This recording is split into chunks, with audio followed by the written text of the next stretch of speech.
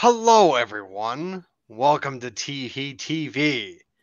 This week, we're going to be discussing Record of Ragnarok Season 1, Saw, as well as a little bit of a special discussion. I am going to be discussing my thoughts on the first time viewing of Scarface, Pulp Fiction, as well as giving my initial thoughts on the Gran Turismo movie that came out recently.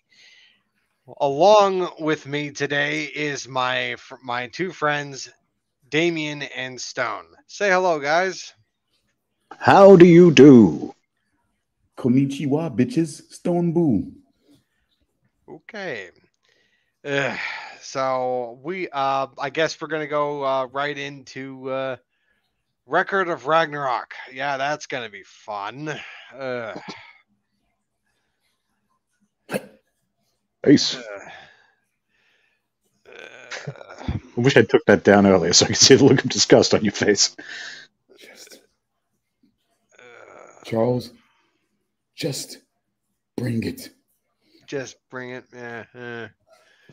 In other words, Record of Ragnarok sucked.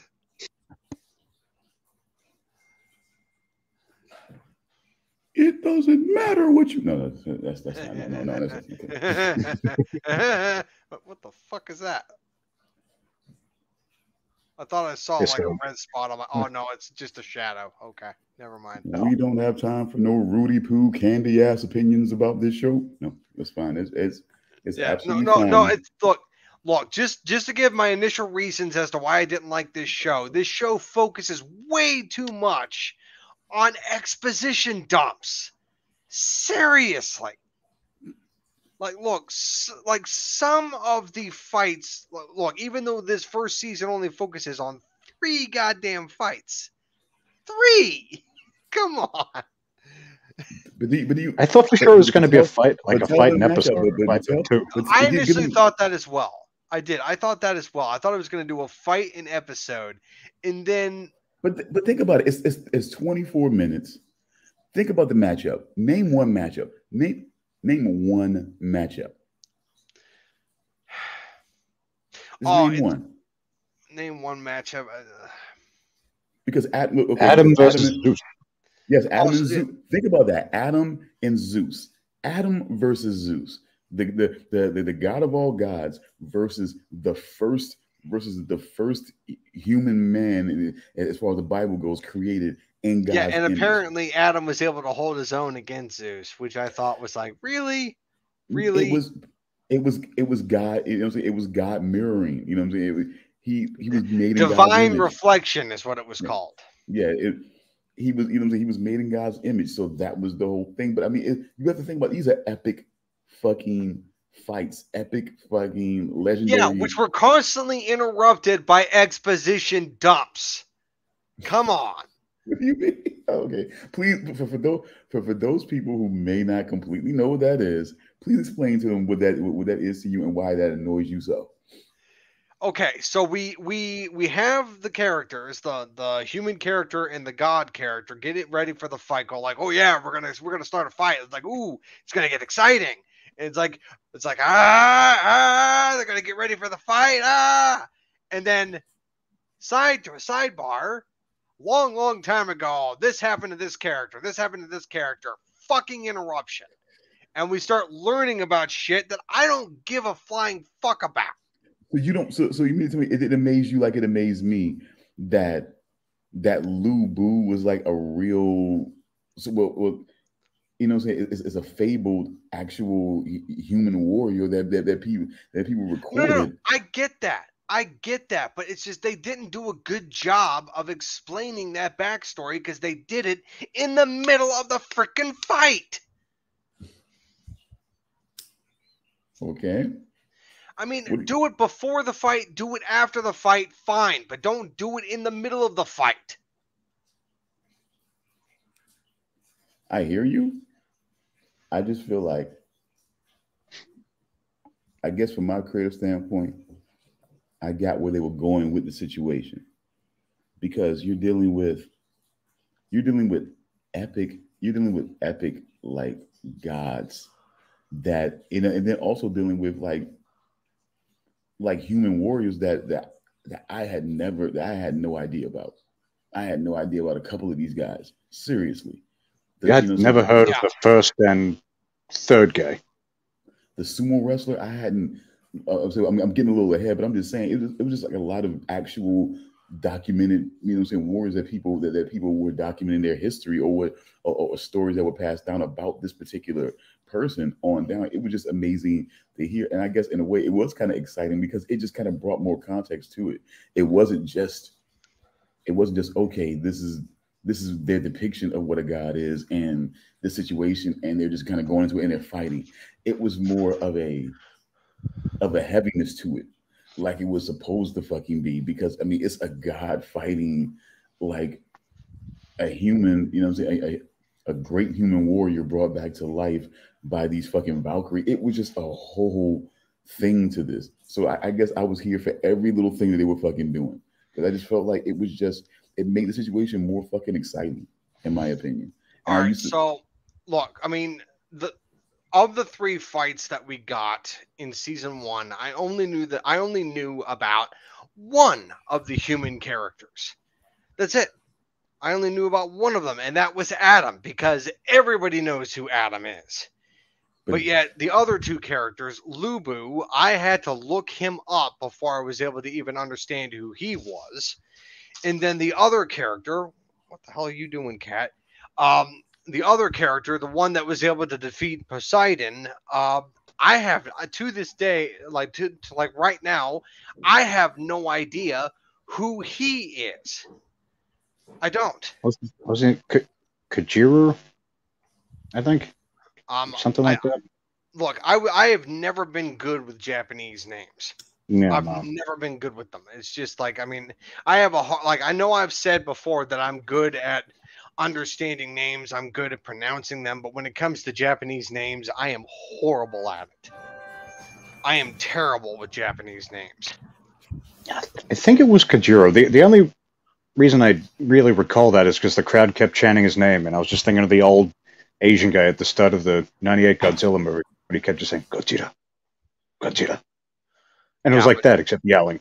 So it, it was something like that. Kojiro. Yeah. No, it couldn't be Kojiro. That's Yeah, Yeah, but maybe. no, and then of course uh, at the end of season one, we find out who the who the fight's going to be at the beginning of season two, which I'm like, really, that's who you're going to have. The next fight is going to be Hercules, or if you get the pronunciation right, it is Heracles. Uh, and- Hercules, Arnold Schwarzenegger. Oh yeah, yeah, Arnold Schwarzenegger. Arnold Schwarzenegger. Me, Hercules. Hercules. But uh, the actual pronunciation of the name is Heracles. Um, and uh, it's Heracles versus, believe it or not, Jack the Ripper. Oh my God. Uh, and bel- Who did look cool. I did like the character design for Jack the Ripper. yeah, yeah. The character design for Jack the Ripper was cool, but that's pretty par for the course for anime. They don't. They Yeah. do go. They do go all out for character designs in anime. Like they they they do kind of go crazy. Oh, and how about we bring up this this one thing that I like to bring up, and Damian knows what I'm talking about. I do.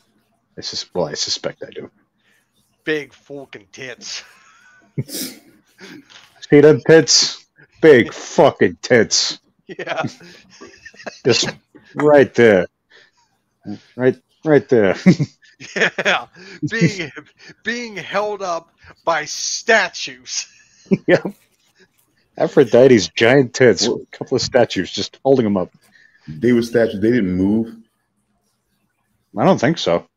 No, I no, thought- they were they were statues. They were I thought they. I thought those guys moved. I, I swore. No, could've no, they swore- they weren't moving. Those were definitely statues.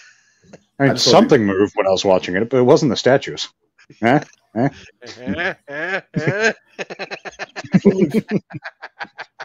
But Damian was.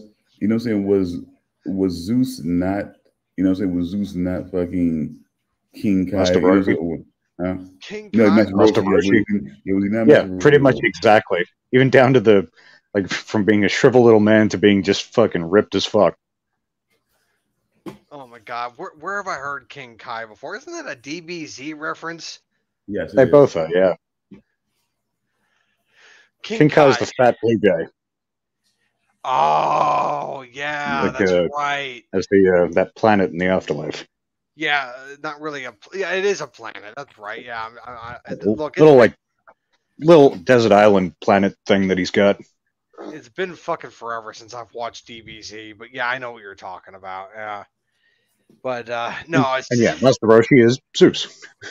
Pretty much exactly. yes, right down to Uh, the right down, and all. yeah, right down to the creep factor too. Yep. Fucking notices someone across the stadium starts making kissy faces, oh my god. Like coming in his little fucking whatever it was he was wearing, old man clothes. See, Charles, I, I understand. The, the thing is, I'm trying to help you with. is I understand if you have criticisms. I get it. You may, you know, what I'm saying you may feel like there, there- there's, a, there's a way, there's a way to, to to build that up, or to or to create that context, or to give the backstory. Sometimes, but some, you know, I, I guess in a way, you know, with a 24, honestly, I truly believe with a 24 minute show, I just don't think that you just go right into the fighting and they're just fucking fighting. It's just so much. It's just so much more because there's so much more to it than that. I mean, when you think about some of the names that that, that are gonna, you know, I'm saying that are mentioned, you know, I'm saying in this, you know, I mean, look, look.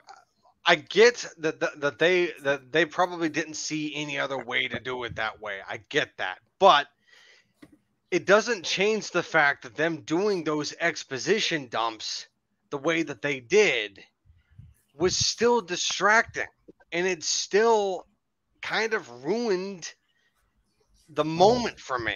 It did. It ruined it because I was getting enthralled in the fight and I was getting pumped up. The adrenaline was flowing. I was going like, yeah, it's going to get real intense. It's going to get fun. Get pumped. Get yeah, get pumped. ah." and then we get to an exposition dump and then all that adrenaline just got tossed out the fucking window and I'm like, Not for- "Oh, not, not for not for me because it makes you feel like because then it makes you feel like that the you know what I'm saying that the God is just not going to trash whoever they got to fucking fight. You start you, you start realizing you start realizing that the Valkyries are you know I'm saying are, are forming themselves into weapons. You know I'm saying for the you know I'm saying for the human fighters also. So you just feel like it's going to be more of a contest. It's not going to be something that okay good try but you know ultimately they're going to go down. You you feel like there might be a fucking chance you know so i think that was the fucking i think that was one of the bigger things for me and i think just that because it's because you've got this whole thing going on and and they're coming out and they're making big reference uh, uh, uh, making this whole thing i mean think about poseidon's you know what i'm saying think about poseidon's fucking fucking entrance you know into the arena and everything like that i mean they, they did a whole lot to really build up like even them entering into into the damn into the damn ring, as it were, or to the damn arena, or to the damn mat, whatever the hell you call it. You know, it's just like to see all of that, and then to not have this guy who's announcing to give some to give some backstory and whatnot to at least to you know because because while we do know from more more times than not, but they were giving even more of a story to Poseidon and and to these gods and and, and at least to, to his god circle and everything like that. It was just to me, it was fun. To me, it was fun, action packed, little 24 minutes, and being able to bring that in there and just, there's no way I felt like I, I wouldn't have been satisfied if it would have been like one fight each episode. The whole fight happens that episode. And nah, I just wouldn't have been satisfied with that. I have to be honest. okay. I will Fair say enough. the f- I will say they dragged the first fight out way too long. That was like four episodes, pretty much. Hold up, you mean with with uh, with Thor and Lu Bu? Yeah, that was like that was like th- I want to say like three and a bit episodes. Yeah, uh, okay, but but you, I mean, it's fucking Thor though. You, you, you know what I'm saying? Yeah, and he looked like a he looked like a oh You know what? he looked Yeah, like a oh. I'm, I'm, I'm going to say that I hated that fucking design. He looked Yeah. terrible. he looked he looked like emo Thor. That's what he looked like. Yeah, this bright red hair Yeah, I mean, wrecking dudes with his big fleshy hammer. He looked like he was about to go to a My Chemical Romance concert. I mean, look, man, Thor, God of Thunder. I mean, you, you know how you know how wild and out there he was, and, and the different changes. I mean, er, I mean, it's like world. You know what I'm saying? It's, I don't know. Maybe, maybe this is the world breaker Thor. You know, at, at this point, you know. No, no, no. The real Thor is the Thor that is my avatar.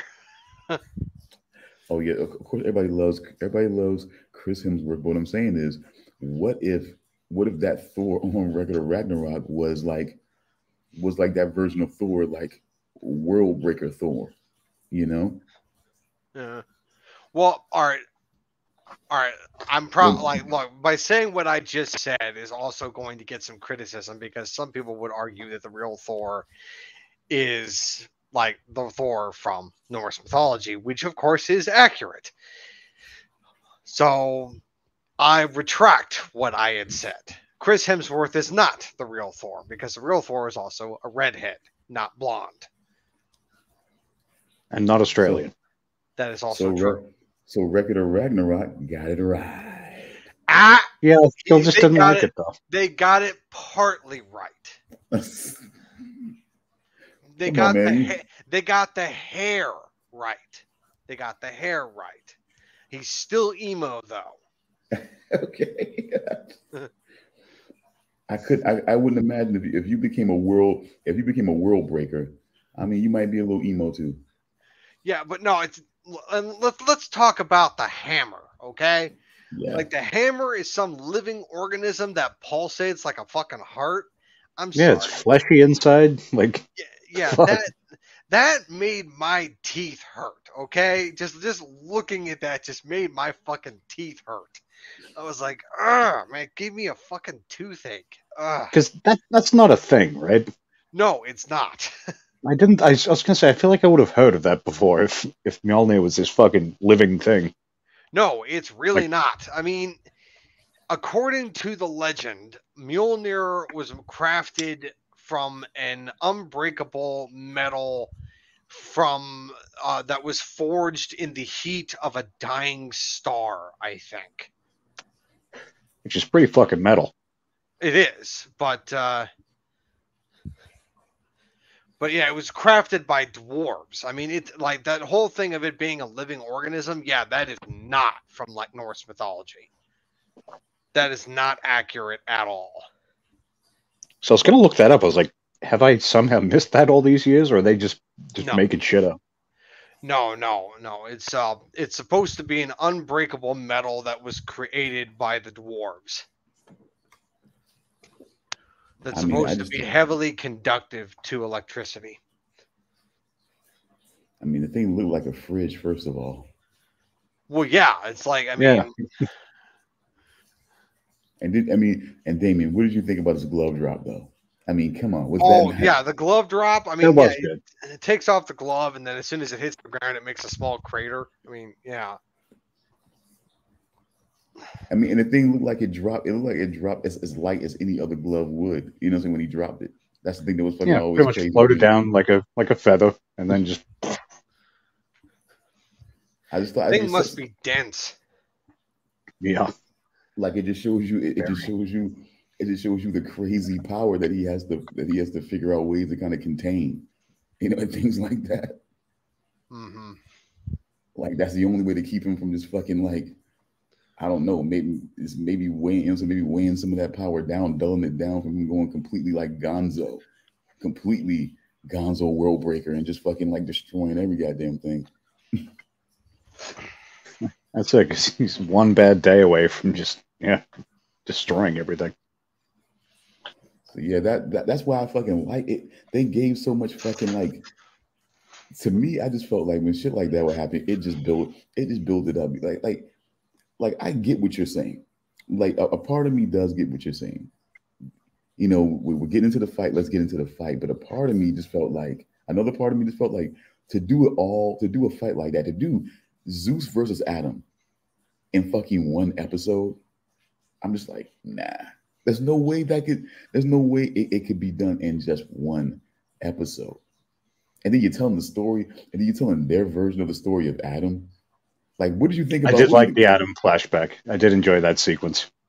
The snake, the scent of like Cobra Commander.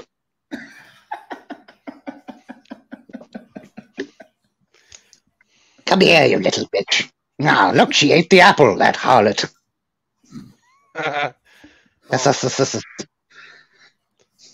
I mean, it was just like like I said. I think, I think, like I said, Making a suit with um, arms. That's the devil right there. I'm telling you. See, that's what I'm saying. Like, look, your your criticism is valid, Charles. I'm not saying it's not valid, but, the, but to say it made the whole show suck, it's just a lot. It's just a lot more going on to where you. I mean, it's just to me, to me, I think it's a lot more going on positive that outweighs the the potentially negative, the arguably negative, you know, the potentially negative like interludes between the fights and everything like that. But it makes it makes for an exciting backstory. At least for me, it got me feeling like, okay, they might have a fucking chance here. Because I'm still thinking like, okay, Adam versus Zeus, like what the you know what I'm saying? Like it's just Adam. He's like the first guy. Like what the you know, like fucking Yeah, you was he going to take his leaf off and just, just like, ah, ah, ah, get out of here? Neil leaves? Armstrong wasn't a superhero because he was the first guy on the moon. I mean, it was just, you know, yeah, he's the first guy. I mean, what, what the fuck?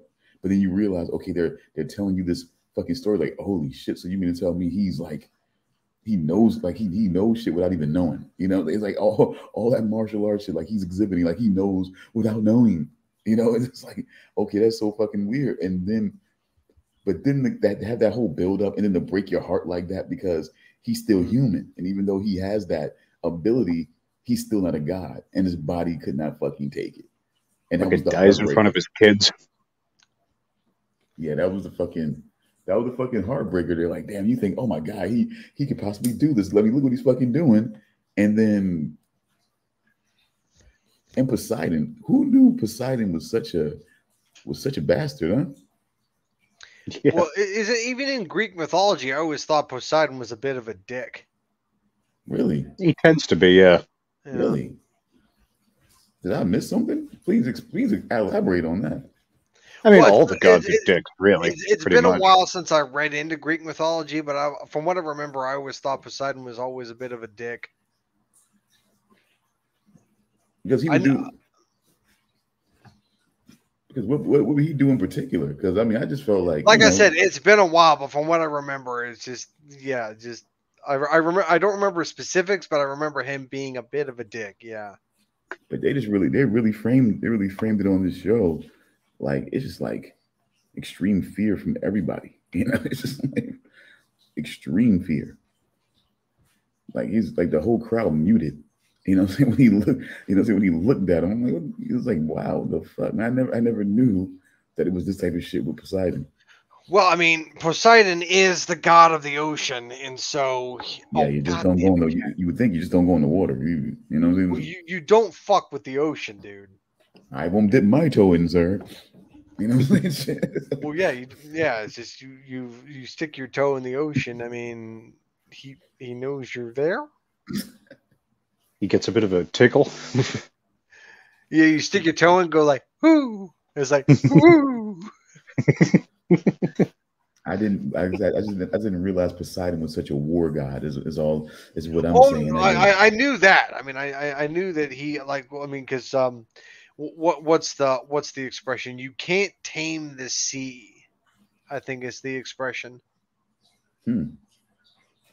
Yeah. Interesting. I, I. I just really never. I never thought of that. I mean, it just. But what do you guys think overall? Just, just kind of overall the whole, like all these gods being like one giant committee. Like, what? Like, what do you think about that? Um, I find that that was actually something that I thought was interesting. I like that. Uh, one one other criticism I have, I did not like that they changed uh, Shiva, the god with the four arms. Uh, in Hindu mythology, Shiva is a woman, not a man. Okay. I, okay. So that. Okay. Okay.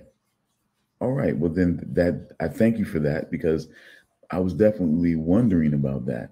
Yeah, Like- Shiva is supposed to be a woman, and um, uh, I thought the change to a man was weird, uh, and didn't really understand the change. I was like, why? Like, what what was there to be gained for doing something like that? Okay, I mean maybe a little bit of, sh- I mean, I, I, I dare I say it, but but this is this is what we do here when we review shows. I mean, we gotta gotta explore all things. I mean, maybe a bit of chauvinism, eh, you know what I'm saying, as it were, you know, feeling like you know, they're feeling like depicting Shiva as a woman to go out there and fight. I guess they just didn't they didn't like that. I mean, because I mean, after all, you had Aphrodite just sitting over there having her breast held. You know, what I'm saying when she was. Oh, you know, so so saying that uh, Shiva couldn't be a, a couldn't be a woman because they said that a woman couldn't fight in the in the competition. They did give respect to the Valkyries and what they were doing, but I just you know, so it wasn't like it wasn't like it was a complete why it was a complete across the board chauvinism, but it just seemed like for the God Warriors, it seemed like it just wasn't. It just wasn't a lot of opening. I mean, and, and that right there, the one the one opening that could be definitely recognized as a female, you know, Shiva was was basically transitioned to a male. So that should tell you a lot right there, I, I guess, as far as what they felt like females in direct combat in this whole tournament, I guess. You know, so hate to say it. I mean, I like the show, and I hate and I hate to say that it was some sort of that it was some sort of you know, it was some sort of doubt on females as warriors that made them feel like. But then there's the Valkyries. That, that's always going to be the weird dynamic with, with something like that. Is because you can say that and say, well, no, Shiva can't be a woman and be out there, you know, and, and battle in this tournament. It doesn't look right. But then you have the Valkyries, they're female and you have some of them that seem really fucking young, but they're fucking Valkyries though.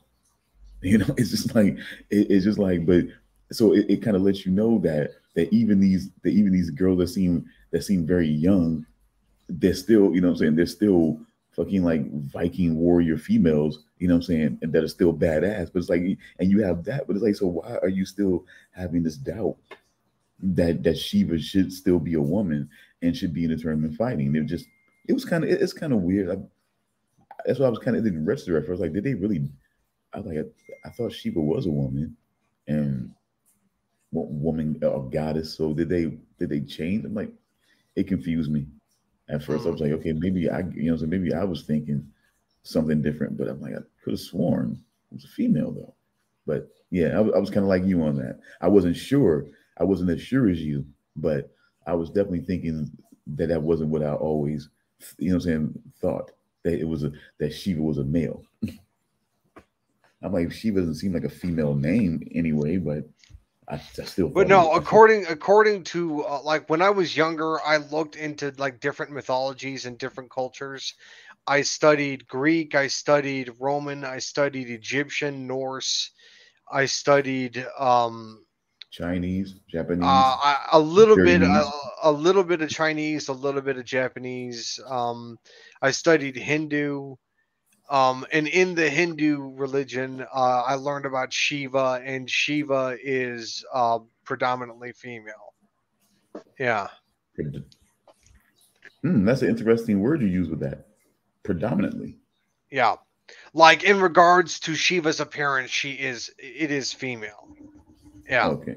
It is okay. female. Yeah. When you said predominantly, I was just like, is there like a, a testicle hanging somewhere? It's like it's mostly a woman, but I probably wrong choice of words. So yes, I mean, in regards to Shiva's appearance, female.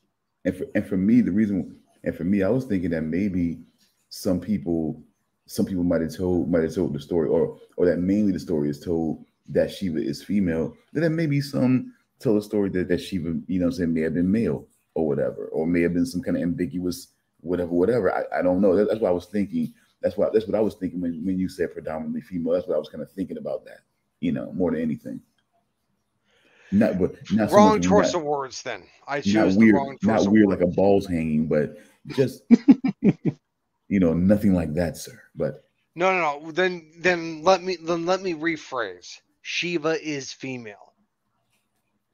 So, but I but when I say predominantly, I, it's because I say um, that the, the the words male and female don't have the same meaning to divine beings the same way they do to humans.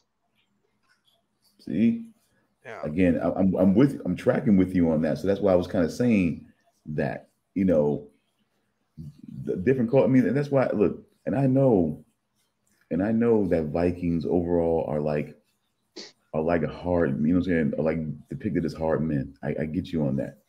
But they do, but they've always been depicted as having long, luxurious hair, Charles. You have to admit that. You have to admit that. Well, yeah. Take a look at Odin in Record of Ragnarok. Look at his his like locks of hair. Oh, but I've seen those shows. They now they try to give those guys some of those guys short haircuts, but overall, Vikings have been depicted as having long, luxurious hair. And so I wouldn't know, call it luxurious. I mean, I mean, well, it- okay. it's bushy. It would have been pretty filthy too, probably. Yeah, it's filthy, bushy, and filthy, like like frizzy. Uh, looks like Gina from Scarface's hair. yeah, only not as clean and tidy. Uh, messy, probably some twigs, and some leaves, maybe a bird's nest in the back. Bit of dried blood here and there. Yeah, maybe some bone from a guy they just killed. I'm, I'm okay. I'm just saying. I wasn't saying it was a pro commercial. I'm just saying it was long. Okay. I'm just, just you know, you know, luxurious. Okay. Maybe, maybe again because again Vikings are are hard, scurvy men with you know I'm saying that that hardly that hardly bathe but but love the fuck. You know what I'm saying? It's just, you know it's, it's a bad combination. I mean, look, it's, it's bad enough you're gonna it's bad enough to have a guy you know grape and pillage, but it's like he's not gonna shower either. You know, Did and you it's, just you know, say grape and pillage? yeah, I did.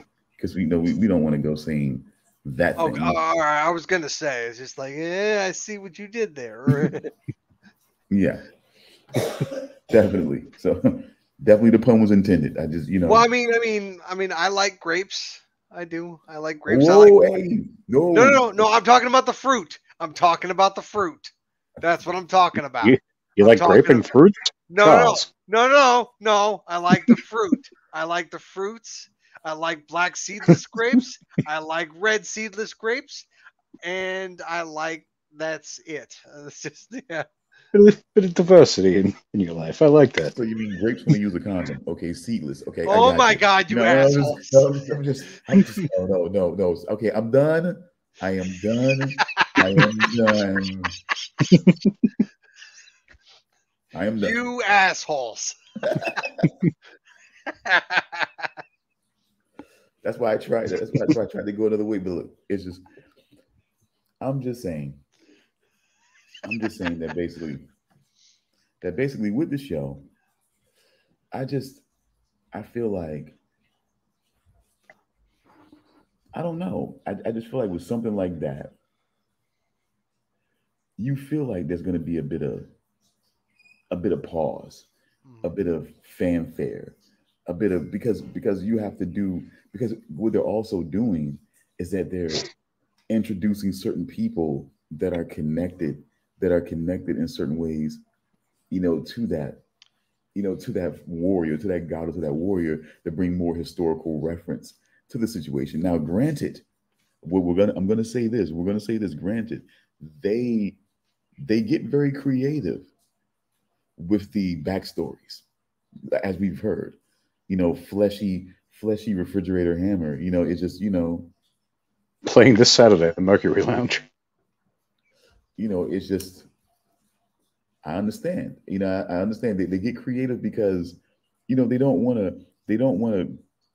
I like the fact that they didn't want to just go basic into the situation and making the Thor hammer what it was always known to be, and then making it something a little bit more a little bit more demonstrative, a little bit more mysterious, even you know, even more mysterious than what it was before.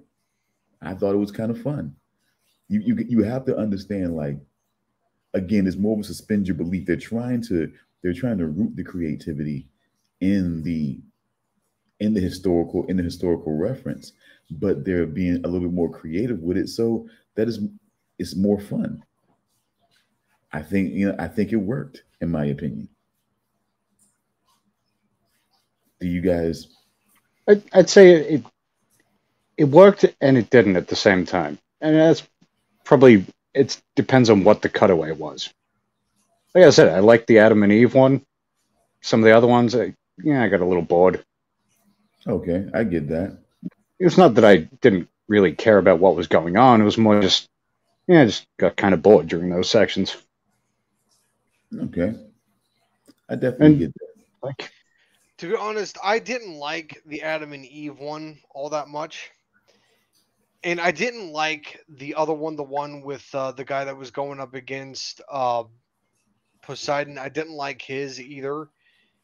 Oh, the the, well, the, uh, the world's greatest loser. Yeah, the only one that I actually kind of liked was Lu Bu's. Where he's standing on top of that mountain, No, breaking all the spears. uh, that that was the only one that I kind of liked, and the one the part that I liked the most about Lu Bu's is it was right after his legs got broken.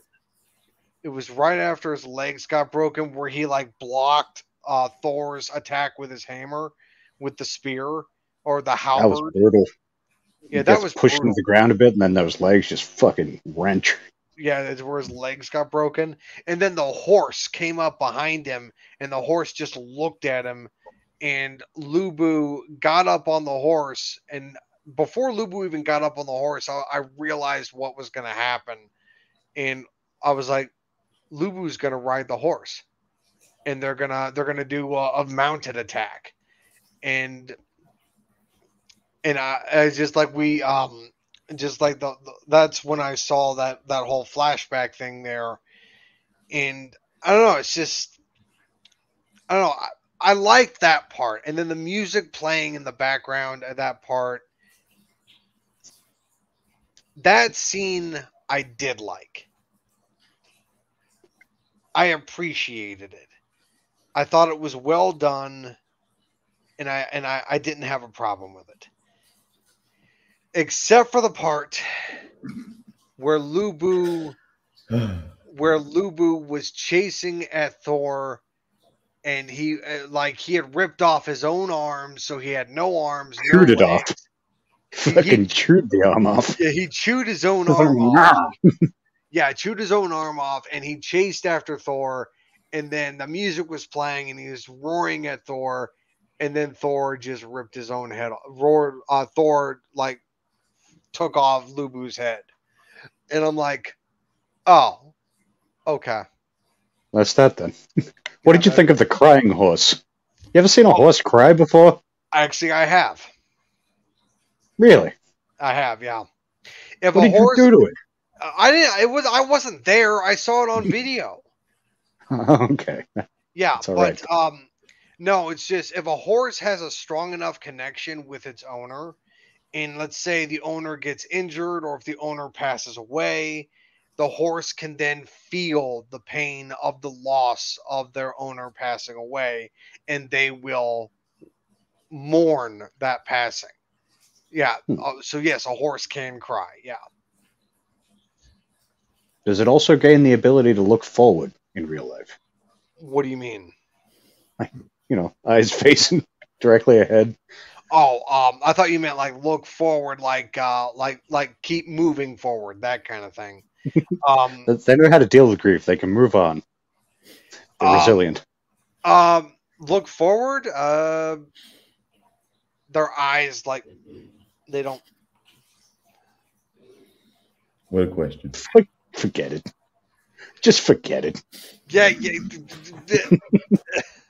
I don't know what you're asking. I have I don't never, know anymore either. I have never tended horses. I don't have horses on my property. But you've seen a horse before. I have at somebody else's property. And was it looking at you when it was crying? it wasn't crying when I was there. it was just staring at me with some deadpan look while it was chewing on straw. Oh god. It didn't even do this. It didn't even do that. It just What a terrible horse. It, and then it, it just looked at me with a deadpan look, and then it just went back to whatever the fuck it was doing. it just, I mean, it was just being a horse. That's all it was doing. Horses can tell the future by looking sideways. Wow, I've learned something today. That's why they do that. Yes, horses. They're seeing are the, all possible all possible futures any horses are the Nostradamus of animals. God bless them. They can look into oblivion and they can tell you your future, and their future is bleak. And it catches a glimpse of those big fucking tits. Everything's not so bad anymore. My favorite horse, of course, Of course, of course. that was unexpected, that was unintentional. but no, my favorite horse is the is the laughing horse from Disenchantment. Never seen. That's the um, Matt. I still don't know how to pronounce his last name. Matt Groening. Uh, Matt Groening. Groening. Yeah, that's his show, right? Uh yeah, it, it's no longer it's it's done. They finished the show. But two seasons, I think. Three, Uh, maybe five. five. Shit. Yeah, five. Yeah. The new season just ended. The final season ended recently. Okay, like a proper final season or a canceled yeah, final yeah. season. Yeah, a proper final season. Hmm. They they only intended on doing five seasons. Yeah, I have to look into it now. Then. Yeah. What are we talking about here? Uh Disenchantment. Oh yeah. Yeah. I liked the show. I thought it was fun. But yeah, the Yeah, laughing definitely horse, looked interesting. yeah, the laughing horse is one of my favorite characters on that show. He's so fucking funny. Now that's something I've never seen a horse do for a fact. Never seen a horse laugh. They smirk yeah. sometimes, but What do they have it. to laugh about? They just that they if they underperform, they get sent to the glue factory. say that again. That's pretty funny. I thought it was mainly a broken leg underperformed. Like, jeez. I thought it was a broken leg, really. To the glue factory with you. Nay. Better win that. Yes. Prick- better Hey. win that Prickness. Yes. Better win that Prickness next week. You know, like, you know what I'm saying? Jeez. What's going on, man? Just put them out. Just put them out the pasture. You know what I'm saying? Let them roam free somewhere. What the fuck's wrong? well, I with mean, you? you put them out the pasture. That just mean that's just slang for killing them, and then you send them Oh, to the glue oh. factory. Okay, yeah, you're right. You know, but I mean, let him walk the earth like Caine from Kung Fu. what I mean There is you like, go. You get that it's- reference now. I mean, just have, just have him out there. You know, he, he can make other champions. You know, you don't have to fucking, you know, like nah. I mean, and even that broken leg thing is kind of weird for me still. I gotta be honest with you. Even that thing is kind of weird for me, but I try to, I try to stomach that. But yeah, underperforming, no way, man. Is it that the leg won't heal, or just no one wants to look after a fucking useless horse for like six weeks? I think that the main people who do that, I think, are the people who are only looking at the horse as a racehorse. And then once and then once you get a leg break like that, it's gonna be hard to because because again, no one has no one is really a horse psychologist. So as an athlete, as a as a human athlete, when you when you have an injury and you and you recover from it and you try to go back and play again, it's always the fear that you know I'm saying you'll exacerbate that injury again. You know, so it's always the mental thing. Even though you might feel pretty solid, you know, on it or with it, it's still that mental thing that messes with you that you might that that you might exacerbate it again and it might be worse or something like that. So it's like trying to get through the mental recovery along with the physical recovery. But the thing is, there's no way to really help a horse's mental recovery if they're having if they're dealing with that same fear of being in a horse or of being in a race and having that same thing happen or even worse you know so hmm. i guess i guess some people just don't want to just don't want to deal with that and just decide that they're that they're just useless horses useless mm-hmm. animals you know so Take the loss and just the Bye. loss they're, oh, yeah, they're take the losses and they've got to get another horse. Yeah, yeah, because I mean they're paying they're paying a few thousand dollars for a fucking horse.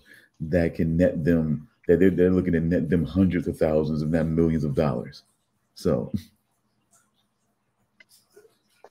and they're not paying, and they're not. And uh, most times, depending on if you got a legendary made horse, that you might you might buy that horse, or they might try to charge up for its progeny. But other than that, you're not going to pay like what that horse can earn. No one, no one really pays what you know the potential you know what, what a horse, what a good race horse that can win these damn things could potentially earn.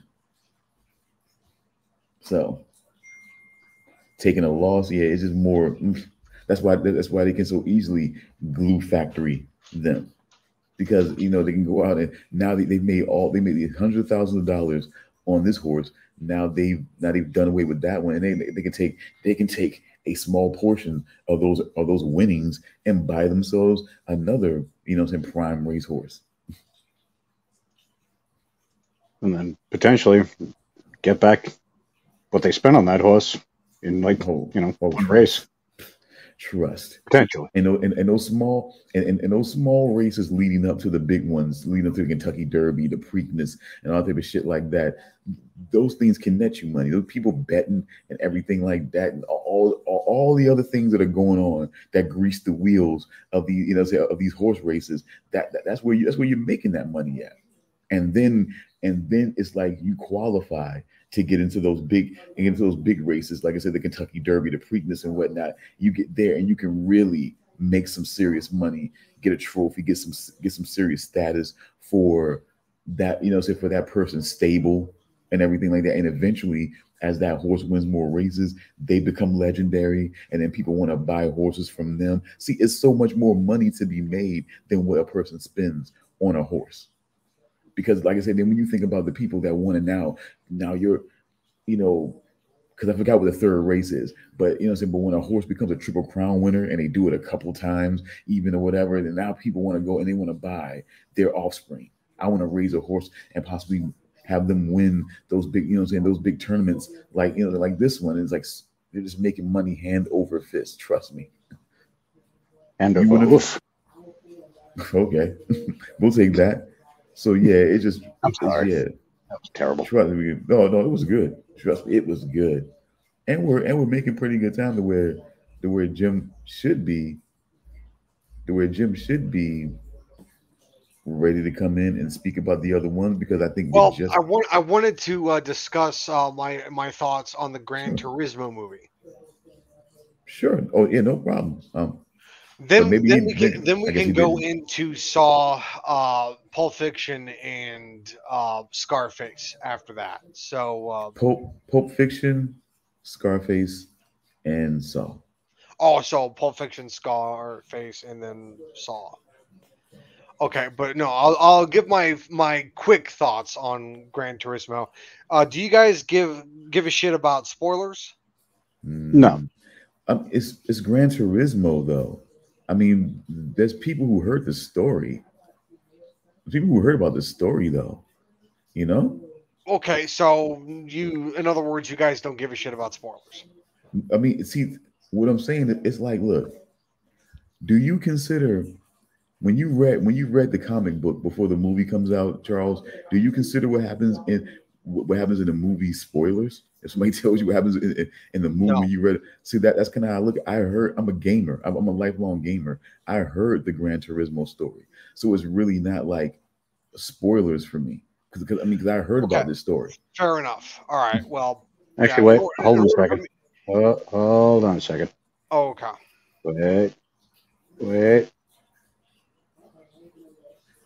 Bam. Oh. Thank God. you to Becky for the graphic. God damn it. It's Weeden's Review Corner.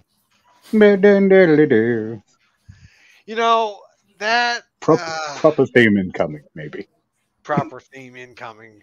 Oh, God. Maybe. I gotta move my cat. All right. Ugh. Is that going to stay up during the entire thing? No, I just remembered I had it.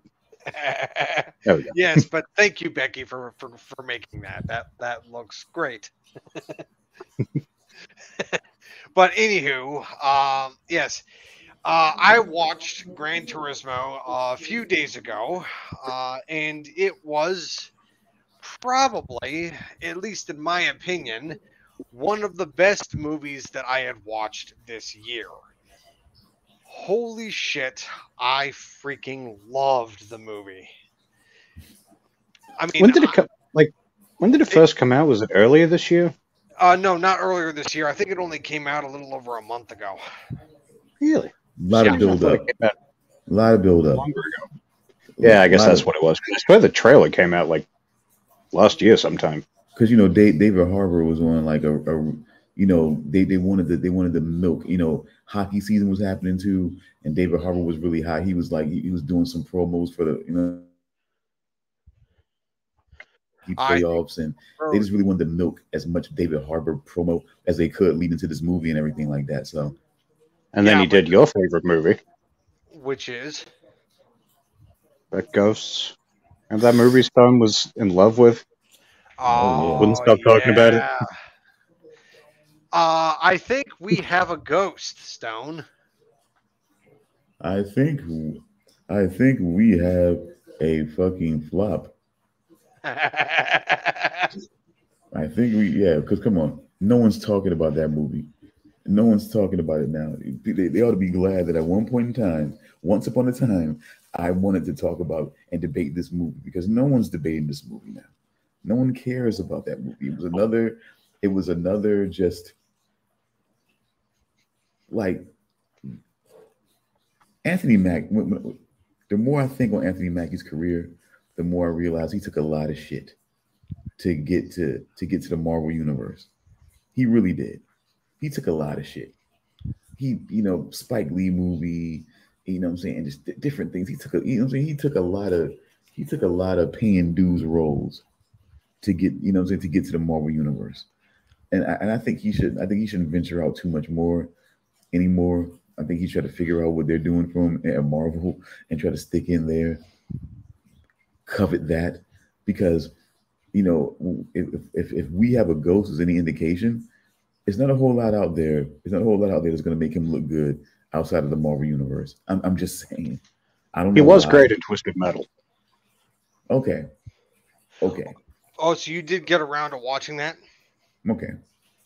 Yeah, didn't didn't we cover it a few yeah, weeks we ago? did. We did. We absolutely did. Okay. But anywho, back to Gran Turismo. Um, the movie focuses on on telling the story of um, crap. I'm trying to remember his last name. Um, uh, Jann Mardenborough, is it? Jan Martin. Am I pronouncing? Yeah, Am I am I pronouncing it right? I think so. I only looked at it earlier, but it's a long name. But I, Yeah, that does sound right.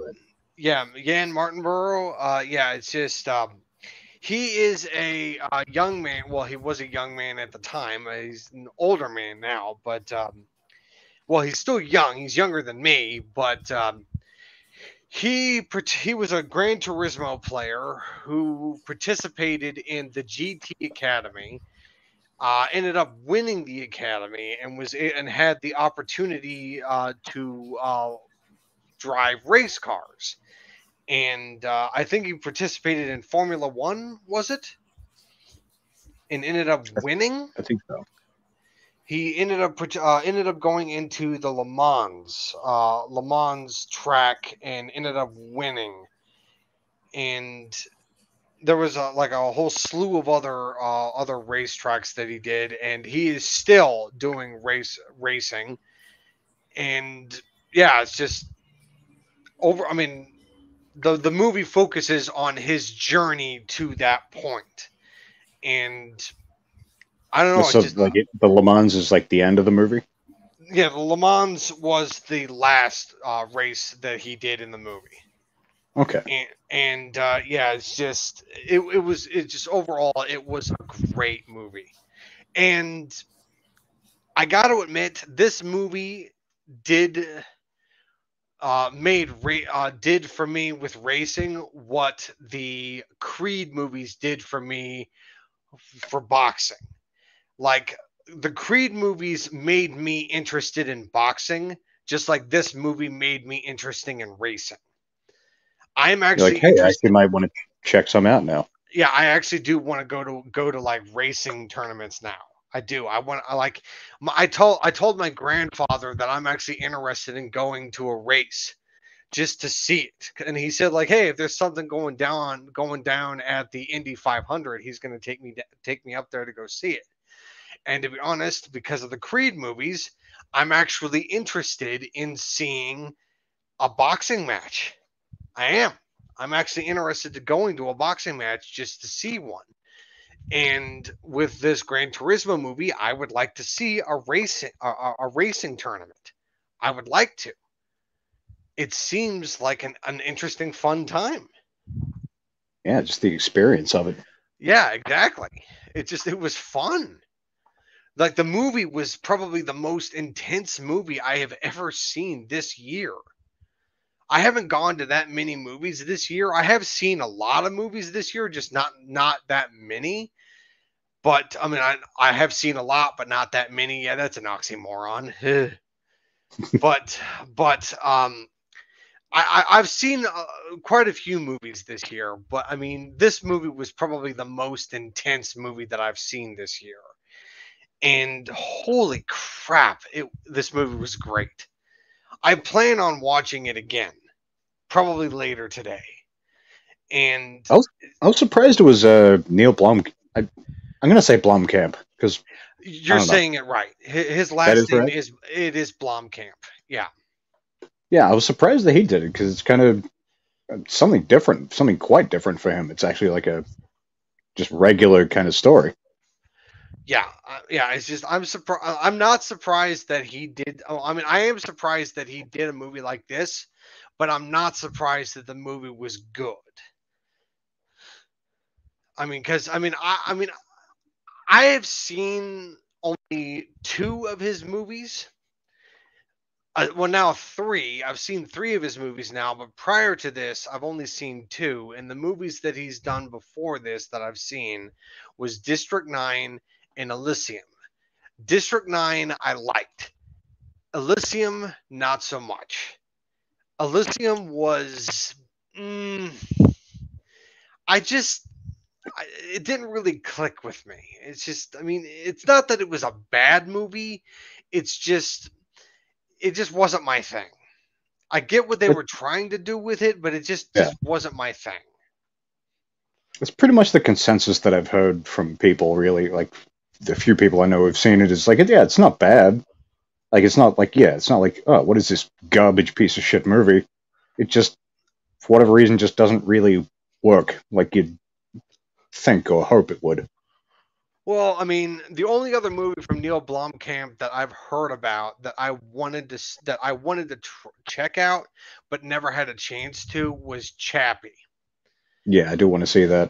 Yeah, I wanted to see that as well, but I just I just never had the chance to see it, and I don't know where I can see it. So I'll probably end up watching it eventually. Just I don't know when. I think he's only got like five movies. You got District Nine, Elysium, Gran Turismo, Chappie, and there's one other that came out like two years ago that I can't remember what it was called. It was a horror movie, I think.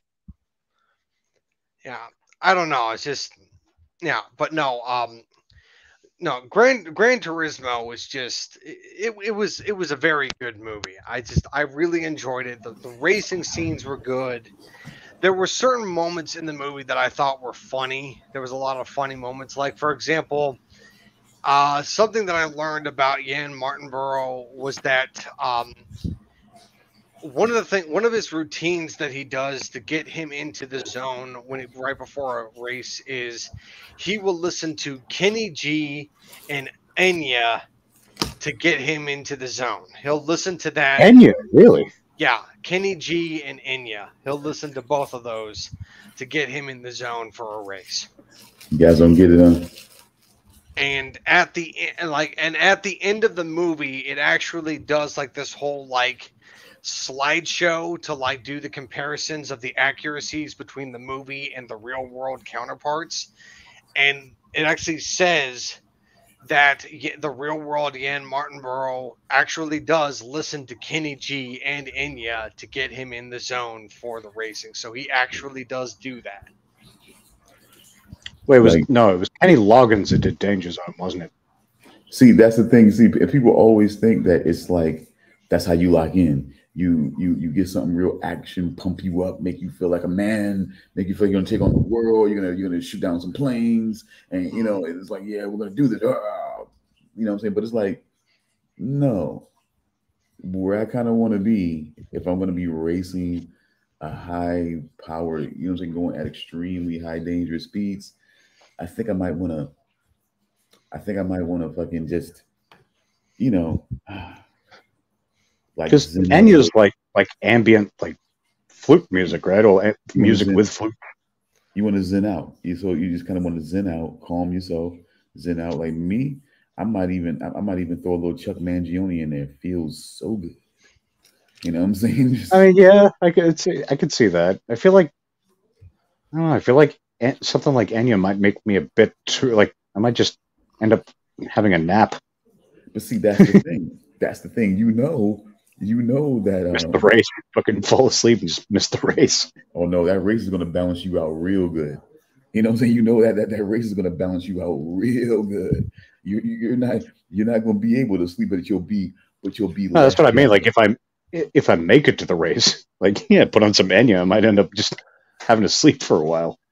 Yeah, there's a scene. There's a scene in the movie where, um, it's it's after Jann has his accident, and he's it's at I think it's at the Le Mans, and he is he is having a moment. I think it's a it's a PTSD episode. Um, it's a PTSD episode, and he is not passing the other cars in the race and he's like lagging behind and his pit boss that is being played by david harbour uh, he is saying like dude what the hell are you doing? You need to win this race. Like come on get mad get mad get mad. And Jann is saying like look i can't do it. I can't do it.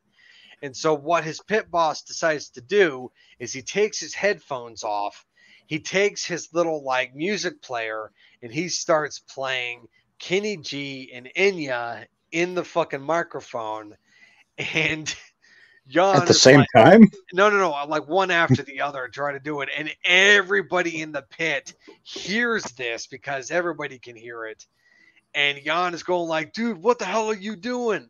It's like, "What? I'm sorry, dude. There's technical difficulties. You can't hear. Like, I can't do anything about it, man." It's and Jann's going like, "Turn it off, turn it off, turn it off." It's like, no, no, like, what are you doing? It's like, are you mad? Are you mad? It's like, yes, I'm mad. I'm mad. it's like, good. Get angry. Get angry. And uh, it's just, it's like, what are you going to do about it? It's like, I'm going to win this race. And I'm like, yeah, get it. Now go kick their ass. Yeah, see just- that.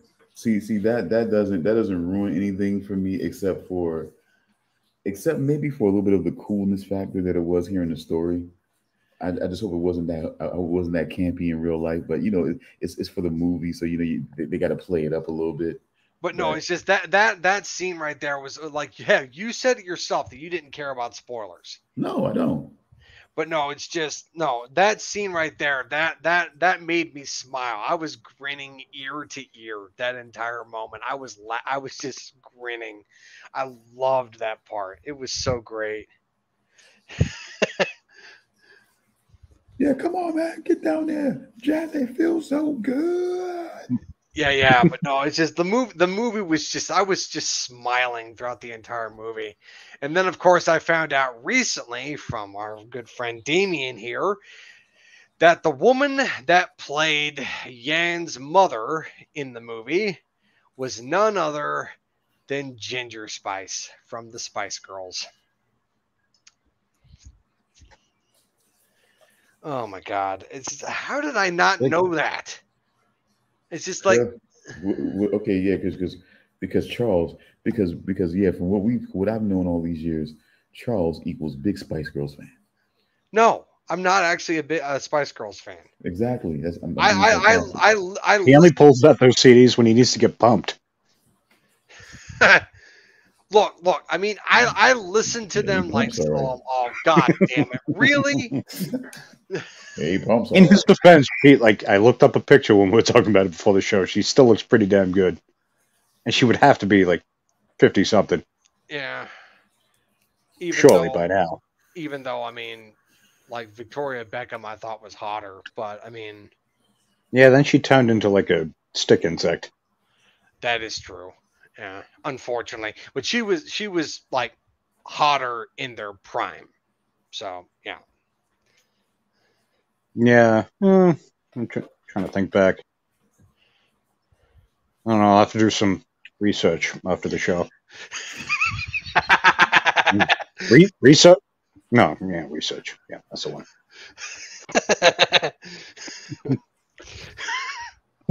Don't you shake your head at me, motherfucker. I got a new show idea for you and Charles Damian. oh my Back god! Back into the '90s. What the fuck? Uh, I'm in. I mean, the camera only goes, you know, to here, so whatever happens down there is a mystery. We start playing. Get away with it on YouTube. Some, we start playing some Kylie Minogue. We start playing some Kylie Minogue. We start playing some some some some videos with Alicia Silverstone in it. You know what I'm saying? Like tap into the '90s, man. you see, I never thought that she was all that attractive, Alicia Silverstone. Oh fuck you! Come on, seriously, man. I never did. I never thought she was all that attractive. I never did. I, okay, you know what? Let me, let me change your mind for you. I say watch the movie The Crush. You'll change your mind. I vaguely remember that movie. Trust me, if you watch it again, you'll never forget it. Yeah, you see, there's a reason why she's no longer relevant, dude. Oh, she just did a commercial. She just did a commercial. Oh, a whole commercial. I'm just saying. I, I I gotta call the facts, man. Is all I'm saying. She has she has gained some some measure of relevancy. Is all I'm saying. Doing a commercial after being absent for fucking years is not relevancy. I'm trying to decide if a commercial is a step above or below Dancing with the Stars. Um, above. It- Above, you reckon? You, you I guess because it's- you do it one time. You do it one time. You keep getting paid. Yeah. You don't have to, you don't have to keep. You don't have to keep being on a commercial. You, just, you, you record it once and it gets done, and you don't have to keep coming back and, and, and redoing a damn show. So yeah, Yeah, and you don't have to do the show where you're dancing and begging for judges' approval. And you probably get paid a lot more for a commercial. Yeah, and relevancy. By the way, you're begging for relevancy. By the way, don't forget that with Dancing with the Stars. Yeah. You're begging for relevancy. It's the it, it- it's a it's a nice little way to lull them and make them feel like they're not they're not really they're not really they're not they don't deserve to be on the, surreal life when they do. Yeah. So it's Dancing with the Stars. It's the thing that makes them makes them believe that they're not really at that level of the surreal life just yet, but they are. Oh yeah, when you make it onto the surreal life, that's when you know you really made it. That, that, No, when you when you really gotta when, when there's nowhere to go but up.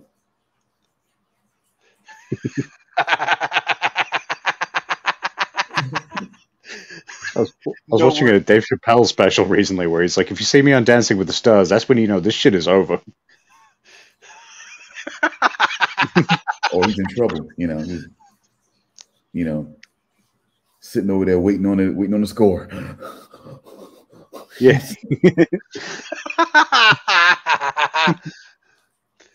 all right, so I, I I think I've pretty much covered all the covered all I need to say about Gran Turismo. Overall, it was a great movie. I highly recommend it.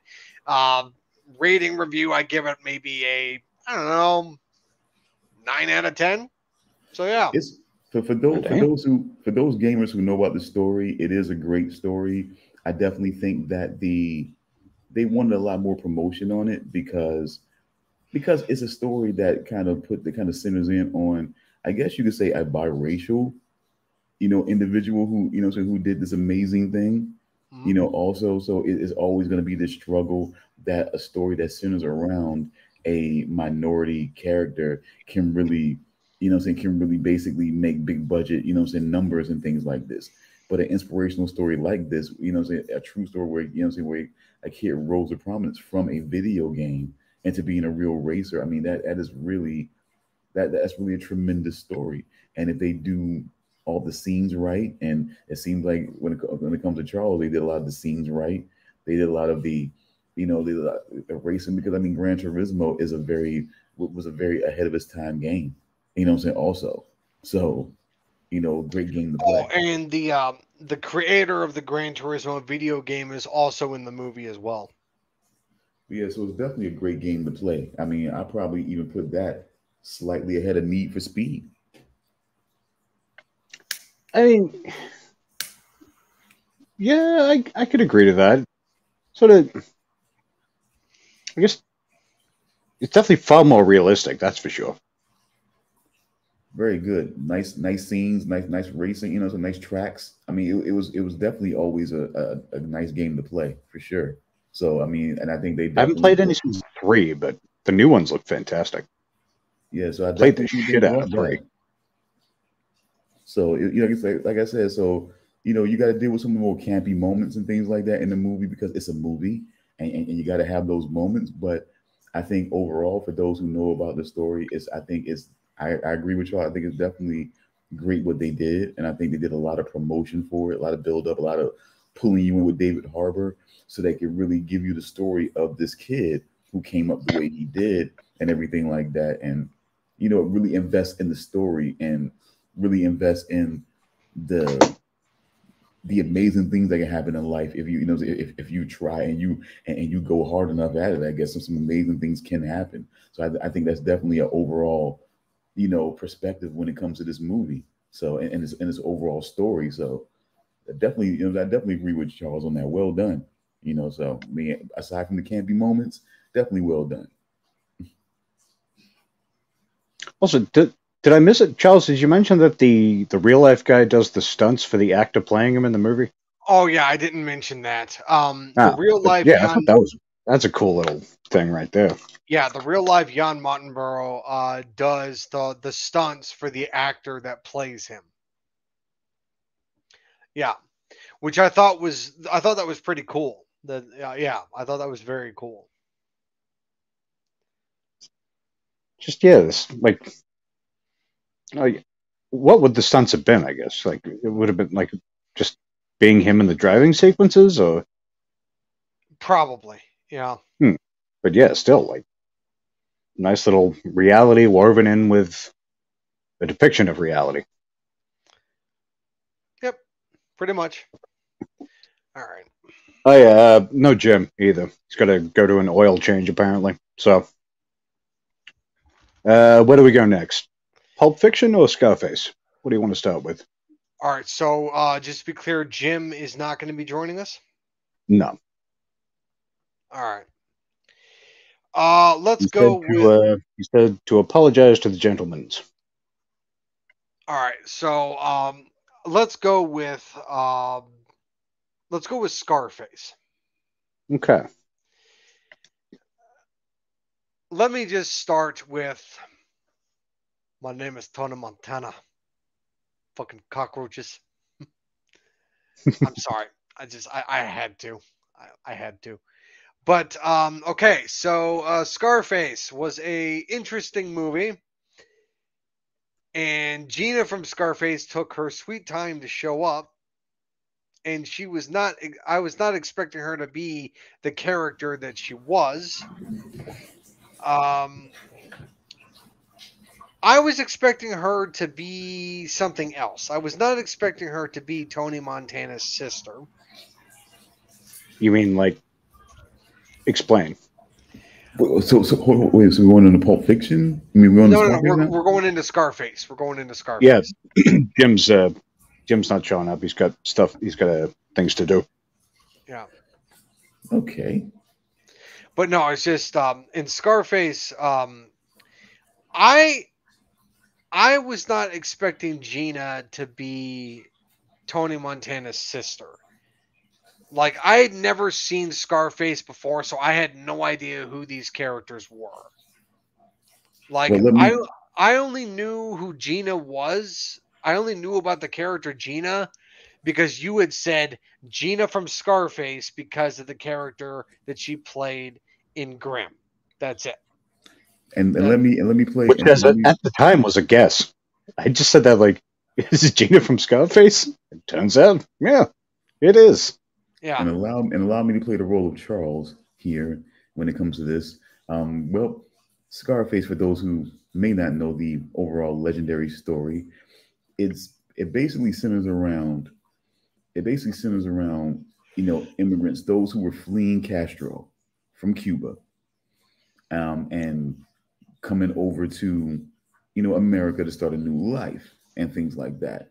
And I guess in the and I guess for Tony Montana's family, well, particularly his mother, particularly his mother and his sister, they were able to flee.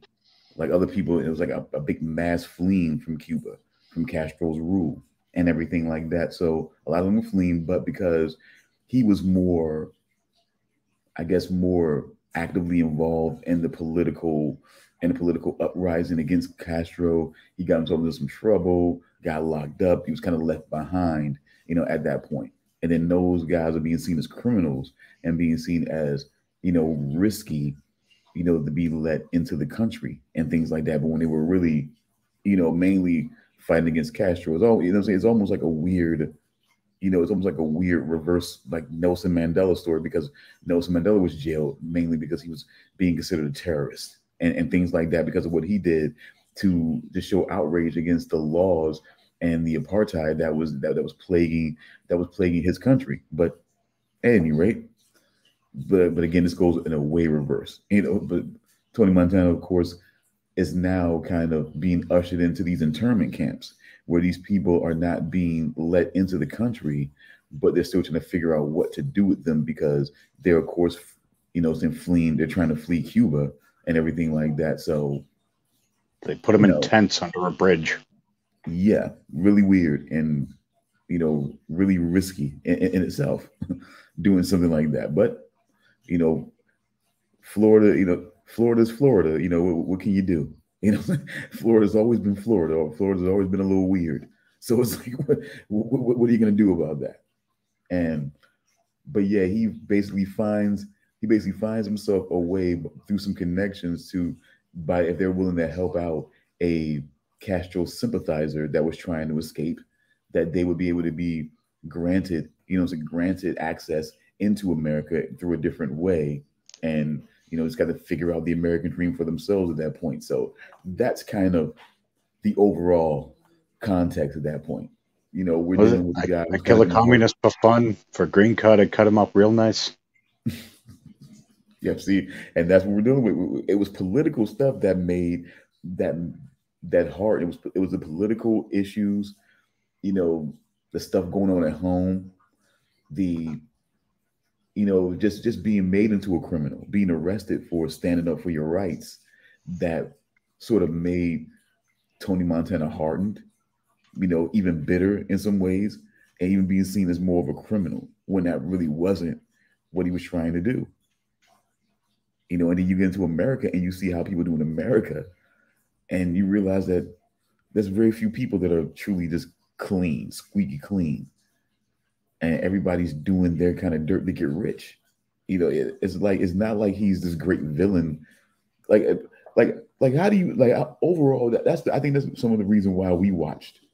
It was sort of like a tradition for some me and some of my friends when when our birthday would come around, we would like before we go out and do anything else, we would all kind of gather and watch Scarface for some reason. It was just part of what we. It was part of our, our birthday tradition, and but it's like you you lament the drug dealing, but you when you think about everything that went, it, it's a when you think about everything that went on, everything that surrounded it. To me, it's a familiar story that can kind of create, you know, create people that that, that feel like they got to do what they got to do, and they're seeing that and they're seeing that the world they're entering, they're, another world that they're entering into, is is corrupt. People are people are corrupt. They're on the take. They're getting bribed. They're getting paid off. They're willing to. They're they're, willing to basically. They're willing to compromise their authority, their power, their influence in order to get more money for their own greed and things like that. And you realize that you got to do what you got to do. People are taking drugs. They don't see you they don't see you a certain way, it's going to be hard to gain legitimate work, and it's going to take a long time to get where you feel like you want to be. And in a place like Miami, the the pull in the and the lure of that is just really strong. So, you know, I mean, what do you but what do you guys think? I mean, I um if I'm being honest, I enjoyed Scarface, but I didn't really follow all the the the messages of the movie. I didn't really follow all of it. I get it. I mean, it wasn't so much. That was Frank says, never underestimate the other guy's greed. Ah. I mean, to be honest, it was e- it was a lot easier for me to follow Pulp Fiction than it was for me to follow Scarface. It was a lot easier for me to follow. I would have thought the opposite, just because Pulp Fiction jumps around a lot. Yeah, but I, I mean, I that's what I've always been told. It's like Pulp, like I've always been told, even by my own brother. It's just like my brother loves Pulp Fiction. He loves Scarface too, but he he, loves Pulp Fiction and he's always told me that Pulp Fiction is is notorious for being very difficult to follow. You have to pay attention to be able to follow the damn thing. But when I was following Pulp Fiction, I was like, "What the fuck are they talking about? This is really Yeah. fuck- this is really easy to follow." Like, what yeah, I would never talking have said it's difficult to follow. Like it jumps around a lot, but uh, yeah, I've never had that issue with it. No, no, no. It's just I had no problem following Pulp Fiction. So I had even no so so so even when so even when Vincent so even when Vincent gets shot gets shot in the bathroom, Yeah, you know by you know what I'm saying by Butch. Yeah. But then but then we come but then we come to an ending scene where Vincent and Jules are in a diner or in a diner, you know what I'm saying, getting robbed. You know that that, that still doesn't kind of like hmm, huh? Oh no, I completely got it because the scene with him in the bathroom takes place after the scene of them in the diner and them after meeting up with Marcellus Wallace in the in the uh, the bar, um, uh, where they first meet Bruce Willis's character. Yeah, It like I definitely could that. see how it could be confusing for people. Yeah, but no, I was able to I've pick up on that no problem. Because at the diner, that's where Jules mentions that he's done. And then when they go up at the bar to meet up with Marcellus Wallace, that's where Jules tells Marcellus he's out, he's done. And Marcellus is like, okay, cool, you're done, you're out. See you later. And that's why Jules is not at the apartment where Vincent is. That's why Vincent is there alone. And that's why uh, Bruce Willis's character is able to get the jump on Vincent because Vincent is there by himself. Wants Yeah. to take a nice, relaxing shit, comes out Yeah. dead.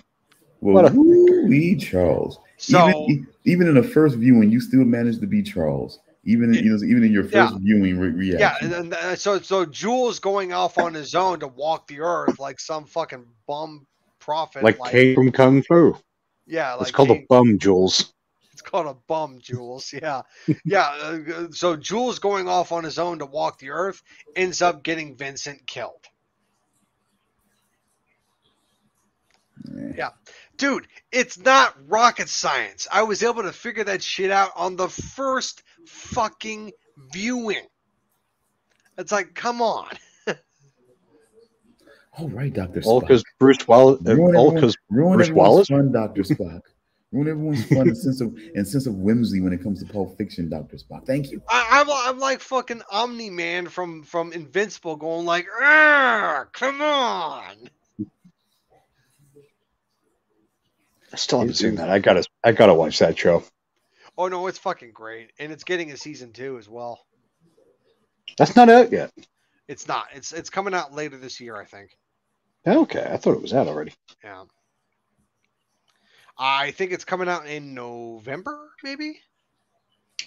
Hmm, might just wait till then and watch them both. Yeah. It's either October or November is when it comes out. Actually, I can look it up right now, even though we're talking about uh, Pulp Fiction and Scarface. Uh, let's see. Invincible. Invincible Season 2. Okay. Let's see. Uh, Invincible Season 2 is uh, about. Uh, do I want to go to Rotten Tomatoes? Maybe? Uh, let's see. Uh, uh, yes. Um, but no. Um, yeah, I know. I'm just I, I'm providing dead air while I'm looking up Invincible season two. Yes, I am su- Me too. I'm just I'm just playing with my goatee and doing Yeah, nothing, playing. just being a useless nothing. yeah, All right, so uh, jumped around a bit. So go back to Scarface. yeah, Scarface. with Scarface? So you found Scarface harder to follow. Why? Like Uh, why? I don't know. In, It's, in, it's, in what way? I guess. I don't know. Maybe it has something to do with how old the movie is because it came out in the early '80s. Uh, that's what I've always. That's what. That's what I've always.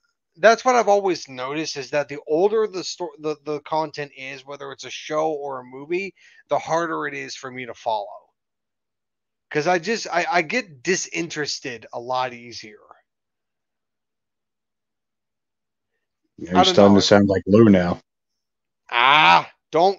mm. I'm sorry. That was that was too far. I I apologize.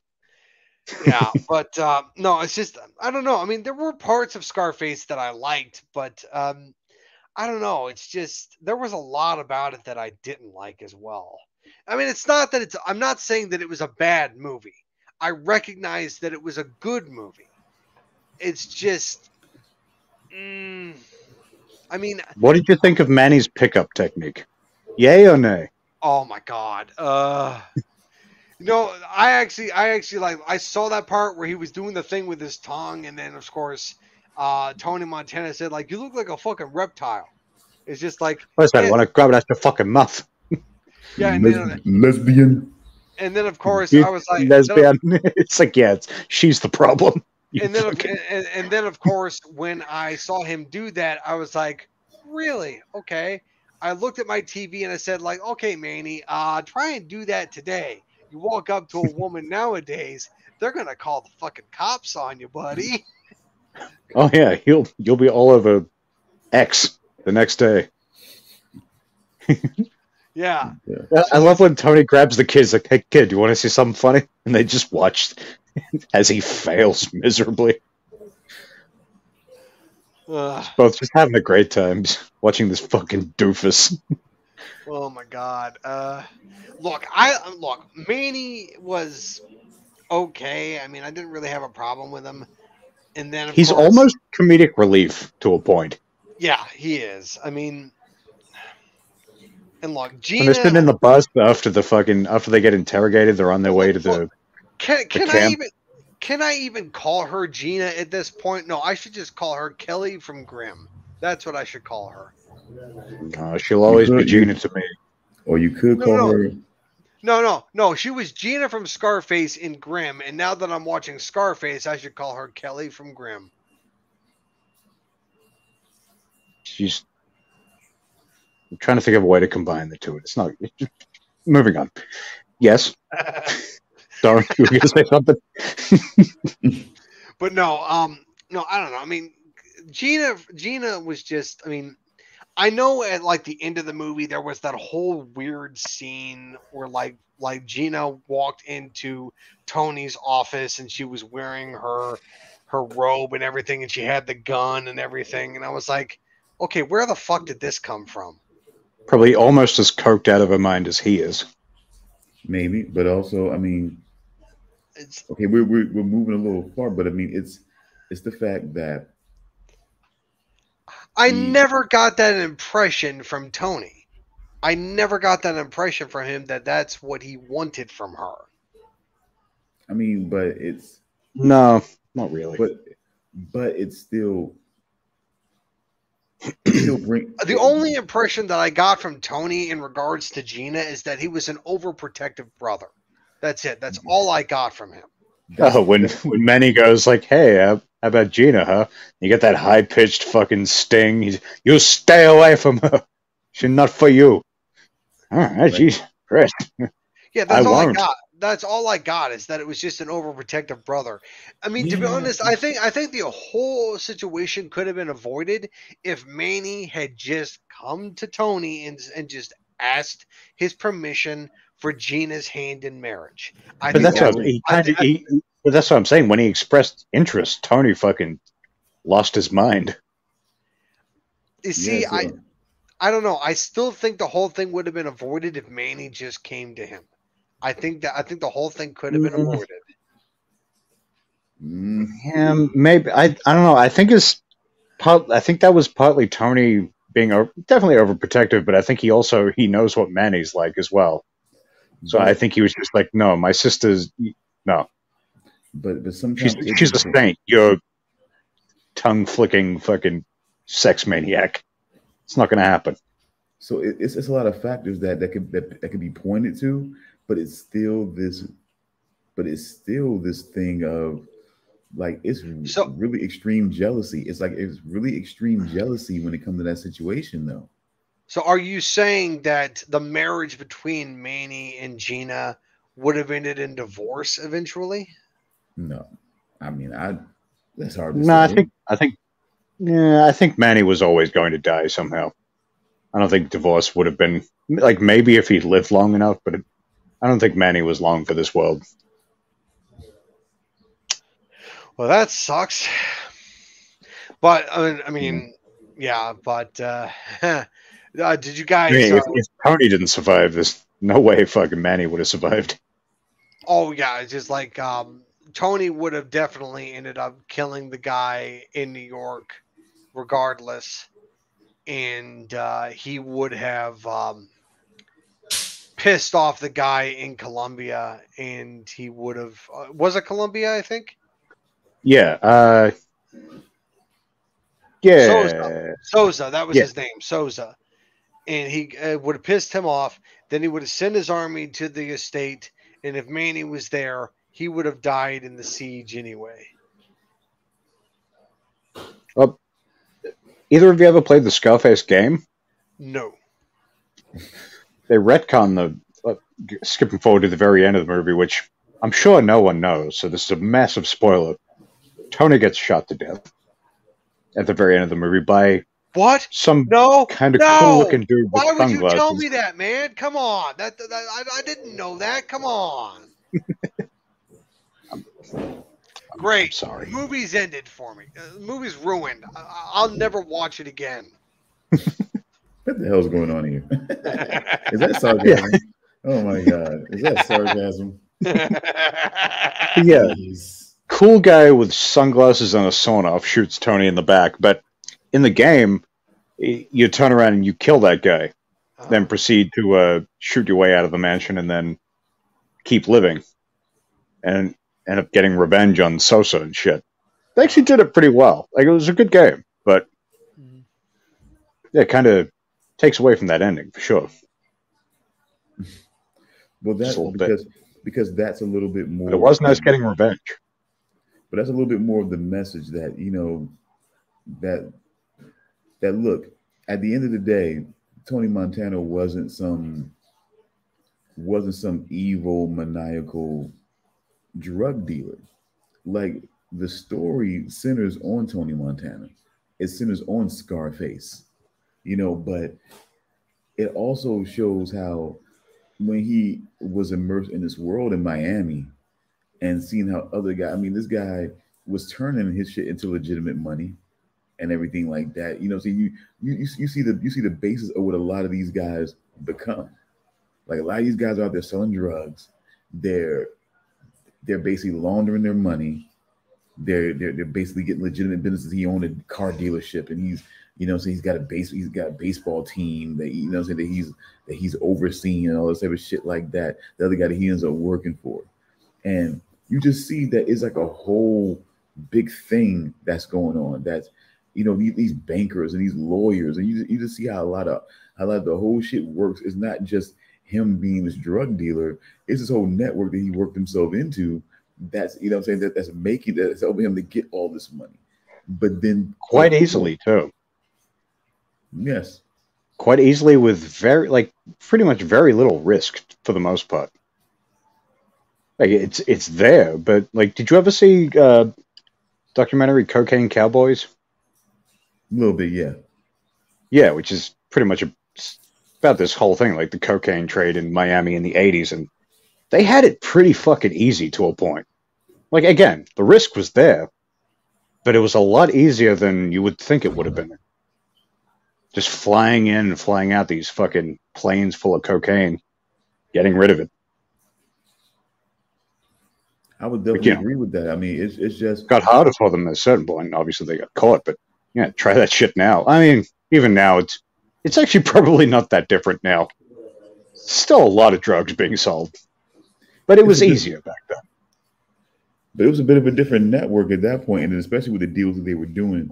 But I mean, just to give you a little bit more, I know you said it was hard to, it was kind of hard to follow, Charles. But the main thing is that when they got to Miami and they started to the, the work, you know what I'm saying, their contacts from the guy that helped them, you know what I'm saying, get over from someone that was, you know, some someone that wanted that job done. But then it was like, like sort of like the under guys that they ended up meeting up with. He didn't get along with immediately. Is always that sort of thing, that sort of story, and everything like that. And but he's like working, but like he comes in working for the main guy because, because Tony's always he's always self assured, confident, you know, very very big bravado, you know, and, and everything like that. So he's he's not someone that's afraid to speak his mind or to, to, to be, you know, saying, or be willing to be noticed and be willing to step up to whatever, you know. So sometimes with certain people that you know, saying they, they like that, and you know, and, and they also they also like to play. I mean, it's always that that little thing I, I see it in a lot of movies with people who think they have power. You know, no, no matter if it's all the way back in medieval times or if it's in the fucking, you know, it was in the yuppie, you know, it, it was in the whole yuppie generation me 80s or whatever. It's just like you still got these people that talk like they, they look at a certain person like, yeah, he'll break his back for you. Like, you know what I'm saying? It's just that that that, that whole thing. But it's like, yeah, they'll they'll, they'll be loyal, they'll break his back. But if, but if you fuck them over, you know what I'm saying? How, how do you think, you know what I'm saying? How do you think that's gonna go? You know, if you fuck them over and they, you know what I'm saying, and they still live, how do you think that's gonna go with a person like that? With a person that's willing, that's willing to put themselves out there for you, to put their neck on the line for you, to break their back for you, and, and then you and then you screw them over. How do you how do you think how do you think the rage is gonna is gonna is gonna come pouring down on you at that point? As we as we saw later on, you know. Mm. And it's just, you know, and it's just like and it's like you know things because because at this point he's just a guy that's in there working for somebody else you know we don't we don't get to him being the man for a while you know what i'm saying it's, it's at first him go, getting, going through his own pains and his own and his own pathway to get there but And the deal was fucking Frank. yeah, and that's the thing with Frank. Eventually, he had to he had to take him down in order to in order to move up. Stole his wife by wearing a sun hat. Take, taking a sun hat, putting on a. That's the moment right there. You can tell the moment when he won that bitch over. That cranky bitch. Put on that sun hat. That's what you think, so. I reckon that that moment he puts on her hat. Get out of the way, let him trying to drive here. She was just like, Ooh! fucking those pants were soaking. Oh my god! I think I think it's when I think when she sensed the weakness in Frank, or you know, I'm saying, or whatever, is where it it really started to turn. You know, I, I think when she sensed that whole thing where he was like, where he almost seemed like he didn't really want to challenge. He didn't really want to challenge him. He was sitting by them talking to her, and all of a sudden he comes up there, and it's like it's almost like he didn't even want to challenge him to like, you know, to, to get you know I'm saying, to get up from the table or whatever, to, you know, I'm saying, to get up from the booth or whatever. He wasn't trying to move, and he wasn't. It was like he was hoping that that you know what I'm saying that El, you know what I'm saying, Elvira, uh, Elvira, whatever would, would would just would just get up and leave with him still and everything like that. So, you know, yeah, we just you know you you start sensing that weakness, and you realize, yeah, it's you know, if I'm if I'm gonna be in this world, I know he's selling drugs and everything like that. If I'm gonna be in this world, maybe I'm, I mean, maybe I ought to be with Tony. He's So, got the know- scar that you know he got from eating pussy. Apparently, Oh God. according to this one guy. But yeah, man, that movie was like I said, it's easily three hours for sure, and it I think definitely it's just you- shy. I feel like it's like two forty something, Two fifty. two fifty. Okay, Yeah. 'cause it definitely gives you two halves because he, it, it definitely shows him kind of coming up, starting to come up, and the relationship with his mother and his sister. You know, it's funny because you have two females, two different females that, that, that are related to him, and they have very different, they have very different perspectives of him. You know, where I think it is not always. I don't. I never felt like it was always. It was all naivety when it came to Gina. You know, when it came to Tony, it was just that she understands what was going on in Cuba and what some people were doing and how that made them how that made them seem like criminals, how that made them seem like, you know, and his mother didn't approve, and of course his mother's definitely not approving now. You know what, what's going, you know, so what she feels like is going on, what is going on, you know, and everything oh, that, like that. That first reunion, Gina's Gina's ecstatic to see him, and his mother's like, "Oh, you piece of shit."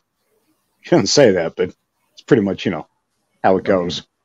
I mean, yeah, because you know she I mean, even though they felt, even though they felt the same way about Castro, they still didn't. I guess she felt like what he was doing was still not, you know, it was still not the right thing, you know, and everything like that. But you know, but that's always going to be the the long standing story. There are going to be some people who who believe in nonviolent protest and things like that, and some people believe in getting more directly involved to create change and everything like that. So Just want to see what you guys thought about that and thought about the American dream. Why did the American dream for him seem like it was going to be climbing this climbing this sort of like underworld corporate ladder of being a drug lord? Why why did that why was that the thing? But was that what Miami was? Is that all he saw? Was that I mean, what do what do you think? Why do you think that that was the the quick thing to jump right into? Yeah. Charles, do you want to go first? I like um like the he thought the American dream was to get into the drug trade. Seemed like to me. It seemed like to me. It's, it's when he looked around, he seen what we seen what everything was, and how. And, I mean, I mean, because we're coming at a time of DeLorean and everything like that, and you you just you just seeing a lot of different things get exposed. And Miami was probably one of the, you know, they, I mean, they even had a show, Miami Vice. I mean, it, it just because I mean, it's like because Miami was such a hotbed for crime, underworld type shit, and everything like that. It was just like they did. They had somebody finally had, had the guts to create some sort of show that sort of like took a look into that, you know, into that underworld that was Miami. So, and you got somebody else that's kind of washing dishes at a restaurant or whatever, and they see how other people rest like a like a food truck. Well, yeah, I guess you could see yeah, more like that. Yeah, I guess it was outside, wasn't it? like, yeah. Maybe not a food truck, but it was definitely yeah, like one of those like small, like it, it might have been a food truck, but uh, one of those very tiny, tiny, yeah, almost a stall more than a restaurant. It, it was a stand. It, it, was more like a large stand. Stand, sorry, that's what I was looking for. Yeah, yeah, but we're, we're still on the same track. But but yeah, so it was just like you, you start seeing that, and it's like, you know, you're coming in kind of under the radar a little bit because mm-hmm. you know they weren't going to let you in at first, but somebody who had some connections kind of got you in because you were willing to because you were willing to still you know you were willing to still put in work for the cause and everything like that. So you know you know that it's, it's going to be hard to sort of like go in and like go in the I guess the, the the throwback American dream, the old school American dream way of really trying to get out there and getting yourself a nice, good paying job and all that type of stuff. Because I mean, I don't know if they have paperwork and everything like that. It's more of you're kind of under the thumb of other people who know you're kind of illegal and you know you're kind of in the country illegally and they're kind of just taking advantage and you're working there but then somebody else that's that's that's promising you to give you more money a little bit more status if you're willing to go over here and do this so i think i think the way he kind of came into the situation and the Miami that he was kind of living in and a part of, it kind of it kind of made him feel like the, the the way to getting to a better life, the way to get into that American dream was through that. It seemed like that was the only way for him. Hey, yeah, like look at how he came into the country. He came in like as sort of like you know a guy who's just sort of like, hey, I'm here, I'm happy to be here, and throughout that whole like sequence before he gets sent to the camp. It's just pretty much just him sitting there while the guy tells him how much of a piece of shit he is because he's got a scar on his face, basically. Roll. Doesn't know shit about him. yeah. yeah, doesn't know shit about him, but he like immediately he's just like, yeah, he's very uh he's not uh he, he's not down with the Tony Montana that guy. Okay, I definitely I definitely forgot about that particular part too. So that definitely says that definitely It- says it- it- it's kind of it's kind of like that scene kind of could have played out like this. He's like he walks up to him and says like, "What are you? Some kind of Scarface?" And then roll credits. you know, yeah, you don't want to go hokey. Blap, like blap. Yeah, you want to go hokey like that. But but let me ask you this question. Okay. okay, when they when they went when they went and made that drug deal with, with those guys and and ended up being ended up being in the shower getting ready to get like slaughtered, you know what I'm saying, like like like cattle or something like that. Like he believes he believes old boy played by I forget his name in the movie played by F. Murray Abraham. Um, Omar. yeah, okay, Omar Suarez. Yep. See now, th- thank thank you, David. That now that was coming back to me now. But um, like he I never liked that fuck. Yeah, he believed it was it even kind of thought that he may have set him up with you know I'm saying with him and, and his friend and everything like that. But do you think that? Do you believe that? No, I think that was that fucking that shady dickbag that actually screwed them over and had the chainsaw and everything. I think that was his thing. Just Can't be sure. Like it's been a long time since I've seen it, but I've always thought it was just that guy just being just going just, just going off script, just going off script. yeah, pretty much. Hmm. I'm sure that I'm sure it's not the first or last time that happened. Hmm. Imagine that happened Well, no, probably quite no, a lot. No, no, that was the last time. No, that was that, that was the last Oh, time. In that instance, yes. For that guy. Yeah, that was the last time. But I mean, as far as that happening, yeah, I feel like that probably happens a lot. Okay, yeah, true enough. Yeah, it's like yeah, Not not necessarily like that with chainsaws and stuff, but you I'm sure it know. happens. Oh yeah, it's true. You you, you never know. I, I just don't know, man. You just it just Because how are you going to hear a chainsaw of a video killed the radio star while you're hitting on hotties? that was playing?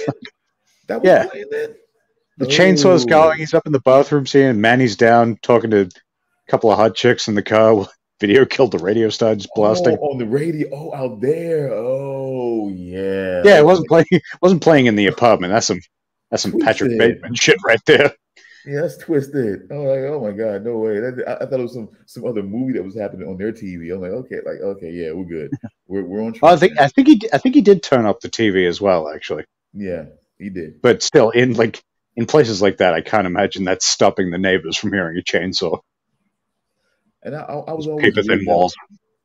I was always weirded out by the way that that that his other little right hand man was named Chi Chi. I just I, I just didn't think that was a name for a guy. But you know what I'm saying? But but Chi Chi was always cool. He was he was he, he was all he was always he was always down, man. He was always on top Was of it it. But really was Chi Chi? yeah, that was his name. That's fucking Goku's wife in Dragon Ball Z. See, that's what I'm saying. that's the whole point. That's the whole point of what I'm making right there. It's like, yeah, that's usually you you would think female. So it was like, Yeah. An aggressive was- Japanese woman. but he was always a cool dude. You know what I'm saying? In, in the movie and shit, always the right Yeah. hand man. He tried, and, and then and then he ended up down because Tony wouldn't let him in the fucking door. Fucked up though, man. You know what I'm saying?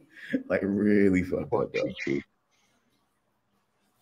You know but i think that i think more than anything like you see it's almost like you see tony montana become a monster eventually because he starts he starts really consuming the drugs heavy. Mhm. but he still also has anger issues even before that. But it's just but when, especially when it comes to gina it's just it's just weird. It's it's it's at the edge of something man. I, I- that- that's that's about the best way i can put it without making too many without making too many weird implications but it's just It's sort of like there's. I mean, like there's there's something there. Like i get what it Charles- is is kind I of get- I get unclear. Charles- I get Charles being an overprotective brother. I get I get that viewpoint. I get that perspective. I get where he's coming from. He's just being an overprotective brother. But it's just a murderous jealousy. Um, um, you know what I'm saying? It just like wow. I just you know it, it's just you know, and even when he realized, like, look, and then still there was a part of him that realized at that moment that when he realized that they were married and that they were going to and, and, and that they were going to tell him that they were married and he realized that it, wasn't just some some conquest for him that he really did care about her and that he was really that's right that was that was like that was like the second after he killed him right that's when she told him everything and that's and, and, mm-hmm. and, and look he realized that he that he was really trying to make an honest woman out of her, and he wasn't trying to be some kind of conquest. That he mm-hmm. was that she wasn't going to be some kind of conquest for Manny and everything like that. And he kind of realized that, you know, yeah, I shouldn't have did that. But but there's something. I mean, but there's something else that's unresolved. I don't think there's anything weird, but it's on the edge of something though. Because I mean, and I, and I guess because you realize the kind of guys that are out here. It, it can kind of blur the lines a little bit. I don't I don't think he has those kind of designs like you, Charles. I don't I don't think it was that, but it can kind of it can kind of feel like that because because of the extreme worry that I mean, I as a father for my daughter have extreme worry about the kind of guys that are out there, you know I'm saying, that, that, are out there and what, you know I'm saying, and what they may try to do and how they might try to take advantage of her and things like that. And it may border on a jealousy that might make that that might seem a little weird on my part, but it's not like I'm trying to, you know, act like my daughter is my woman. But it's just like I just want, I just want the best for it. I know some of the worst that can be out there, you know. And but it's like, I said, like if I was friends with a guy like Manny, and he was like, "Hey, how about your sister, huh?" I probably would have had a pretty similar reaction. I wouldn't be surprised that at one point you were probably the type of father to say like, "Oh no, you're gonna be you're gonna be locked in your room until you're 21, right?" I try to look, man. I, try, I try to be balanced because, you know, my mom had me on a short leash, you know, when I was coming up, you know, because I guess she felt some things about me, so she kind of kept me kind of, kind of kept the reins on me a little bit, so I didn't get out of control. Yeah. yeah and, and made sure that that I didn't see I didn't see gigolo as a positive thing. You know, like you know, just I'm like, wow, it's the way she because you know the way she said it at one point, like you you can't get gifts. You know, I, I got a gift from a girl that was my girlfriend. It wasn't like I had two or three and I got a gift from this girl who was liking. Uh, she was my girlfriend, my one and only girlfriend, and I got a gift from her and that's what I heard on my mom's mouth, gigolo. I'm like, whoa, what? What, what, what the hell? I mean, I didn't say what the hell there, but kid, you know, I'm thinking in my head, like, yeah. like, why is she saying that? Gigolo. I'm fairly like, certain that if you said what the hell in front of your mother, the way you talk about her, your mother would have opened up a can of whoop ass the likes you have never seen. Yeah. Yeah. Yeah, it would have been something close to that for sure. What's a gigolo? Yeah. And she's like, well, some, you know, no, some men get paid by women. It's like, wait, she she could I can get money from this bitch? No, no, thank no, no, thanks to my mom. thanks to my mom and and her trust of me. I, I saw American Gigolo as a kid. I, I, saw American Gigolo. So I knew what a wait, gigolo was. Wait, wait, wait, wait, wait. American Gigolo or Deuce Bigalow male Gigolo? No, I saw Richard Gere American Gigolo. Oh yeah, yeah, yeah. When I wasn't supposed when Ow. I when hell, I really man. wasn't supposed to. When I when I really really wasn't supposed to. You know, I'm saying I was like a, I was like a kid. I was like a, a kid, and I really wasn't seeing. Yay high. and I really was not supposed to be seeing. You know, just American, a wee lad. So when mom called me a gigolo, trust me, I, I, had a I had a working knowledge of what of, of, what that was, and I'm just like, why why are you calling me that? Like why like why are you essentially calling me a male prostitute? Like what like like like what is going on here? You know, over a over a chain, over a necklace? Like jeez. But yeah, so it was just you know it, it was like maybe somewhere down the line, but not now. No, come on. It's, it's like, never going to be that, but it's, never going to be that. I'm just saying, man. It, it's just end up going to lunch with a chick who's got a fucking cock for a nose. The hell. what? I didn't write it. It was in a movie. Oh, I don't know. It's kind of weird. She sneezes and it's terrifying. When you look like Deuce Bigalow, I guess you, you know what I'm saying. You look the, the, the you know what I'm saying. The, the the client pool is a little unique. Let's just say that. Which I Yeah. still have not seen the sequel to that movie. Well, that's where yeah, cocknose comes from. Oh, the European Gigolo. Oh Yeah. yeah. Yeah, I've seen the first movie, but I've never seen the sequel. I've heard bad things about the sequel, which is why I've never I- seen it. I enjoyed it at the time. I can't remember when that came out, but I was quite young. I, I feel like it's probably a movie I'd watch now, and I maybe I'd still giggle. I don't know, but I feel like it probably doesn't hold up as well as Yeah. would be nice. Look, the whole reason why I avoided it is because everybody said that it was so much worse than the first movie. And I was like, yeah, it's probably a wise move not to watch it. And then I just never got around to watching it. Yeah, fair enough. So, eh, whatever. But Just just a little reference to our conversation before. aggressive Japanese women are the best. Okay, what is the context of that? Uh, we talk about Chi Chi, Goku's wife, in Dragon Ball Z. Oh my god. Uh, She's an aggressive Japanese woman, which is a fact. She is. eh. Like he's the most powerful man on Earth or in the universe, and he's still terrified of her. Because you know, I mean, it's, it's I don't know, like I said, that's, that's a whole other conversation of male and female dynamics that that we would have to get into another time, maybe another creative show, maybe the Nothing Show, maybe the hashtag Nothing Show. When you know, saying when we have a little respite, when we have a little bit of a respite after this, and yeah. and do we do? I- I mean, Uh, unless he gets back to me, I don't think that'll happen today. really? Well, Yeah, I'm- Jim I'm- sent me. A, oh, hold on, I'll see. He said he was going to be back anytime, so he sent me a message before. Um,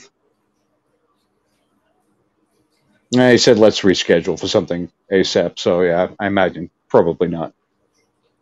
Okay, well, I'll still hold out hope just in case, but if not, then yeah, I'll definitely be. There's definitely some things that we can discuss.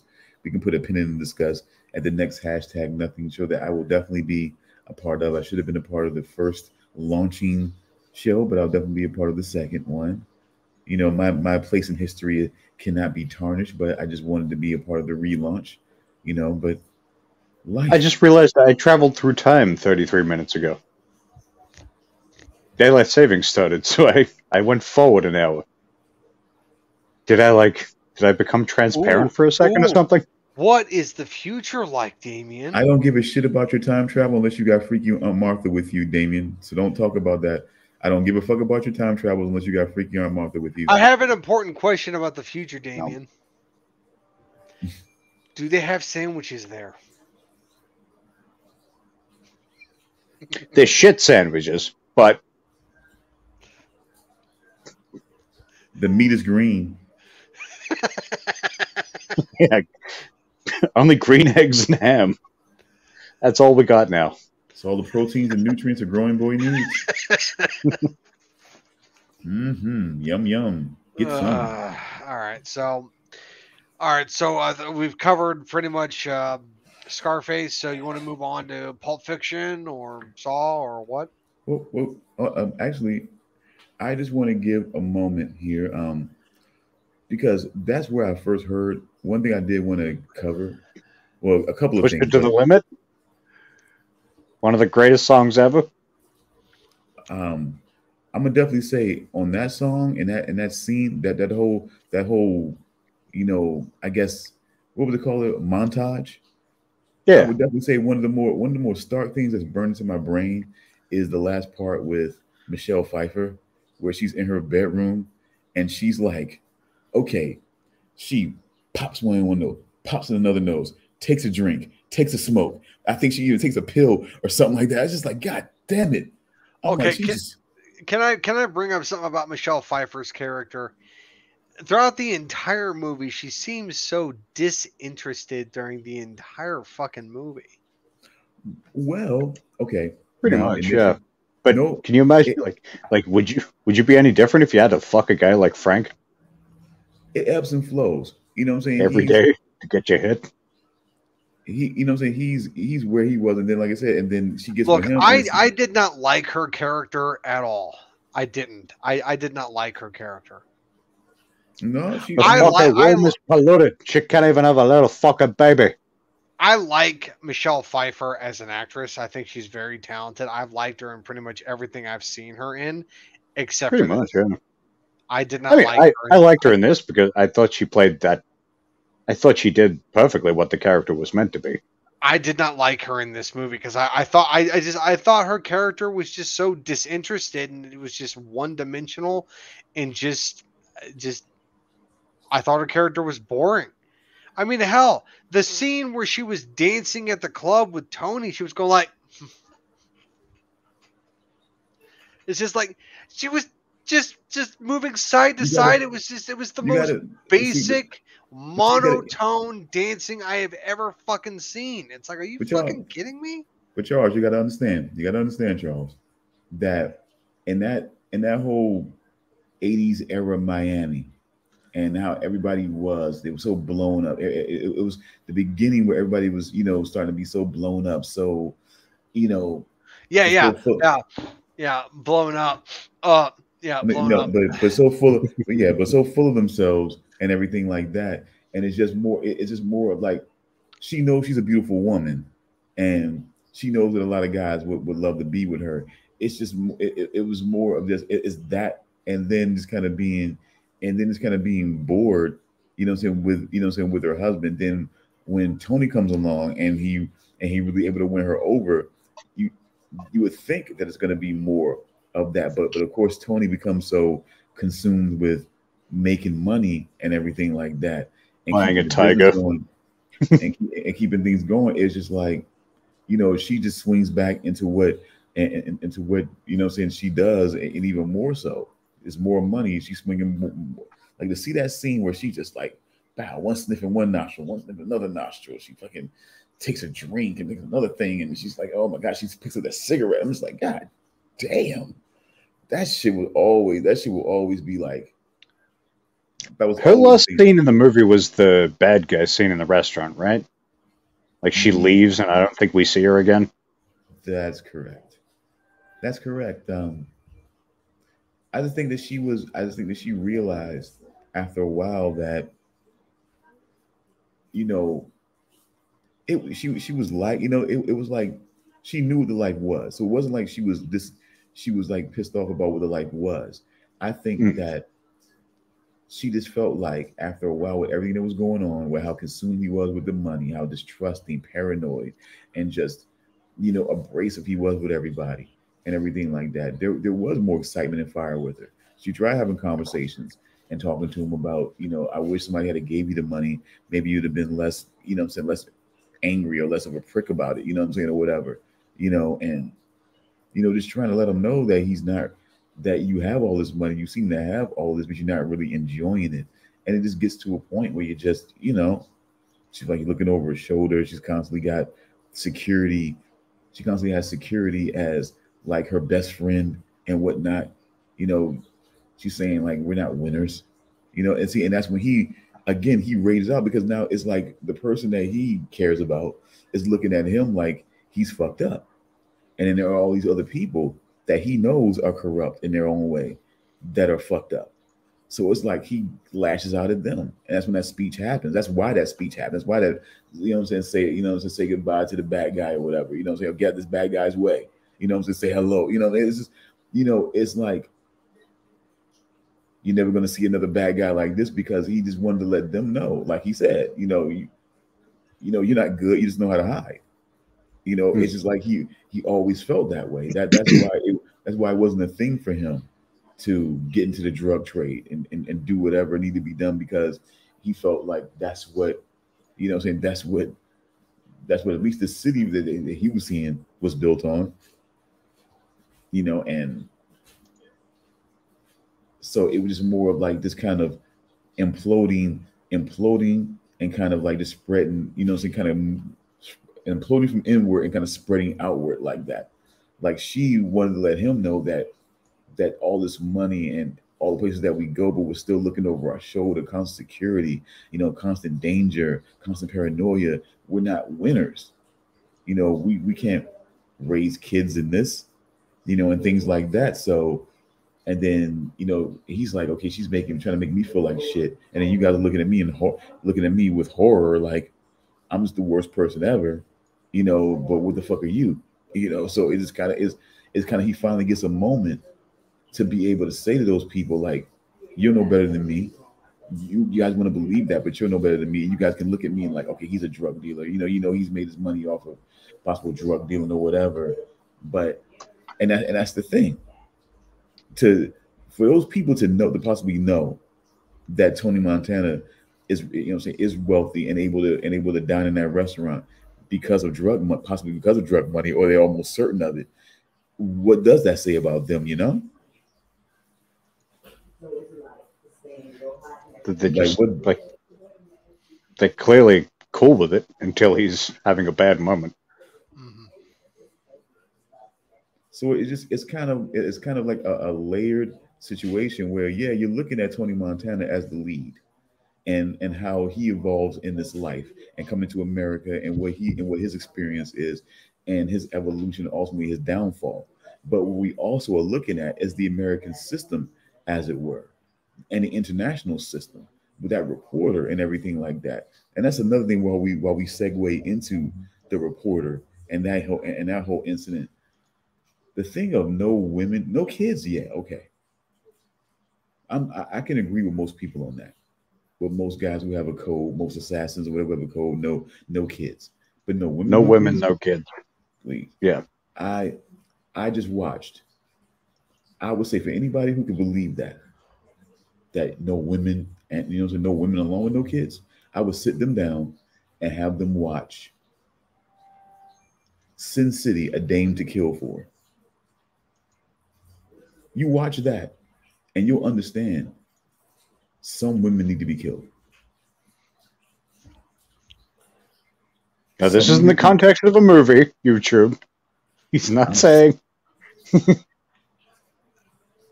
I've never seen any of the Sin City movies.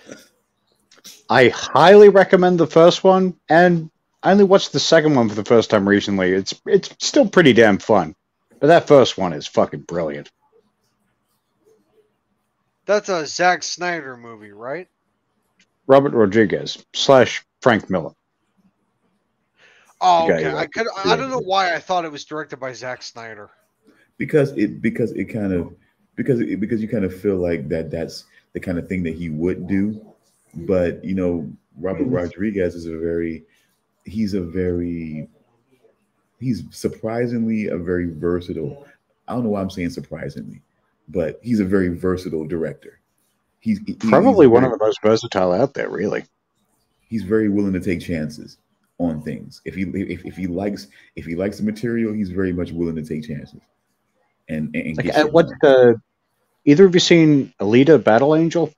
I have. Yeah. yes, Yeah, I watched that for the first time not too long ago either, which was that was directed by Rodriguez? Rodriguez, written Really? uh, directed by him, uh, written by James Cameron and I think someone else. But I really enjoyed that.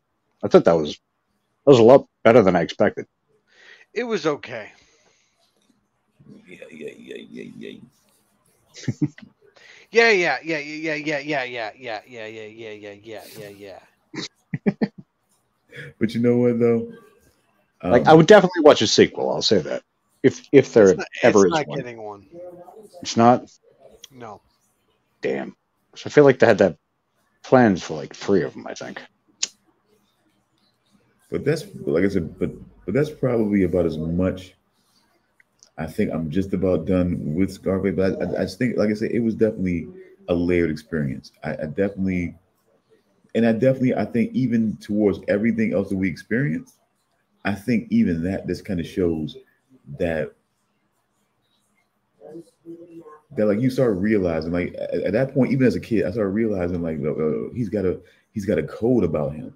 He's not he's not as ruthless as people you know I'm saying as people would suggest that Tony Montana you know I'm saying was when it comes to this movie because he did have that code about no women no kids and everything like that. And it was even willing to kill the other guy because he was going to fucking bomb the car as a result of that, you know. And like even at that stage where it's like because we see the shift from the beginning to the end of the movie, where he goes from this pretty happy guy, really, like he's got like this sort of somewhat happy energy about him to just being a miserable, completely miserable fucking guy.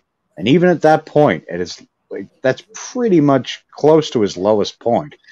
He's still just like, no, not doing that. I still got, you know, despite how I, I, yeah, despite where I am in life and how I'm feeling about everything else, I'm still not going to change my uh, base values, my base code, or whatever you want to call it. Yeah, and I mean, and it just kind of shows that that again, it's it's not that he's among. I mean, it's it's this it's this system, it's this whole system that that that the reporter was going to expose. And I mean, we're talking about generals and other, you know, I'm saying other countries. I mean, it's other, you know, other officials. They, you know, they're in league with the U.S. government to traffic drugs. I mean, this guy was really. I mean, they the movie really went there, and I think that's why sometimes that's why I made that run um, when it comes to Steven Seagal because I feel like a lot of times when it comes to a movie that's really trying to delve into something, they want to make it, they want to make the other moments like over the top so that you don't focus on that. Like they want to try to make it all about Tony Montana and the drugs and everything like that. But there was a whole thing going, there was a whole situation going on around him and everything like that. A whole thing. You know, guys know, you know I'm saying? Like banks know that this guy is is laund- is laundering drug money. You know, I love that. Actually, I love that during the push it to the limit montage. Yeah. You know, that banker that's, you know, been cool with washing the money.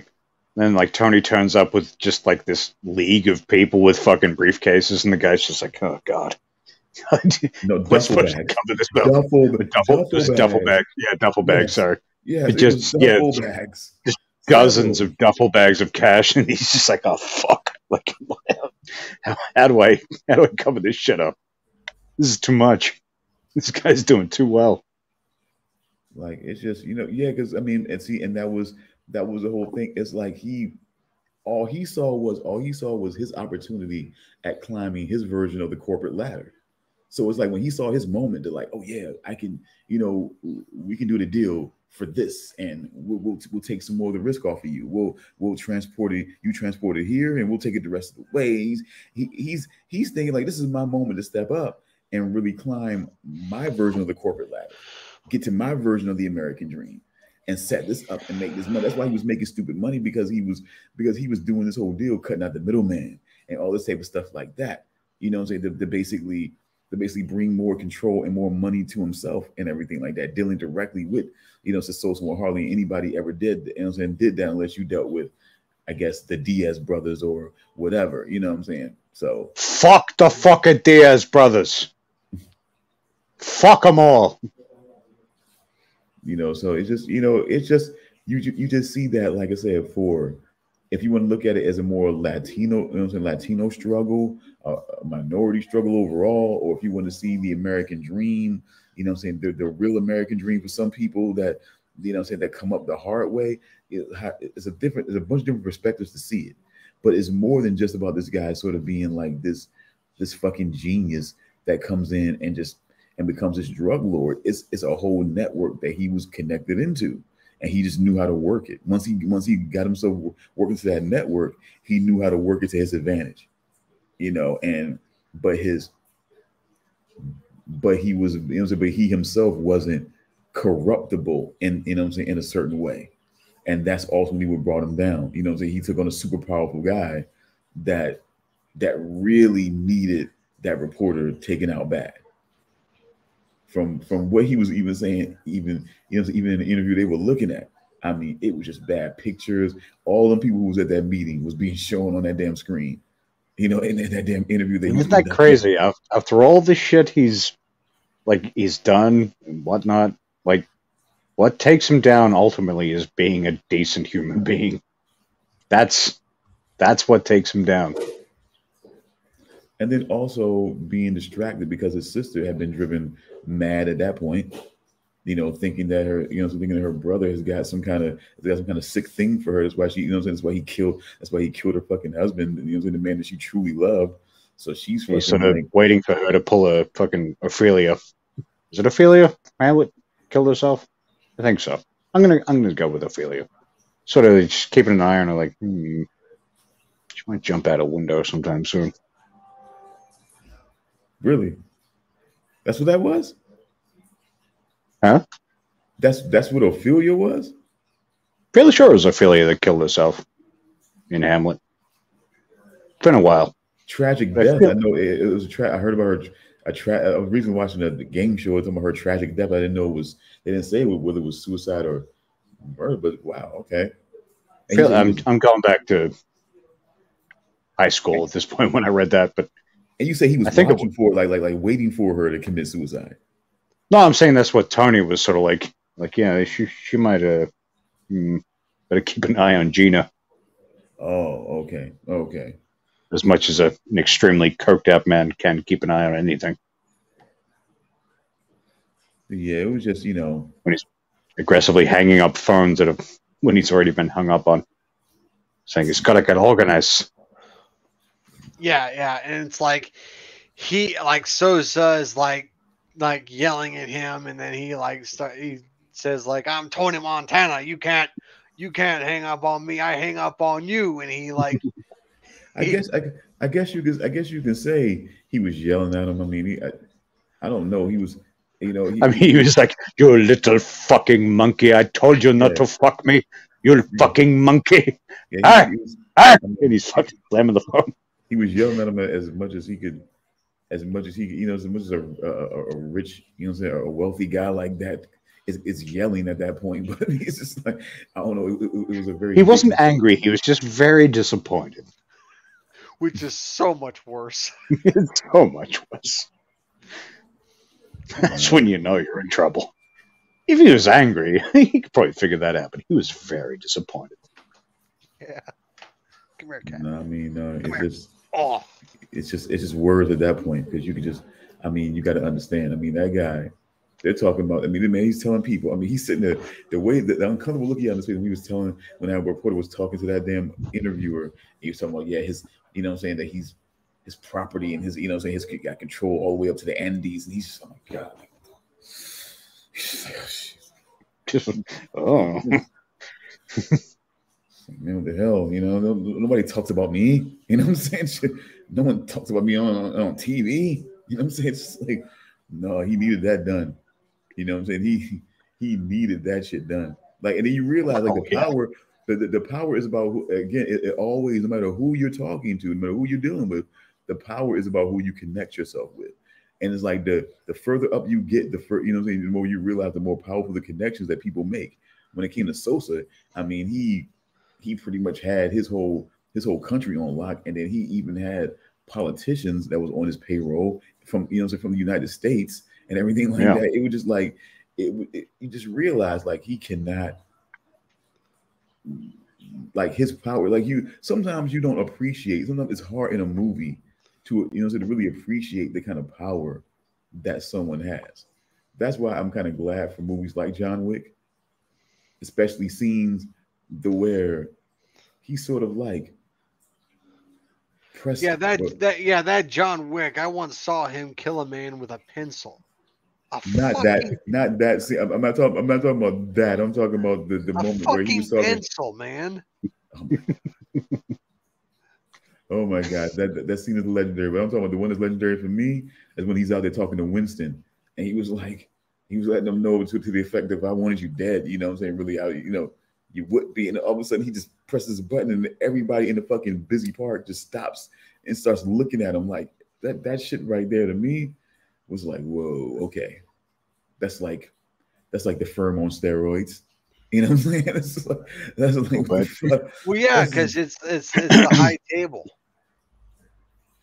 But it's just like yeah, but it's like but but you but you don't get to you don't get to really appreciate the kind of power that is you know, until somebody really kind of gives you a, a, sort of like demo of that, you know, and then you can really you can really appreciate like, wow, okay, he's had these oh, people oh, just walking oh, around. Shit. Oh, oh, this, oh, Whoa. Like yeah, just to like yeah, just to just to fucking just to fucking display on that one, just like wow, you really get to appreciate. Okay, like yeah, this is this really is some some weird shit, some some beyond level shit here. And you just realize and you start thinking like, damn, how many people do I walk past that are on some other shit that that may be living a double life that is making me think they're a fucking bum, but they can easily shoot me in the fucking head. You know what I'm saying? Like like like how, how do I know What, this? what give me shelter? or shoot me in the head. I, I don't look fuck that. I, I'm I work about the other thing first. You know what I'm saying? Shelter second. Some some bum some bum talking crazy and, and shooting me. Yeah, I'm, I'm worried about that. Trying to remember which one that was. This there was one John Wick movie where he's, yeah, he's trying to uh, elude some folks and some seemingly innocuous homeless guys just cover him up with their illusion of junk. I think I it was- think I think that was the second Two. one, was it? that was two. Yeah, that was the was second two. one. Yeah. Yeah, That was that was two because that because that you know what I'm saying that intriguing that intriguing little minx that comes in to get they get everybody's affairs in order. You know what I'm saying? She she's definitely in three. I'm sorry, I'm intrigued by her. I I, I just you know I yeah, don't I understand. Uh, I don't know what it. I mean, I, no, I, no, I know what it is. I know what it is. It's that Sinead vibe, but she's cuter than Sinead. She's definitely cuter than Sinead, but it's that Sinead vibe too. Especially She now. was- Ooh. Sinead was a fucking Sinead was a fucking badass. You know what I'm saying? You you go on the Arsenio Hall show or Saturday Night Live and you rip up a and you rip up a picture of the Pope. I Who mean, are you just talking about?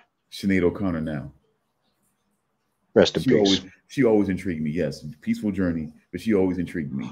Wait, are you talking about the judiciator or whatever she's called? The, The adjudicator. The The adjudicator. adjudicator. Yeah. Yes. You're talking about the bald lady. Yes. She intrigues me She intrigues you. very much. so. She intrigues me.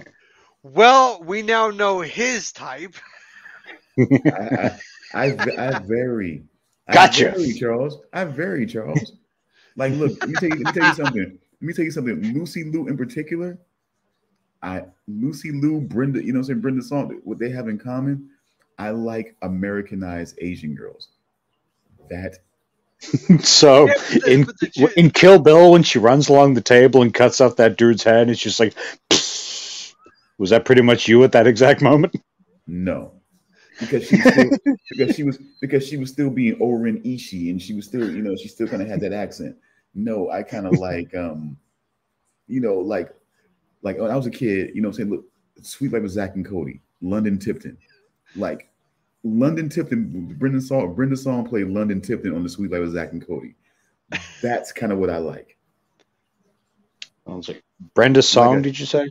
Like you know, what I'm saying, like Asian girls with like a Valley girl accent. You know, what I'm saying, it's Oh always like, God. What? yeah, yeah, it's Really? yeah, For me, that Valley Girl accent is like a huge turnoff, man. It's just yeah, on a yeah, on a typical on a typical blonde, blue eyed white girl, but on but- anyone, man. It's just like for that. you, that you, yes, but on an Asian girl, it's just like I don't know. It does something to me.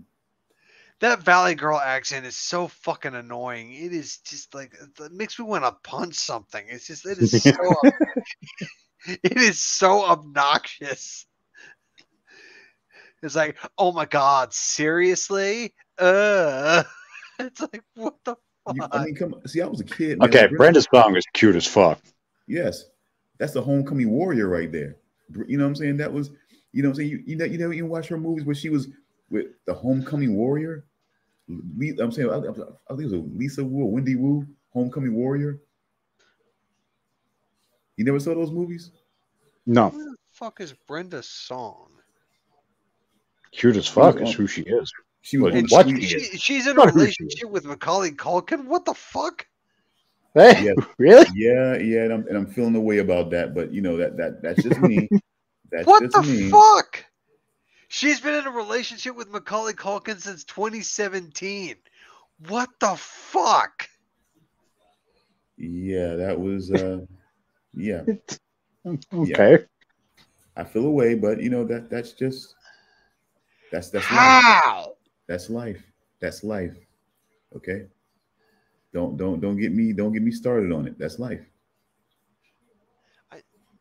Eh, Yep. Ah. See, see. Yep, Yeah, see, that- my memory. My, my memory. Charles is vocalizing my my inner workings right now. My memory is sharp because I definitely was crushing on her. Yep, it definitely was Wendy Wu, Homecoming Warrior. I'm, I'm I'm sorry, but I, my brain cannot function with this information. It's just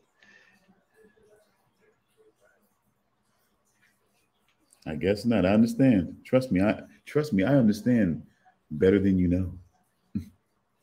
Trust me. I understand. all what right. found So out. what else has she been in? Imagine, Okay, so imagine how much All right, so fun. she- He keeps thrown awake at night.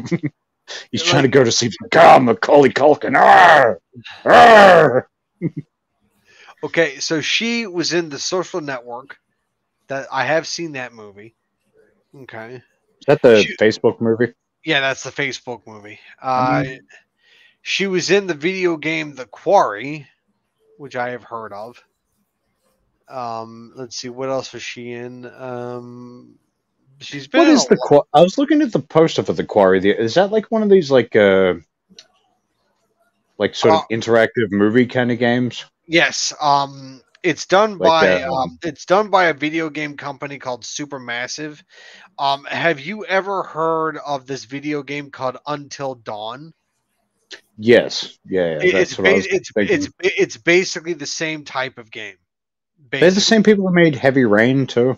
No, uh, Heavy Rain No, was uh, it's the same type of game. Yeah, same it's not- type. Yeah. It's not, but it's not the though. same company.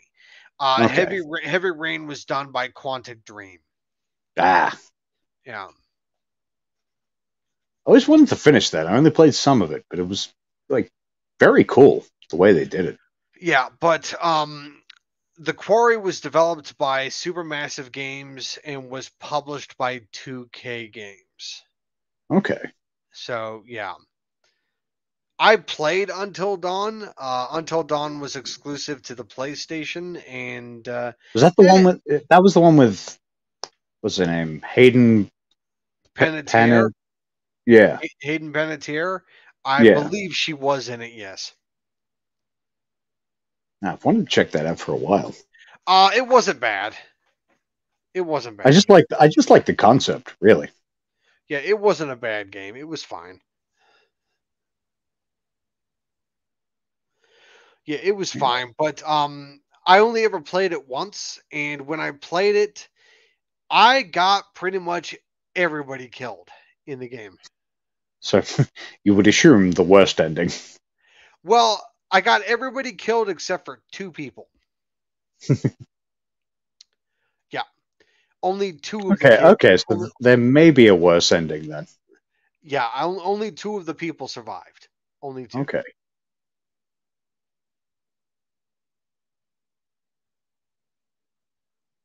So yeah. But uh, I'm not going to reveal like what I did to get everybody killed because that would be spoilers, and I think you need to. Uh... I didn't kill everybody. I only killed everybody except for two. you fool, Charles.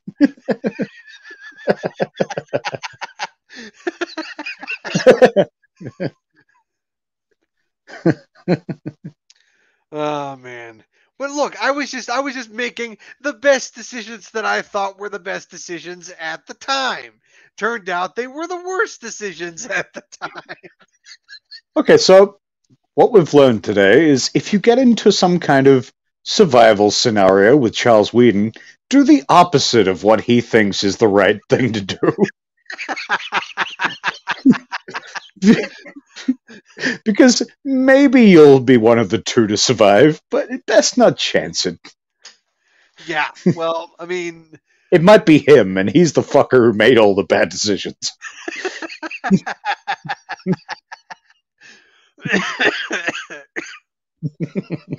yeah, yeah. It's just like, yeah, yeah. I, I got everybody killed. Yeah, in uh, in horrible ways. Like, for example, one kid got their head ripped off by a monster. because I went to investigate a weird noise. Of course you did, you son of a bitch. because I was like, "Ooh, what's this noise over here? Maybe it's another survivor." Open the door. Nope, it's a monster. Whoop. Sorry, guys. And the kid started screaming. You fool, like, Charles. Ah, no, no.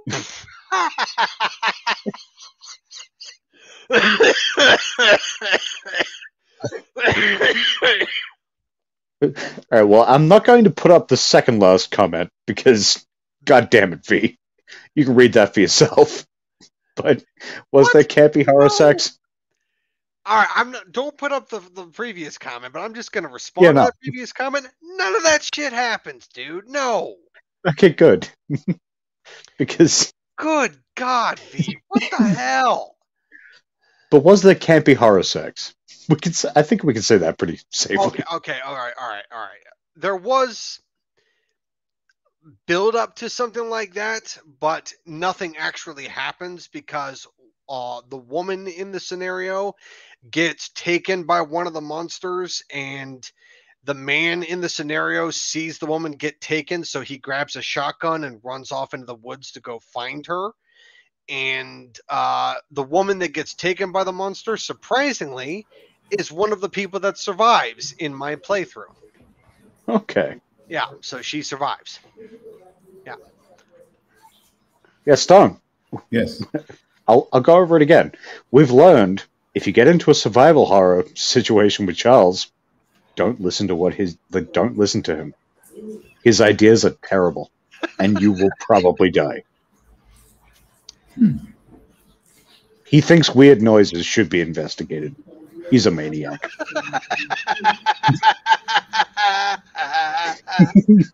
But thought he was smarter than that, but no problem. I, I would have thought so too, but apparently not.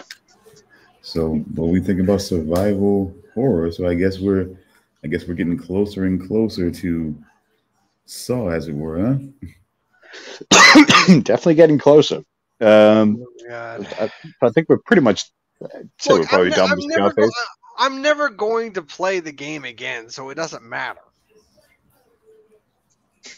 So you're satisfied with leading a bunch of people to their horrible demises. Look, when I got when I uh, yeah, no, we're discussing Pulp Fiction next. But uh, when we got uh, when we got not we when haven't we, been okay. no no no when I got everybody killed, it was in a spectacular fashion that I just couldn't help but laugh my ass off when it happened. so I was like, you know what, I'm satisfied. I accept that answer. I understand and accept that answer. I just I just flipped a switch and then I blew up the house and everybody burned alive. and you're like, was that me? Oh no, what did I do?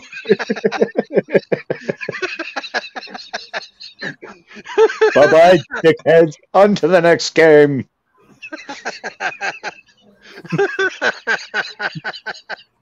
I am the fool, Charles Weeden. Look, all right, to everyone out there listening, I am talking about a video game called Until Dawn. That's what I'm talking about. I'm not talking about something that actually happened. I'm talking about a video game. No, that time only half the people died. It was fine. What the fuck?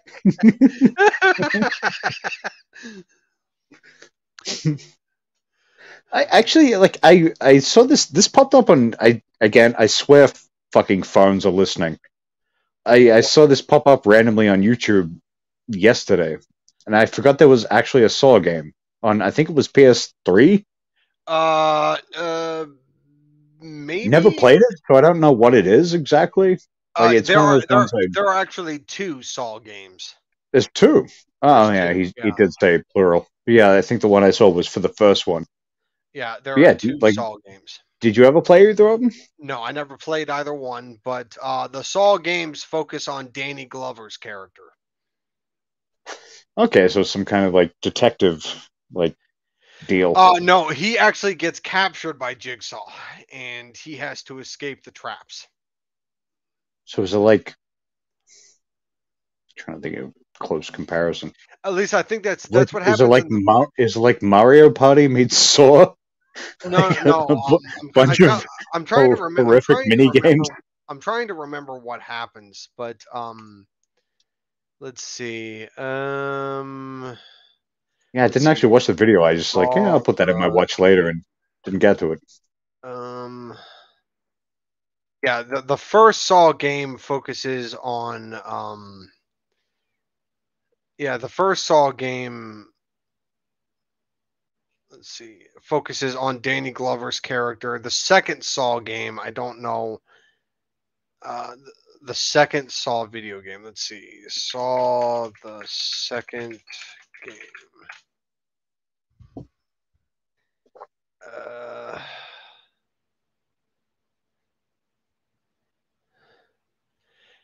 uh, let's see. Uh, I vaguely recall it coming out and being intrigued, but I didn't really, yeah, never really did any research into it, and obviously never bought it or played it. But hmm,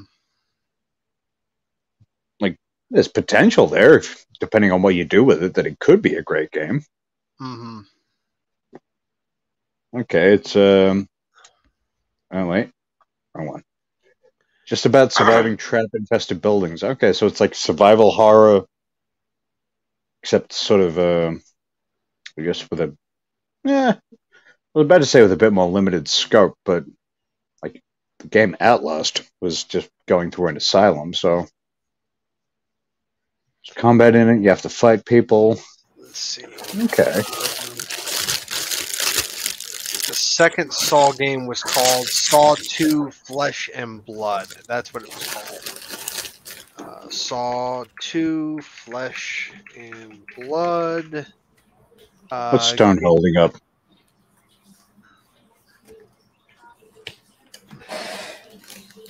What is that?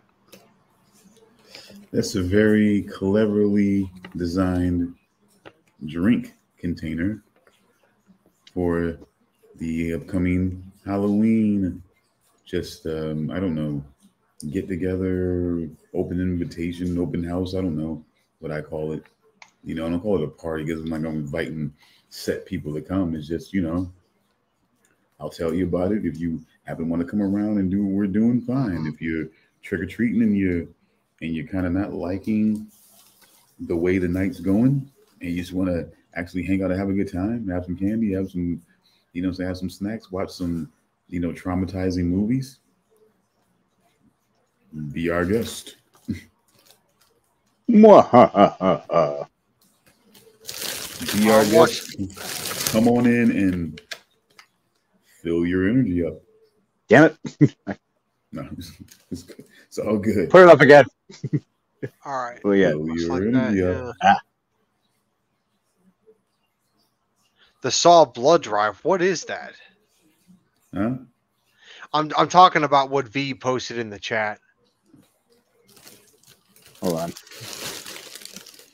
Uh, we'll go with this one first. Imagine it gets kind of repetitive, but I still want to play it. Yeah, that, that's kind of what I was thinking. It could get repetitive, but I'm sad they didn't do the Saw Blood Drive. Explain, sir. What do you mean?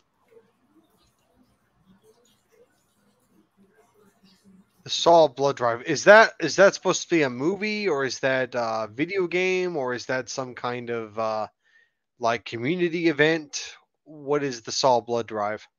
Was like people who are undecided about giving blood get thrown into traps, and you know they, they give blood whether they want to or not?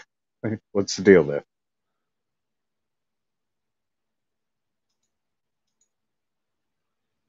Hurry up and explain yourself, V. Yes, You're yes. wasting air time.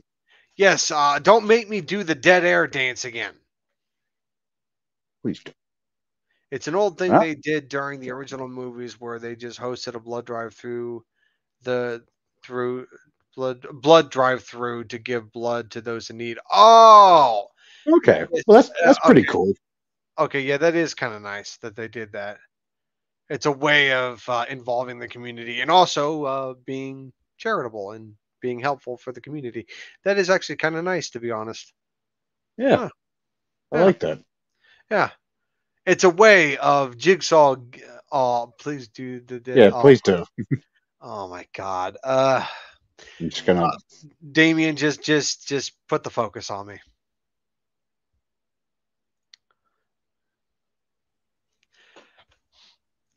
Dead air. Dead air. Dead air. Dead air. Dead air. Dead air. Dead air. Dead air. Dead air. Dead air. Okay, all right, enough. Starting to hurt my back. nope. Ten more minutes. No, God, no. I'm not doing it for 10 minutes. Well, you made V happy. Yes, I made V happy, and that's what counts. Two different emojis. He's ecstatic. yes, yes, he is.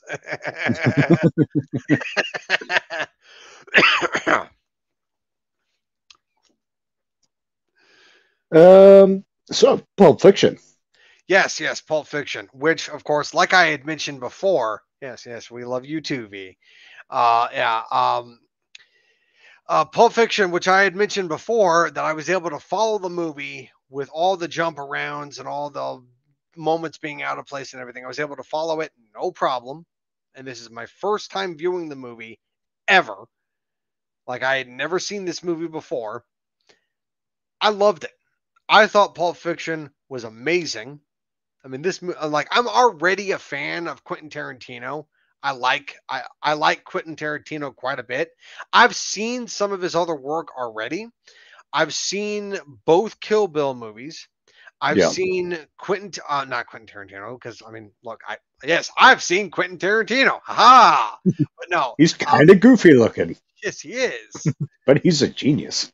Yes, he is. But no, I've seen both Kill Bill movies. I've seen Inglourious Basterds, and I've seen uh, Django Unchained. Okay. Django Unchained is an amazing movie. I I, I, Mhm. I love that movie. That movie is freaking awesome. Christoph Waltz is fucking awesome. I, but I the- rewatched that probably month, eh, probably about two months ago now, and Yeah, my God, that that's just so Yeah, fucking but- good.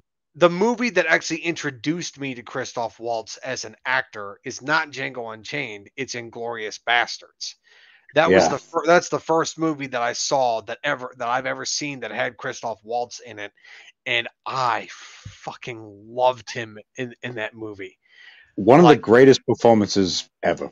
Yeah, Christoph. Waltz was awesome in Inglourious Basterds. I fucking love that movie. And one of my favorite scenes in that movie actually has Christoph Waltz in the movie, where it's at the end of the movie where he says like, uh, "What is it that you say?" It's like uh, it's like we just say bing, uh, like like that's a bingo. It's like we just say we just say bingo. It's like ah bingo, and I'm like, what the Wait. fuck, dude? Was that near the end? I was thinking that was near the start. No, no, no. That's near the end. That's near the end. Oh shit! But yeah, Yeah. that's a bingo. Yeah, that's a bingo. and he's so he's just this gleeful look on his fucking evil fucking Yeah, Nazi but, face. uh, but no, what's uh, yeah, the, then of course the Kill Bill movies, which I freaking love, and of course it also has Uma Thurman in it, which. Oh boy, man! It's just like uh, like ignoring her weird toe in that movie. His fucking zigzag toes. yeah, yeah. Ignoring her weird toe, I still think Uma Thurman is fucking hot. Like, just like Jesus fucking Christ. Even now, she's still hot, and just like, good God. But I mean, like, What did you think? Like it, thoughts about her as Mia Wallace in Pulp Fiction? Oh, I fucking loved her in the movie.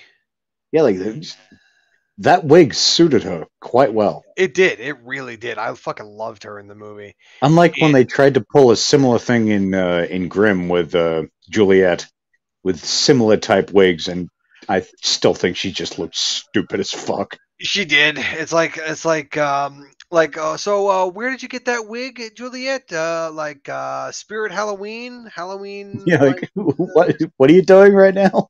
Yeah, it's just like, uh, so what? What that wig cost you? Like about five ninety nine, like six ninety nine. Hmm? Oh, you got like six for fucking five dollars. Okay, Yeah, yeah. cool. But no, no, the the wig uh, for Mia Wallace actually worked really well, and also it's like she she really laid it in with the cocaine. It's like good fuck.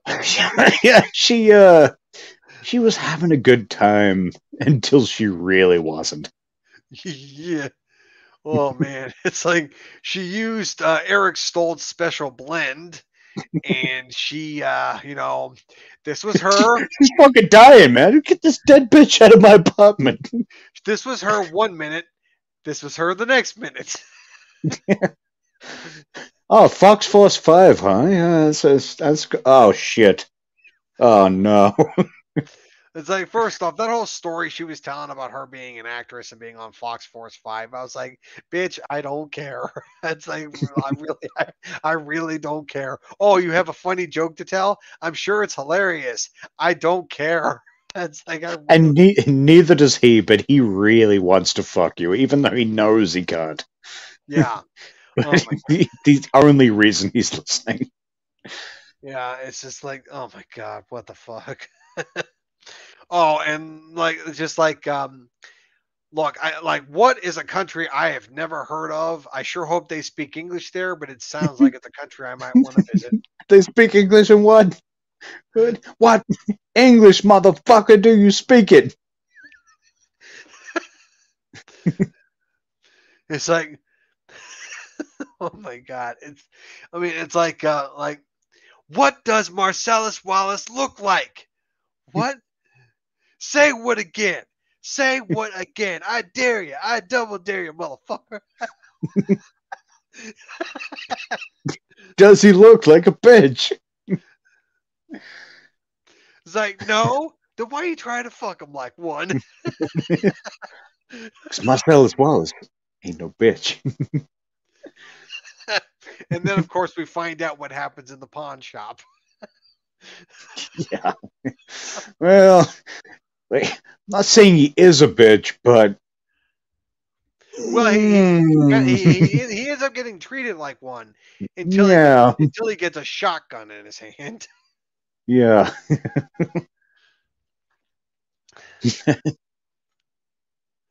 Oh my god, what the fuck? Which also it's just like one of my favorite scenes in this entire fucking movie is the Christopher Walken scene. It's it's like it's been a while since I've seen it, but I swear that scene was like nearly ten minutes long, just him talking to the camera.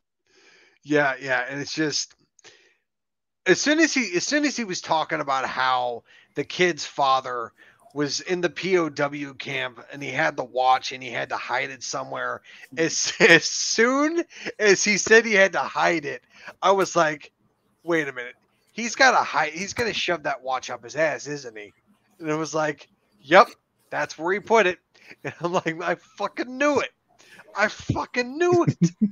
It's like Your father had this uncomfortable hunk of metal up his ass for eight years.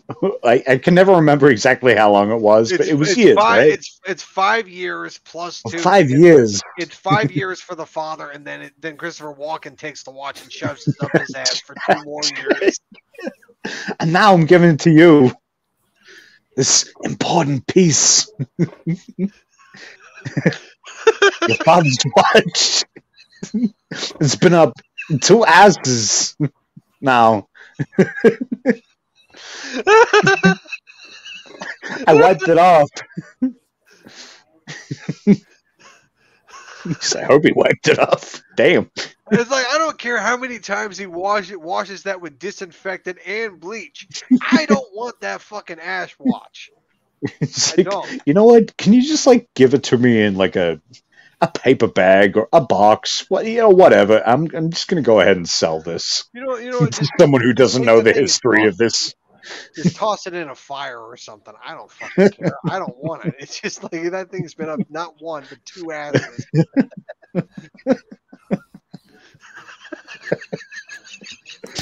oh, Jesus Christ. Second being this maniac who decided it was a good idea to tell me the history of this watch. Like, just give it to me. Don't. I don't need. Like, uh, just tell me my father held on to this. Don't. What are you doing? I thought you wanted now.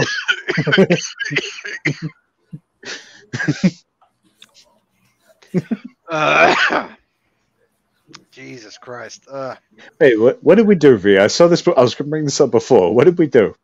Was it Uma Thurman zigzag toes? What's going on? Uh, I don't remember. I really don't remember what he's calling us bastards for. I mean, there's many reasons, but why Well, yeah, specifically? there's plenty. There's plenty of reasons to call us Yeah. bastards, but he needs to be more specific. and I'm sure you're right, but please let us know. I mean, uh, look, look re- really, real quick, while while we're waiting on that, I wonder, I'm wondering, um, like for you guys, your perspective, um, what was, oh god, what, what was Mrs. Wallace's deal? She's hyped up on cocaine for like That's most it. of the movie. That that that, that explains that explains all. Actually, that, no, it was it was heroin, wasn't it? oh, something wait, like that. you, but- but that- I think it was Yeah. heroin. Actually, now that I think about it, I mean, yeah, not, not seriously? the So OD, she not, snorted heroin. I'm I again. It's been a while, but I'm fairly sure it was heroin. Actually, I didn't even know you could snort heroin.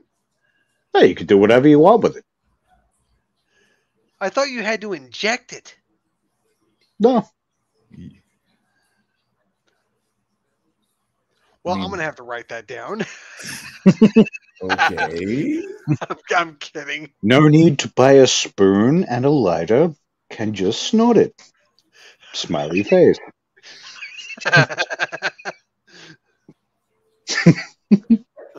Anyway, but um, I- what I'm saying is, Anyways, But what, what, what I'm saying is, it just seemed like, like, what was she trying to play into when it came to Vincent? You know what I'm saying? And and him taking her, and him taking her out. Like, I always wondered about that. Like, like, like, what was? I mean, I understand that. Okay, he couldn't take. You know what I'm saying? I understand that that Marcellus couldn't take her out or whatever, Mm. and he was kind of having, you know what I'm saying, Vincent do that, but. I was just trying to figure out what she was really playing into more than anything. Was it just her? Was just her just being irreverent in her personality, or was it just her being just kind of overall weird about about him, about one of his goons taking her out, and her playing into the whole, you know, I'm saying fear and intimidation of it? I, I just, I'm just figuring out what what that deal was. I've never been quite sure either. Like, it it almost seemed it, it definitely kind of seemed like she was somewhat interested in the guy on at least some level, but then yeah, it could also all be chalked up to her just having fun with the help. Like Yeah. it's, Yeah, and it's the I don't OD think it's ever and then- really particularly clear as to her intentions. Mhm. Yeah, because because then the OD happens, and then when he saves her, when he does everything he can to fucking save her, I I think it kind of changes. I think it kind of changes her. I think her overall feelings about him. I, I think because I, I felt like was this whole thing like like sort of like a game. The, the, the sort of the sort of me, the sort of mess with him, to press him, the, the- you know what I'm saying, or whatever. It was some for some reason, you know. And I think that when she had that OD and he saved her, I think it really kind of changed her disposition overall and her and her overall feelings, you know I'm saying, about Vincent after that point. I think it was just a different feeling. I think it, I think it was just of course it was going to be a different bond that they were going to have because of that. You know, that they got that they kind of had that moment and got through that and only they really kind of know about that that you know I'm saying that are really concerned about that situation. So but yeah, it just, you know, it was just weird at first. Like it, it was just that's why I think that's, that's why I think it happened like that and the OD happened because I think it was meant to kind of bring a little bit of realism to this. Because I think she was just so playing into being Mrs. Wallace and this whole thing and and, and, this whole just kind of drawn out situation. And when the OD, you know, happened, I think it kind of just stripped all of that down and just became just like a real situation. Like, okay, look, we're just gonna, you know, I'm saying, look, now we're gonna kind of see each other differently in this point. You know, you're not gonna kind of see me as just the help, and it's more than you know what I'm saying. Like, okay, because and that's and that's like I think at one point when they saw each other again, it was more of a, it was more of a welcome sort of like sort of like I wink sort of thing because they because they knew what their previous history was and everything like Yeah. that and so on and so forth. So yeah, it's just like I always, like I said, but at first I always kind of wondered about that. Like, like, what the fuck was her deal? You know what I'm saying? Like, what the fuck was her deal initially? Like, why was she, you know? You think of that like like that sort of let's ass- let, let's assume with some kind of clarity when she had that adrenaline kick in. She's staring up at a at a Vincent Vega's face. Do you think she was just like, oh shit, he's wearing a wig too?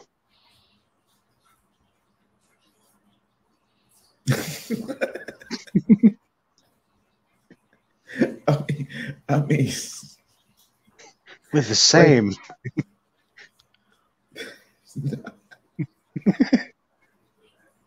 because you because you're throwing me right because because it wasn't supposed to be a wig. It's a it's a wig because we know it's a wig. It's not John Travolta's hair, but Yeah. it's like a wig saying. for like. It was he's not- clearly not her hair either, though. But no, but I'm saying Vincent Vega's not wearing a wig though. Like for- Vega's but yeah, Yeah, I'm just saying for the purposes of the movie, he's not. That's not really a wig. that, that's hair. your literal stone, just, you fuck. I'm just saying.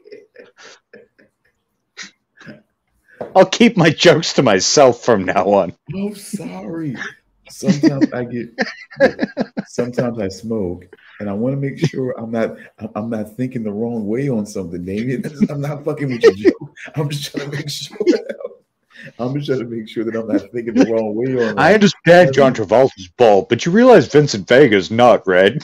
no, I'm fucking- asking. Son of a bitch. I was asking. you. Well, how, I was it's kind of like, look, it it's kind of hard for me to look past John Travolta like wearing like wearing a wig. Ever since I saw the beginning of that movie that he did, where he was obviously wearing a wig. And he was also playing someone who was mentally challenged, and he walked into a Battlefield like Earth. no, no, no, he- no, no, well, that that too. yeah, that too. No, this is a recent movie he did where he was playing someone mentally. The fan. It was called the fan, I think. the Oh, okay. where he walked into a yeah. store and the very first line of the movie is where he says, "Sorry, can't talk, gotta poo." That's Which is like, is that not one of the greatest intro lines ever? yeah, that is the very first line of the entire fucking movie. And it's also coming out of John Travolta's mouth. And I'm like, And asshole, I guess. and I'm sorry, what? this is how you utilize John Travolta. Okay. Yeah, I mean, can you think of a better way? It, it keeps it, it keeps sounding to me like you keep you got you keep describing Battlefield Earth, but I'm, I I understand. You know, what I'm saying I'm just I'm not just saying- describing I'm just- Battlefield Earth, I'm just man. saying, I'm just. Battlefield Earth. Oh my god. When I when I, when I hear that's the way you use John That, that I, I hear I hear Battlefield Earth. You know, what I'm saying? Just that's what I'm saying. The Like, only way thing, use John the only thing I Okay. can really remember from that that was- god awful movie is the scene where they're in the flight simulator and they keep saying the word "piece of cake, piece of cake." That's the only thing I really fucking remember. I'm, I'm gonna have to look through my clips if I've still got it from because I watched the RiffTrax version of that movie like last year or so, and oh my, like I've got some amazing, awful line deliveries from John Travolta. Some of the worst line deliveries you've ever heard. Yeah, well, the only reason Ever. why he did that movie is because it's a movie that's based off of an L. Ron Hubbard book, and of course, L. Ron Hubbard being the founder of Scientology. And guess what? John Travolta is a Scientologist. And that was meant to be at least a trilogy, Oh my god. Uh, but it bombed harder than any pretty much anything has ever bombed and the worst for part of good reason. The p- worst part of it is that I saw it when I was in high school, and I actually liked the movie when I was in high Oh. school. Ugh. Yeah, I did. I. I was a stupid kid at the time, and I didn't know. Clearly, yeah, I was a dork. I was a dumbass. Oh my god, I was a Um. doink. If that's even a word. If this wasn't live, I'd, I'd ask if you wanted me to edit that out. Yeah, well, look, I, I'm not ashamed of it now because at least now I'm willing to admit that because now I You fucking hate the movie. I think you, you probably should still be a little bit ashamed. I have moved past it, man. It's just look. I mean, I hate the movie now. I'm just fucking with you. Yeah, yeah, I know. But when I was when I was just a wee little lad, Just I a wee lad. yeah, with the if I could if I could attempt a Scottish accent, I would say it that way. But uh, no, it's just like when I was a wee lad. Uh, see, there it is. Um, I would. He was uh, wearing haggis covered glasses. yeah, yeah. When I was a wee lad, uh, I. Uh, I meant to say coloured. I said covered. Fuck me. When I was when I was just a boy, I uh, I did actually enjoy the movie. I was like, ah, this movie's not bad. Because I I'll be honest. Like, if I had watched it at a younger age, I probably would have enjoyed it too. but the but I thing is, watched is that at at the The time, age I didn't. now, it's like At the time, I didn't even know what a Scientologist was. I didn't even know that what they were. I didn't know they existed. I didn't find out about Scientology until after I was already an adult. Somebody yeah, I think told pretty much. I- somebody I think told Tom me about- Cruise jumping. Actually, no, South Park. I credit I- South Park. it wasn't South Park that told me about them. I, by the time South Park was making fun of them, I had already known about them, but I only know very little. Um, I found out about Scientology from somebody that I knew through MySpace because uh, she was telling me that she wanted to convert to Scientology. And I did not know what that was, so I did some research and that's when I found out. Blocked. Well, the thing is, is that I I I did research by looking up YouTube videos, and that's when I saw all the criticisms of Scientology, and I was like, oh, so she's basically going to end up becoming like a fucking crazy person. Okay. All right, so uh, I'm just Yeah. gonna talk to you a bit less. I'm I'm gonna wean off you now. Yeah, yeah. I pretty much stopped talking to her at that point. Yeah. because I still think it, it's got to be some like. I know a lot of actors are dumb as fuck, but I still think, and allegedly, because they have a lot of lawyers, allegedly, I think, allegedly, Hmm. that it's got to be some kind of money laundering thing or something. Well, the thing is, to is the the thing is is that uh, with that person that I was talking to, I was like, um, I was like, okay, you want to join Scientology? Okay, well, have fun being bankrupt. So yeah, I just, yeah, I don't like. To me, I, I think all religion is stupid, but Mm. that maybe just because it's newer, I don't know. Again, Oh, it's it's all stupid, but it, it's just I- something about Scientology. that I'm just like, I, I watched I watched a docu a documentary series on Netflix about Leah Remini, who is a renowned person oh yeah, who, um, who it left who left going clear? Was that the HBO thing? No, no, she. Uh, it was on Netflix, but uh, she talked about her time in Scientology, and she interviewed people who had also left Scientology and all that. I watched it, and yeah, with the stuff that I had learned through that docu series, Scientology is one hundred percent a cult. One hundred percent. Oh, yeah, it's yeah. I've, I would like to still watch that because I remember that coming out, and I would like to actually see that. But yeah, it's just like, yeah. At least the Catholic Church isn't demanding money. They Yeah. suggest you give money. So if you want to give money, that's yeah, it's up to you. Scientology literally demands it. Yeah, yeah. You can't of you can't progress. Progress, I guess, is the right word. You can't get fully involved without spending some cash. Yeah, yeah, of course. Yeah, it's just like I like how we were talking about Pulp Fiction, then we started talking about John Travolta, then we started talking about Scientology, and now here we are. Yeah. It's fun how conversations devolve. That's why we're called Teehee TV. Tee Teehee indeed. Oh God. All right, so do we have anything else to talk about in regards to Pulp Fiction? Probably a lot, really. But Oh, yeah, uh, what do we want lot. to talk about?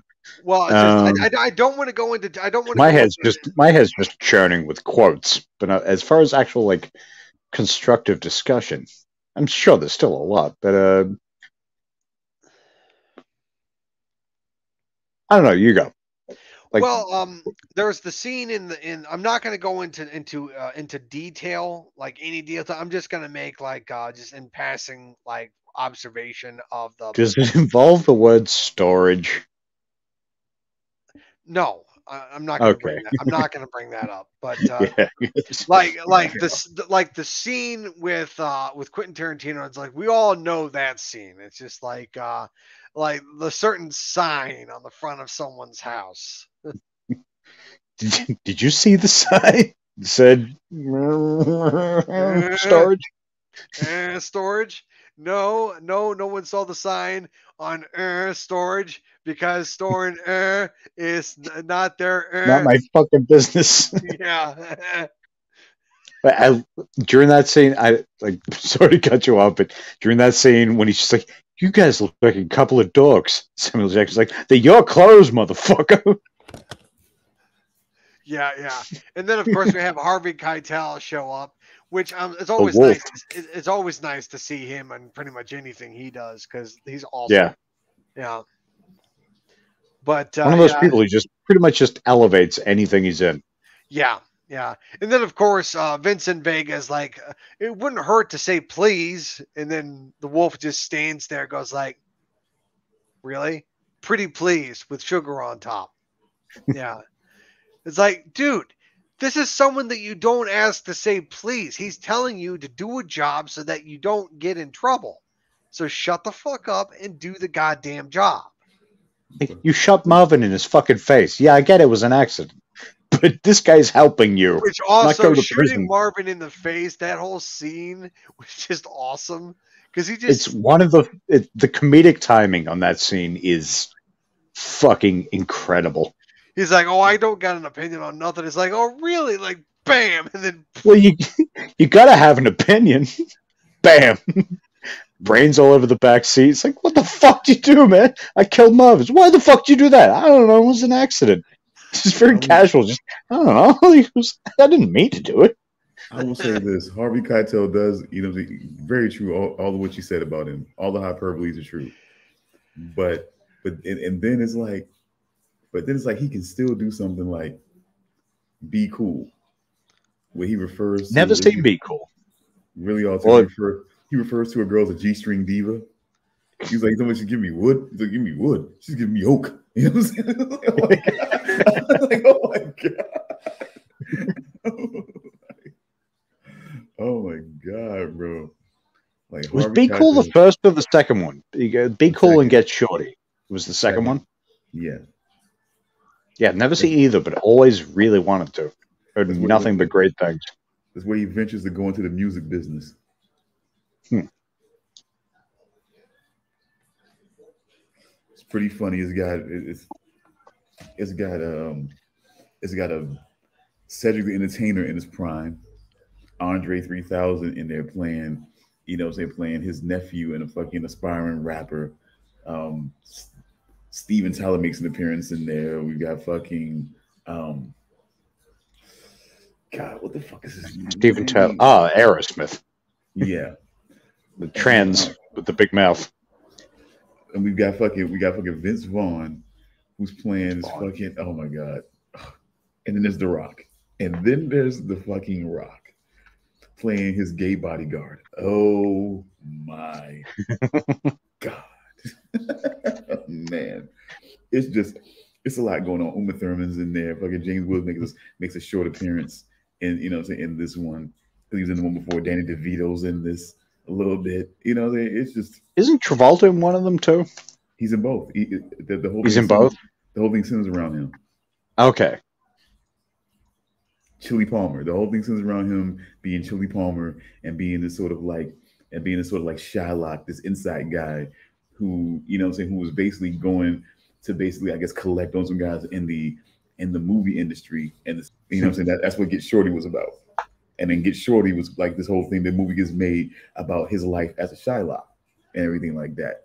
And it goes big. You know I'm saying? Everybody's and then he like he becomes a big thing on that. So then we have Be Cool where he's now venturing to you know I'm saying, get in the music business and everything like that. So, So I whole- bought. I think it was. I think it was Be Cool. I bought on DVD years ago. Then I found out like it was part of like a, you know, series. So I was like, no, fuck that. I'll get the other one. And then just never did because that's what I. That's what I do. Are you Yeah, talking about the movie Be Cool? yeah, Yeah. That's a part of a series? Yeah, Be Cool and Get Shorty. And was there a third one? no, not to my knowledge. Well, actually, wait, no. Was a series maybe. Not sure. I feel like there's something extra related to those two, but Yeah, those were definitely fun. Oh. Rock was Rock definitely made a name for himself on that one because he, you know, it was just he was a scene stealer. He was a fucking scene stealer, man. It was about the best you can put it.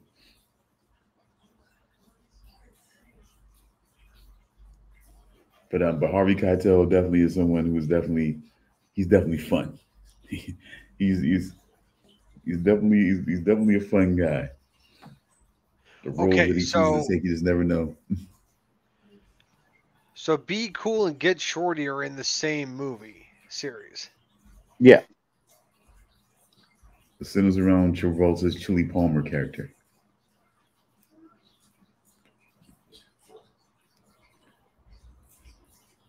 Really? Oh, Holy shit. It's based on uh, a fucking 1999 novel by Elmore Leonard. Hmm. Who we know from. Justified? Yeah. I'm just That's right. Of course I know. Of course I know. Of course I know think- that name. Fun fact. See, it gets infectious, folks. Fun facts get infectious. That's why I love fun facts. I love them. I, I- I just keep them. I just keep them stored in my little in, in, in my little file in my you know, what I'm saying, in, in my brain computer. I just keep it file. I just keep fun facts just stored right on in there. Okay, wait a minute. All right. I have seen Be Cool, but I have never seen Get Shorty. So I'm gonna have to watch Get Shorty at some point. It's like like I said, it's see that that's the thing about see you're gonna you're gonna like it if you like Be Cool.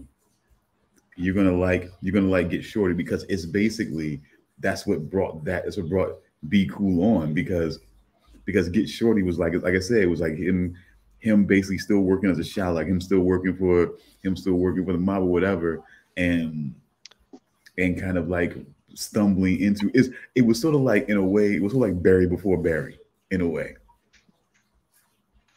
That's kind of like what, what Get Yeah, that's Shorty was. Get Shorty was sort of like That's right. There is a. Sorry. Well, go ahead, please. Yeah, there is a Get Shorty TV series on uh, Epix, which I guess is MGM Plus now. Okay. Three seasons of it, 27 episodes. Uh, not officially canceled, but nothing has been uh, announced. So who knows? But Chris O'Dowd, have you ever seen the IT Crowd? A little bit, British Uh, comedy no, series? Never Yeah. but but but more Uh-oh. but more so than anything, he's more notably the guy from Bridesmaids, right? Uh, I haven't seen it. But I, do, I do believe he was in that. Yeah, and Ray Romano, and then He was a okay. bunch He of was names. I'm he was really in sure about. he was in the Cloverfield Paradox, right? I think he was. Yeah. Hold on, give me two seconds. Cause yeah, I know him from the IT crowd. I fucking love that show. Yeah, Bridesmaids. Yeah, Cloverfield Paradox. Okay, so yeah, I'm, I'm I'm tracking on that guy. I think he was also, if, if my memory serves me correctly, I don't. He was he was in a movie that was sort of like the what was it? What was that joint? Um, he was in sort of like a, a unique sort of like sci-fi adventure type movie, but it was like what was it called? Because I, 'cause I know I own that movie, but I just can't see it right now. It's Are we one- talking like recent years or? Recent, yeah, because it, it was one. It was sort of like that one with the movie, um, the winter movie with the you know what I'm saying with the with the spirit animals and the you know I'm saying the little girl and shit like that. The uh, the Golden Compass. He was in a movie sort of like that too. If my, if I'm Um, researching correctly. One second. Wait, um, are you talking about uh, in regards to the Golden Compass? Are you talking about the movie The Golden Compass or the TV show that it's based off of called His Dark Materials? The movie, I, I felt like he was in a. me- I think he was in a movie sort of like that, sort of like. I don't think he was in the Golden Compass itself, but I think he was in a movie that's sort of like that. But I just cannot place what that movie is. I think, but unless I'm wrong, I think I'm. I could be wrong. I feel like I'm feeling like I'm wrong. Okay. Um, spirit animals.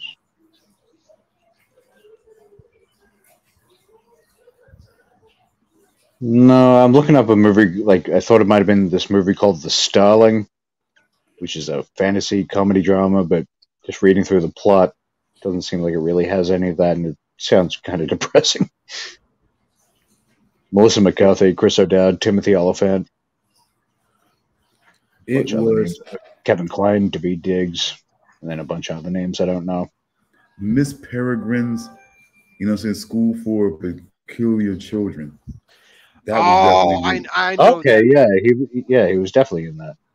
yeah, I know that movie. That Yeah, movie's Tim that Burton movie, movie. That movie stars Eva Green. Eva Green, Chris O'Dowd, Terence Stamp, Samuel L. Jackson, Judi Dench. Either I completely missed this movie, or I, I'm surprised because there's a bunch of Tim Burton movies I've never seen, but this one I don't know if I even knew about. Yeah, and uh, I don't know. It's just, I mean, Eva Green. I, I've I've been a fan of ever since I saw her in uh, Penny Dreadful. I liked her in Penny Dreadful. That's another one I've been wanting to check out. Always seemed really interesting. Just Yeah, Penny- it. Penny Dreadful was a very interesting show. Um, uh, it ended after three seasons. It's debatable if it got a proper ending or not. Um, I, I would say it kind of did. Uh, it, it could have gone on longer, but um, I, I would say its ending was acceptable. Okay. Yeah. Oh shit, she was in both Sin City movies. She was, yes. Was she? Yeah, uh, She I know she. I know she was in a Dame to Kill. I know she was in that. You know, she was in both. trying to remember who she was. But yeah, Eva Green is just an. Okay. Aw- she's an awesome actress. Like I've liked her in pretty much everything I've seen her in. Yeah, she was in 300. Dark Well, she- Shadows, which is is Dark She- Shadows the Johnny Depp vampire movie? She, uh, she was No, the Tim in. Burton movie. Yeah. Yeah, she was in uh, the Dark Shadows uh, Johnny Depp movie. She was in that. She Jesus, was. the cast for this movie is fantastic. She was in. She was the villain in that movie. She was the villain. Okay. She Yeah, was the fucking she was the witch that turned uh, Johnny Depp into the vampire. Okay. Yeah, we got Johnny Depp, Michelle Pfeiffer, Helena Bonham Carter, Eva Green, Jackie Earle Haley, Chloe Grace Moretz, Christopher Lee.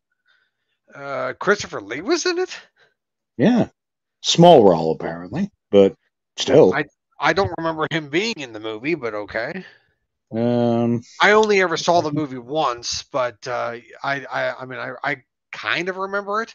Uh, Michelle Pfeiffer was uh, the mother of the family, like she was the matriarch of the family. Uh, Chloe Grace Moretz was uh, the daughter. Um, I don't remember who played the the the, the father of the family. Um, some no name guy. Um, Hel- Helena Bonham Carter. She played uh, like the the family physician. Um, let's see. Um, uh, Eva Green, like I said, was the witch that turned Johnny Depp into the vampire. Uh, but she also played um, uh, a character in the modern times, which was basically like the 1970s. Uh, She played uh, like this corporate woman that uh, tried to take over the the fam the, the the family business and try to steal it from Johnny Depp's family's like family, and uh, and they were gonna try to fight her, and that's what makes her the villain of the movie. Um, Uh, Christopher Lee was Silas Clarney, a king of the fishermen who spends a lot of time in the local pub, the Blue Whale. Yeah, I, I look. I've only ever seen the movie once. I barely remember it. And Alice Cooper is himself. Nice. Yes, I do remember that he was in the movie as well because uh, there was a scene in the movie where um, one of the kids in the family is like a fan of Alice Cooper, and Johnny Depp tries to bond with the kids in the family, and he he gets Alice Cooper to come to the house to perform a concert to try to bond with the kids. Hmm. Yeah, it's it's actually it's actually kind of a nice scene because Alice Cooper shows up at the house and pretty much parties with the family. Nice. Yeah, I should grab that movie somewhat recently ish. yeah. I'll, I'll have to get to that. The only time I can think of, I'm sure there's been, yeah, maybe enough. Like, I feel like there's something I'm forgetting, but the only other major time I can think of Alice Cooper being in a movie was uh, Prince of Darkness, where he played a homeless guy who murdered a guy with a bicycle. He murdered a guy with a bicycle. Yes, he did. Okay, that makes me think of this little ditty, which is bicycle, bicycle. I'm You sorry. want to ride my bike? Look, look. I I like the I like Queen. Queen is like one of my favorite bands. They do well. Yes, they do. Although bicycle is Breaking, not. breaking new ground. Queen was a good band. Yeah, but no. I feel like they're going places. Jesus Christ. but no, it's just like Bicycle is not one of my favorite songs by them. It's actually Don't Stop Me Now. I love that song. That is my favorite song by that band. also, like, uh, Tie Your Mother Down was always a good song. Yeah, but no, everyone's like, "Oh no, my favorite Queen song is Bohemian Rhapsody," and I'm like, "Dude, come on."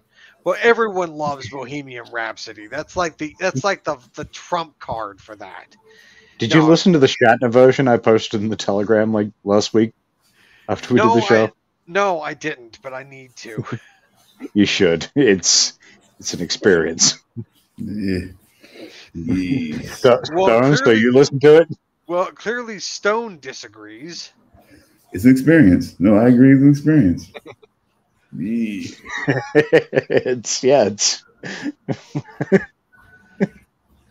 it's no ballad of Bilbo Baggins, but it's you know Nothing ever compares to the Ballad of Bilbo Baggins.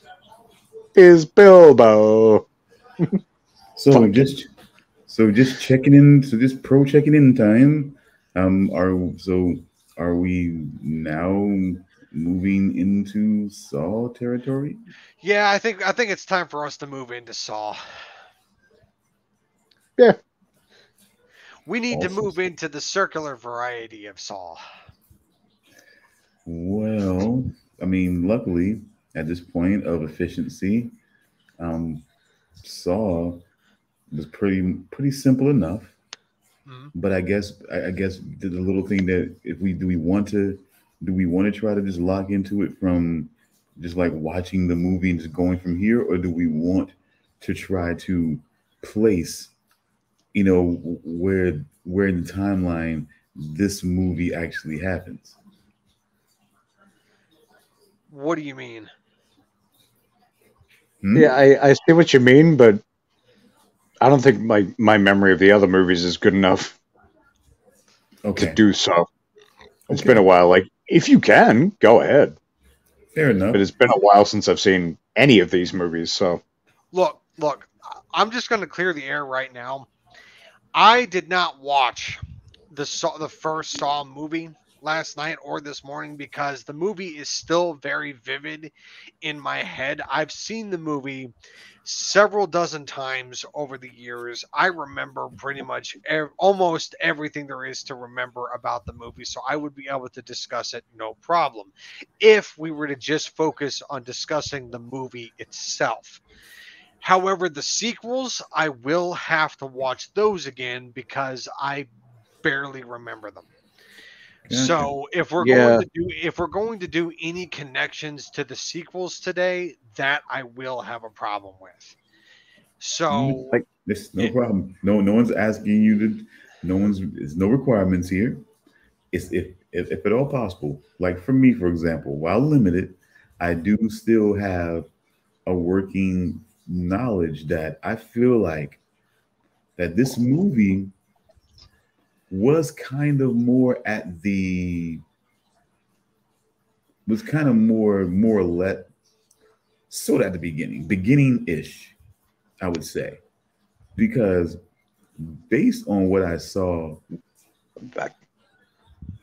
based on what I witnessed in this most recent movie, it just feels like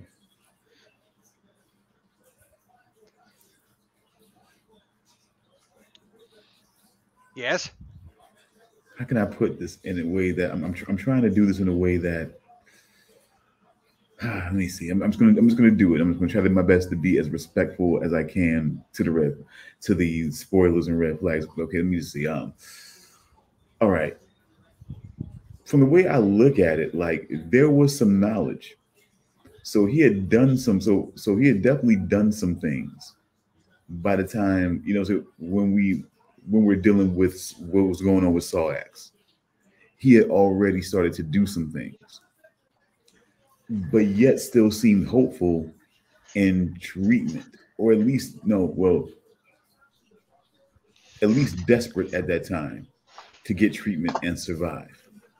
So I feel like this is more beginning ish.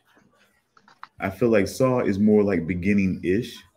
So it's still accurate in his way because I think this is more around the time that he first realized Mhm. that I think it's more around the time that he first realized that he first got his diagnosis. That as we that as we may or may not know, and forgive me, was you know I'm saying was was eventually a result of you know of making a mistake with the X-rays. That really caused the you know that really caused the things to send it to a to a more downward spiral. But um, at any rate, doesn't matter. But at least at, at that point that he got his diagnosis, or at least had had things that basically moved along to where you know it was becoming dire for him at that point. So I still think those stages, even with this particular, even with the first Saw movie, was still more beginning ish. I was trying to think. When was the movie where they had the flashbacks? Was it four? When they had the flashbacks, like where he creates the puppet, the, you know, iconic jigsaw puppet, I mean, which he created initially a, a, a far less creepy version for his like unborn child. I think is where that came about. But I believe that happened over over a couple of movies, though, especially when Yeah, that, especially when it came to, especially when it came to to the Hoffman arc. I believe that a, a couple of movies kind of dealt with some flashbacks and things Yeah. like that. that's what I mean. Like with movies like this, especially having not seen them in a while, my timeline is fucking. It, it's very fuzzy. Yeah, but no, it's, it's no problem. That's that's what Hard to follow the Scarface. Am I right, Charles? Huh? yeah, yeah. But um, I would just say that um, at this point, that's why I was saying I'm totally good. I'm saying totally good with just kind of locking into the movie and and just kind of and just kind of re, just kind of resetting the path at this point, resetting our you know say our, our you know say our locking in on the timeline. It's fine. Um, I just I would just say that that definitely at that point because again i say beginning ish it still ties because by the time they by the time even in the first movie we reach when we get introduced to the dr gordon there was already, of course, he had all he had already begun. Jigsaw had already begun doing this thing, and now uh, he had already begun doing this thing. And I need to what I need to stop doing something is put is put the references to Saw X to the side and just kind of focus in on just Saw. But um, anyway, but by the time they get the by the time we were introduced to him and everything like that, and he's in the bath, he's in that ridiculously gross bathroom. Like it's one of my phobias, fucking public bathrooms, especially nasty ones. But anyway, um, what is uh, I can't remember Leigh Whannell's character, like the guy who's not Gordon. What was his name? Adam. Adam. Okay. Yeah, when he goes like, I, I went from I went from was it I went from living in a shithole apartment to being in an actual shithole. So yeah. yeah, like, and so let me see. It's like, so by the time they got them, they, they were already like frustrated, hot on hot on Jigsaw's tail, and feeling like at that point, because because for some reason, um, I guess because he decided to throw them to throw them off of his tail by sort of like implicating Dr. Gordon in this and everything like that again, part of me can't help but to feel like that maybe that whole thing was the part of the, you know, just part of the plan because it, he knew. And anyway, but again, focusing that, That's the thing. That's like, that's the thing. And watching this movie, knowing, even as fuzzy as my memory is, knowing future things, I, I, I wonder if any of anything in the future was planned, or if it was just like you know they just work things in because I and maybe it is just knowing things from the future, but I felt like there was certain things in uh, Cary El is Elwes. Yeah, that's another name I've never been sure how to pronounce. Elwes, Elwes. Yeah. That, that's how I've heard it. That certain things in his performance that I'm just like, did they like lay a seed of certain things? There's there's times where I'm like, yeah, I don't know if it's just future knowledge or or what, but there seems to be certain things where I'm kind of like. But the foot cutting, but the one thing we can't deny, the foot cutting is real, and yeah, when fucking and it, it, lets me know that the one thing that we gotta that, that we gotta just know for sure that we gotta just kind of lay down as fact is that anybody who's going to even somebody who's going to be eventually working with jigsaw that they're going to be tested first Mm. You know that that's it's, it's, it's almost like non-negotiable. Amanda, know? Gordon, so on. Except except for except for oh except for the one guy when he just realized it was just a fucking mistake. It wasn't anything sinister or arrogant or or or or disregarding that he did. It was just a mistake. You know, with the X-rays. Yeah, that was just. I don't know if you eh, remember. You want to call it malpractice? Maybe. Technically, yeah, but but it was still a mistake. Just a, a simple, honest to goodness accident. You know, yes, it caused. You know, I'm saying it caused things that could have. It caused situations that could have been controlled earlier, to, you know, I'm saying to get out of control, but you know, it wasn't it, it wasn't with any sinister or disregarding intent. No, it's you like know. Charles Weeden getting a bunch of people killed. Just you know, he didn't mean to. Okay, all right. you you were asking the question if um if you were able to pronounce his last name correctly.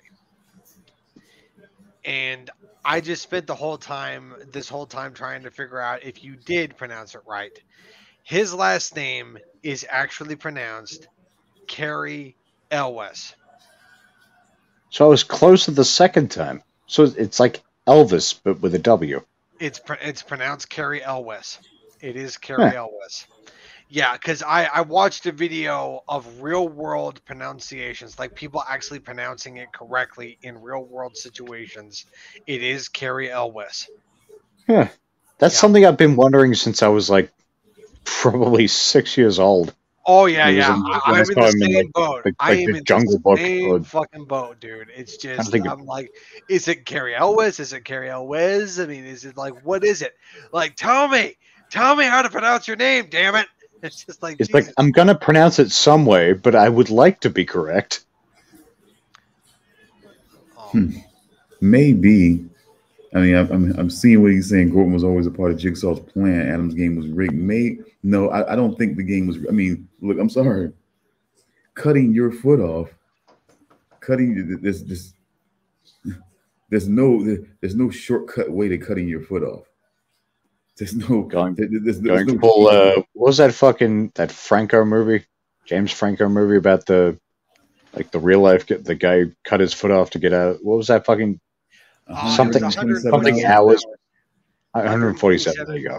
127. 127. Okay, yeah. Yeah. Yeah, going full 127 hours on yourself, like that's you know All right, uh, that's some guys, commitment right there. talk amongst yourselves. I will be right back. Got to go take care of something. Too easy. Jerking a gherkin. Rude.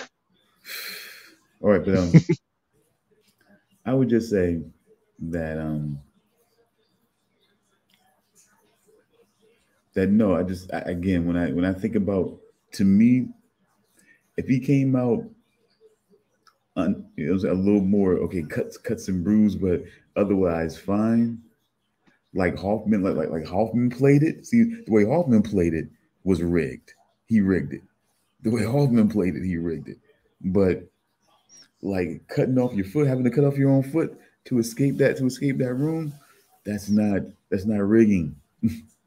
that's I, I just can't I can't agree to that being rigging. Just can't. A part of me That's just like- won't. Go ahead. That- I was just gonna say that's commitment. I don't think. I think I'd. Oh, I don't know. I actually don't know what I would do. Like, I don't know if I could cut through my foot or through my ankle. Even if it, even if the the downside was dying in a fucking shit stained fucking you know bathroom. I I, I don't know. I don't know if I would have that fucking yeah that that I I don't know if I have that to be able to cut through my own fucking with a hacksaw, be able to just cut my own foot off to get out. I don't know if I have that in me, but I guess you don't know until you're there, really. You feel it. I mean, it's. I think they did well to depict the situation of of having, like, of not knowing, of not knowing what was going on with his wife, with his daughter, and everything like that. The, the, the extreme situation with that, and just feeling like he had to, he had to do it. You know, I mean, it's just like there was no other way. He had to fucking do it. You know, but um, I could definitely understand how someone can say that it was sort of rigged because, but I mean, they both had the same, they both had the same setups. They, he was he was able to be electrocuted just the way that Adam was able to be electrocuted by that, you know, saying by that chain, by that chain hookup. Um, Yeah, but Adam was kind of, as we find out, fucked from the start. But he didn't have, but it was both there. I mean, he didn't have a key either. Neither one of them had a key. What if that was? What, what if that? What if that key? Sure, what if that yeah, one key With that one key, maybe, or or maybe because because it's so weird to, to, look at it, to look at it when it's underwater and you see it glowing at one point, then it's not. It's like, damn, okay, am I seeing one key go down? Am I seeing two keys go down? Maybe that one key could have opened up both of their could have opened up both of their locks. You know, maybe if it was only That's one, possible. Yeah. But I'm just not, you know, I'm just not seeing. Like I said, he definitely didn't have a key. You know, yeah, okay, I hear it. I like I said, I, I I get it, and I acknowledge that key possibly could have opened up both of their, you know, I'm saying both of their basically their traps, but I still say Wait, like, I'm trying. I was half asleep when I watched it, but how did the plug get pulled? So I don't know Adam wakes up and he wakes up obviously in a bathtub full of water, but how did the plug get pulled? because his because that's ultimately the the thing that really fucks everything. because his, because they had him the way they had him set up before I guess he because before he got laid back or whatever. It his foot was sort of like up on the tub where that you know what I'm saying where the chain was. That Okay, so it's pretty much like so it's like if, once you wake up, you're kind of startled. It's it's gonna happen.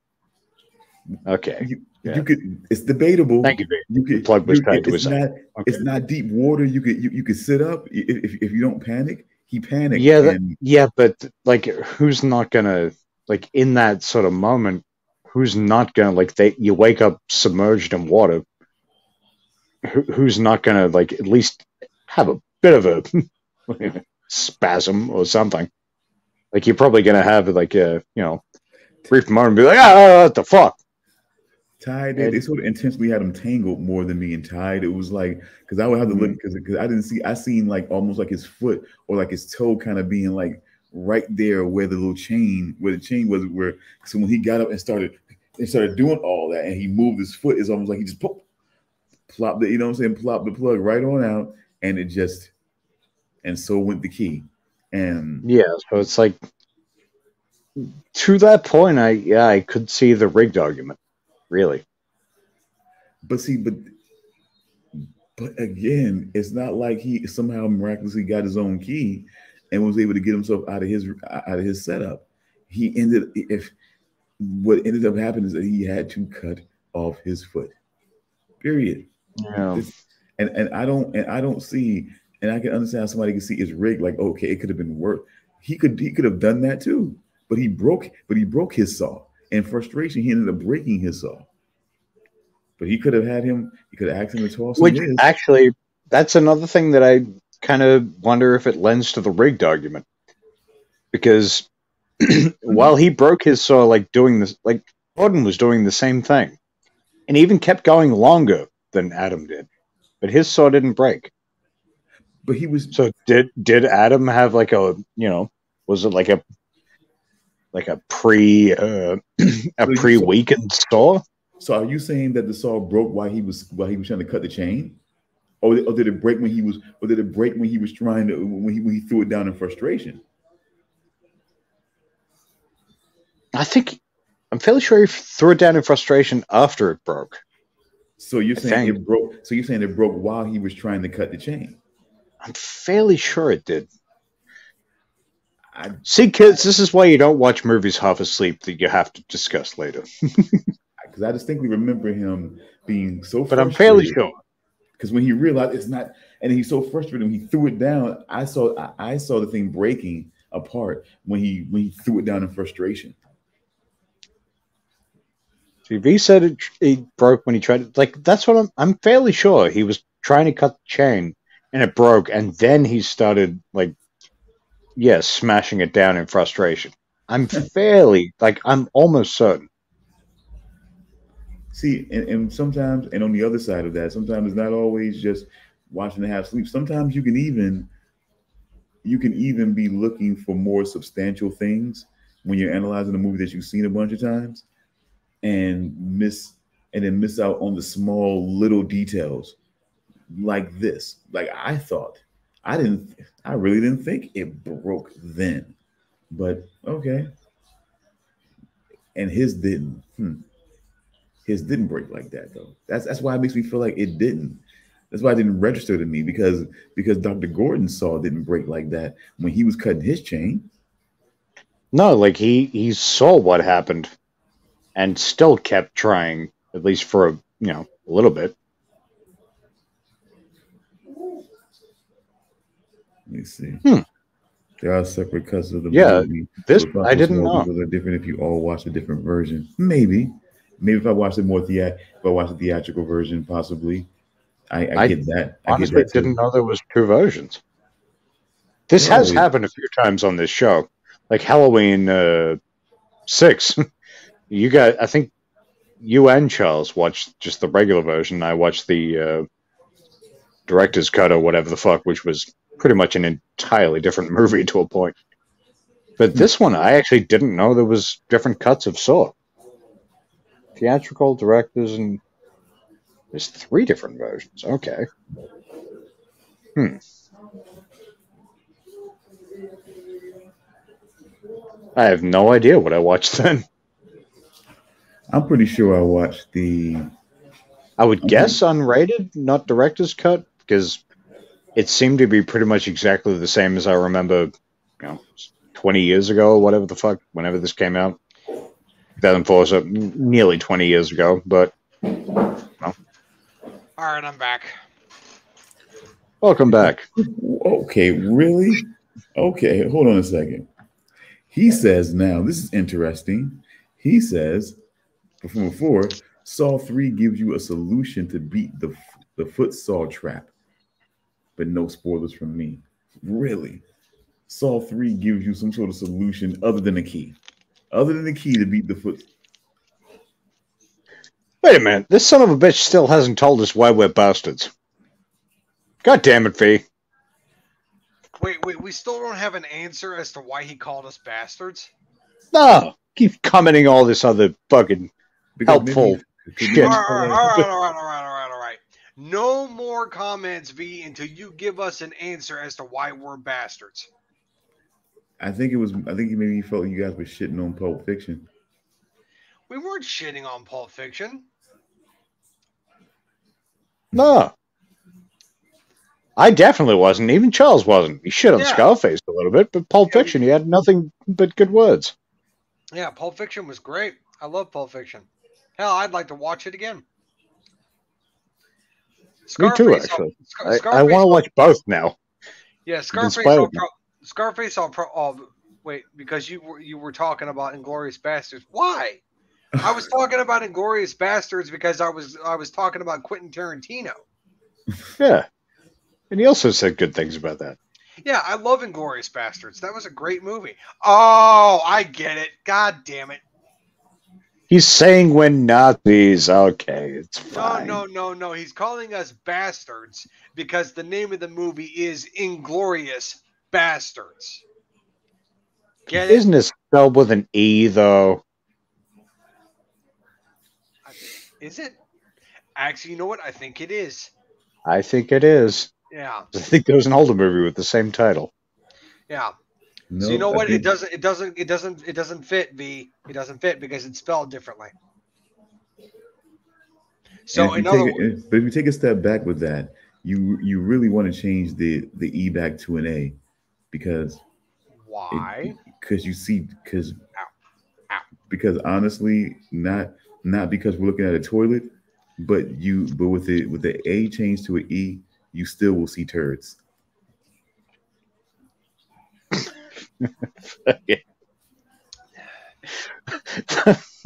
So, so do we? Toads or toads? I don't even know. Do you see what you've done, V? Do you see? Do you see? Moving on. ah, what happened? Where'd Tom go? But there he is. Okay. All right. So um.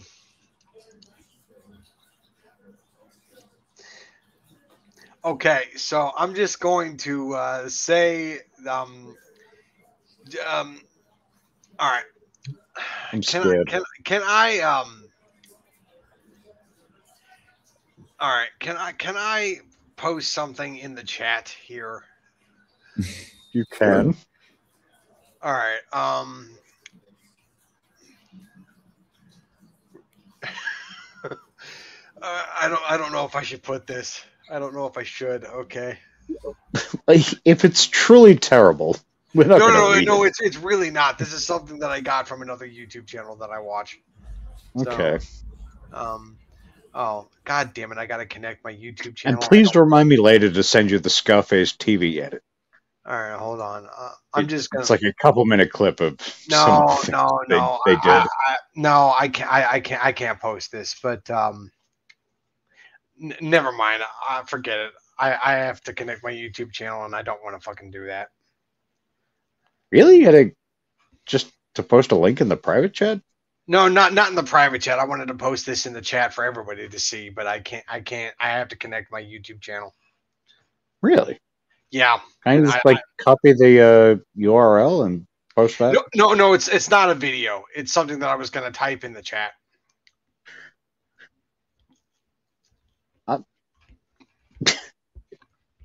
Now I'm thinking it is terrible. All right, I'll just you- say it. I'll just I'll just say it. Repeat after me. I am son of bitch. I am Sofa King. Sofa King. We taught it. We Todd Ed. you, you, you gonna give me an Aqua Teen Hunger Force joke? Like, I don't know. You son of a bitch.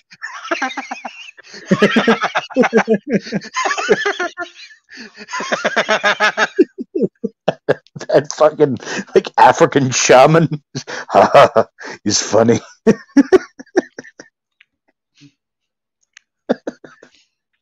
How dare you?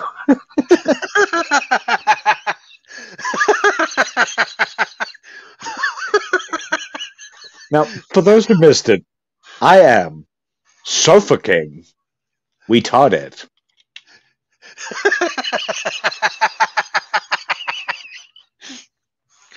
Look, this this YouTube channel that I watch posts that joke all the fucking time when he makes fun of other people. And I never got it until I typed it out to try to understand what he's actually saying. And then I finally got it. And I'm like, oh, fucking Christ. Like, I don't, I don't know if Aqua Teen Hunger Force came up with that joke, but that's the first time I ever saw it. it's this like African shaman guy trying to get them to like, you know, do something to solve the problem. It's, you know,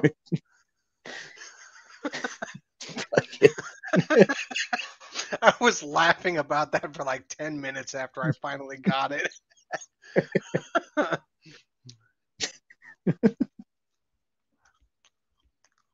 you son of a bitch.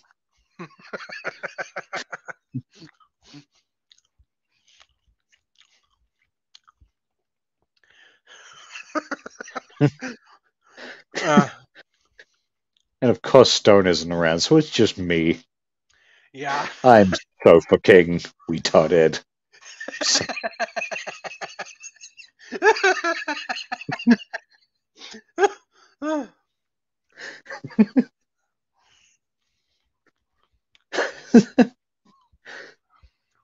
All right, so what do we do now? We gotta we gotta pause the.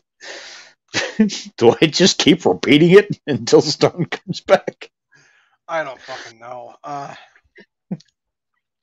Because I might become so fucking, you know. yeah.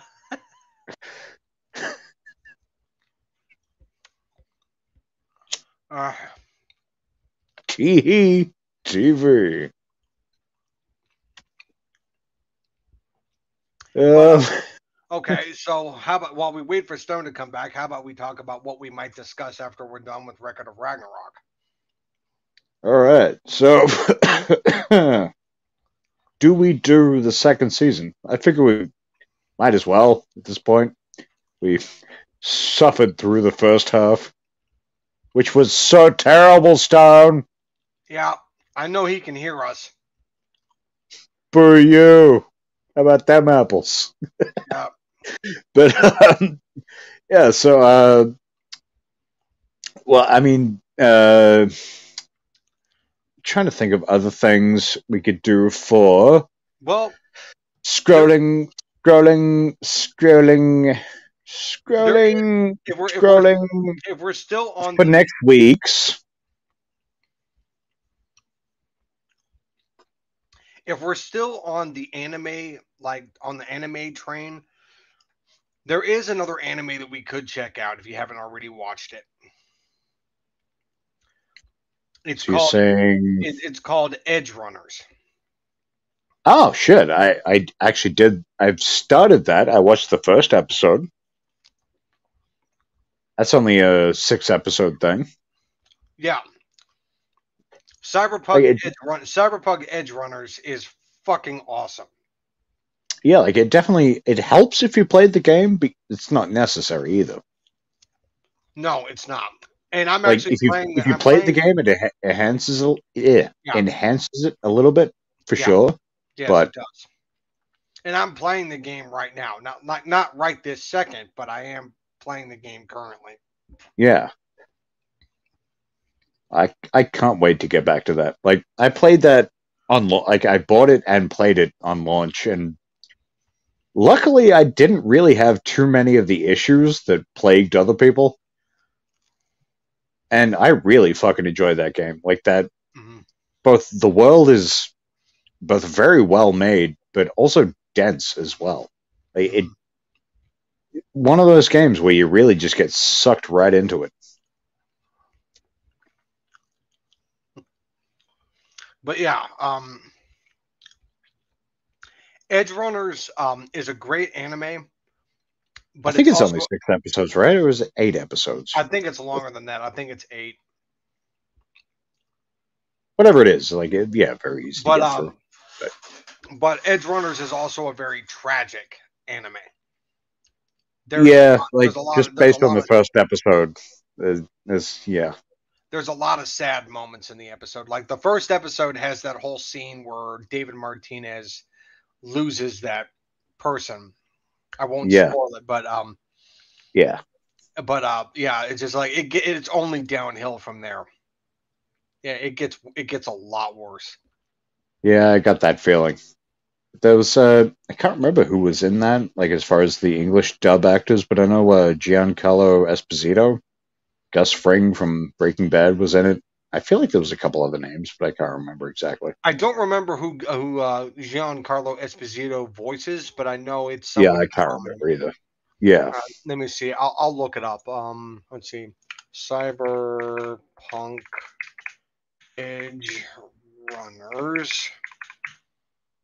But no, they like yeah, just based on one episode, they did a very good job of recreating that world as an anime. I was Yeah. quite happy with that. Okay, let's see. Okay, so Zach Al- Alguilar uh, plays David Martinez. Let's see. Um. Oh, okay. So Giancarlo Esposito plays Faraday. Okay. Oh, I don't uh, think that character has been introduced in the first episode, I don't think. hmm. I don't think. I don't know, it's been it's been a while. Like I grabbed that ages ago. Just watched the first one, but I'll definitely rewatch that if we do decide to do it. Yeah. Let's see. Um, I was gonna let's see. Cyber...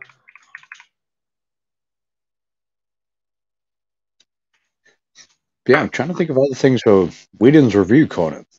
Like, you ever seen Goodfellas? No, I haven't. Okay, there's an option. Um, trying to think of other like fucking classic movies. That you get, I mean, there's countless movies, but uh, let's see, Goodfellas. Goodfellas would definitely have to do at some point. Um, yeah, what else we got? Um, let's see. Um, there was a there was another thing. Um, I know there's a bunch of other movies I haven't seen that I should see. Uh, what about Fargo? I know Fargo. Fargo, yeah, yeah, yeah, definitely. I rewatched that recently as well. That just yeah, it's one of those. Pretty much, it's it's a fairly timeless movie. Really, there's really not a lot in there that will date that movie. Yeah, Fargo is a movie that I should watch at least once. Um, For sure, yeah. Um, there's one movie that I haven't seen in years. I did see it once, but I haven't seen it in years. It's Throw Mama from the Train. never seen it. Yeah, it had Danny DeVito, Billy Crystal. I- briefly, I was I was briefly confused. I was thinking of um, "Stop" or "My Mom Will Shoot." The fucking that horrendous Stallone movie. Yeah, but no, there's a there's a Just scene. ignore that I said that and ignore that it even exists. Just, Yeah. just don't even. Yeah, but there's a scene in Throw Mama from the train where Danny DeVito brings Billy Crystal over to his house. And he and his mother walks into the into the kitchen and they're eating dinner or or something. They're having some kind of meal. And the mother says, "Who's this?" And Danny DeVito says, "Oh, this is uh, this is my cousin Patty. You know him." And the mother just looks at him and says, "You don't have a cousin Patty." And then Danny DeVito looks at Billy Crystal and just says, "You lied to me." And grabs a frying pan and smacks him over the head with it. and Billy Crystal just like jerks and just like falls over and just thuds on the ground.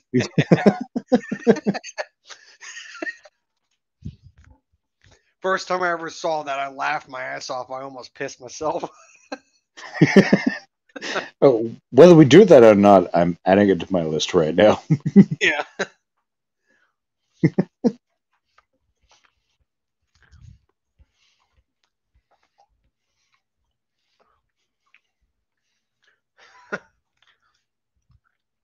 Absolutely love that movie. It's such a great movie. Only ever seen it once, but I need to see it again. Oh, I'm trying to think of the last time I saw Billy Crystal in something, actually. yeah, it's been a long time. It has. Oh, another movie that we actually talked about recently. The Jerk. The Jerk, yeah, that's something I haven't seen in at least two decades. I would love to revisit that. Mhm. I've never Let's seen The. Jerk. Never seen it? Okay. Yeah. Let's see, what else have we got? I, again, there's countless options that you potentially haven't seen. Just trying to think of ones will be like, you know, good discussion points. Mm-hmm. Probably something we should be doing off air, but Stone's not here, so you know, we gotta fill the time somehow. Well, yeah, of course. Um, let's see. Yeah, welcome back, Stone. Welcome back, Stone. Just talking about movies we should do for Weeden's review corner.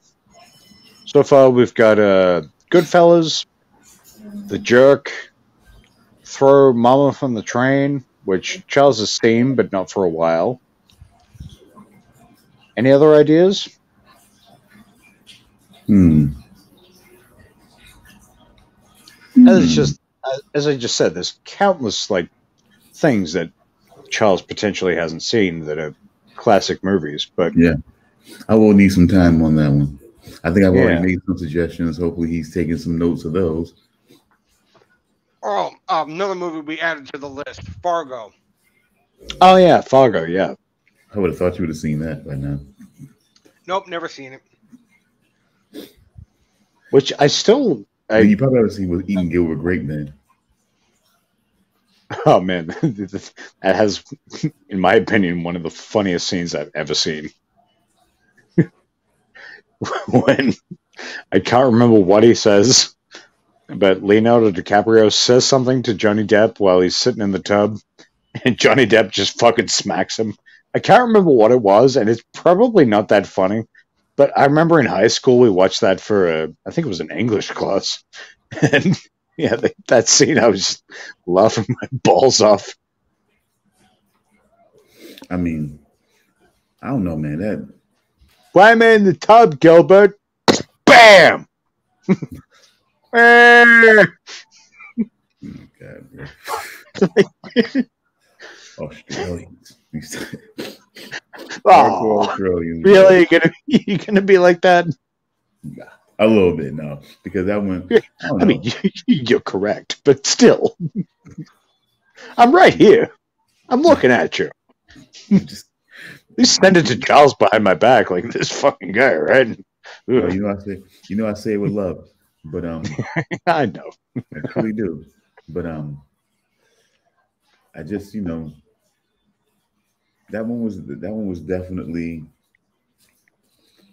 I don't know. It's one of them things. It's, it's one of those movies for me. It's just one of those movies that I hold up there. You know, just real, just, just real. I don't know. It, it, it was it was a real. I don't know, just quite a movie, quite a cast, quite a movie. It's quite. Hey, it, it was a great movie for sure. Like some great performances in that movie. I try not to laugh at stuff that was going on in that movie that would make me laugh in, in other movies. I try not to because I just try. I'm trying to treat it as a as a different thing. You know, this is that's kind of what I found myself doing. I mean, Charles, do you mind spoilers for a movie that you're probably never going to watch? What movie would it be? What's Eating Gilbert Grape? I've heard of it, but what's it about? Uh, it's about uh, you got Johnny Depp who's taking care of his uh, was it Down syndrome? Is that what DiCaprio had? I don't know if they ever specified. Yeah, you know. I, I want to say Down syndrome, but I'm not sure. Like it was like around that time they were probably being less being less sensitive about about things and, and it's all and it was all just kind of you know it's all kind of it's all the same thing to you, you know it's, it's all the same thing to them the r word you know so yeah, but it was definitely that kind of like that kind of like he dude can't do like he needs someone to care for him. He can't do things for himself. Like he can't just live. he doesn't have i mean he definitely he's functional but he just constantly no absolutely no impulse control absolutely Yeah, no no. sense of responsibility or or his own danger and things like that. So it's just yeah, Pretty much no grasp of anything, really.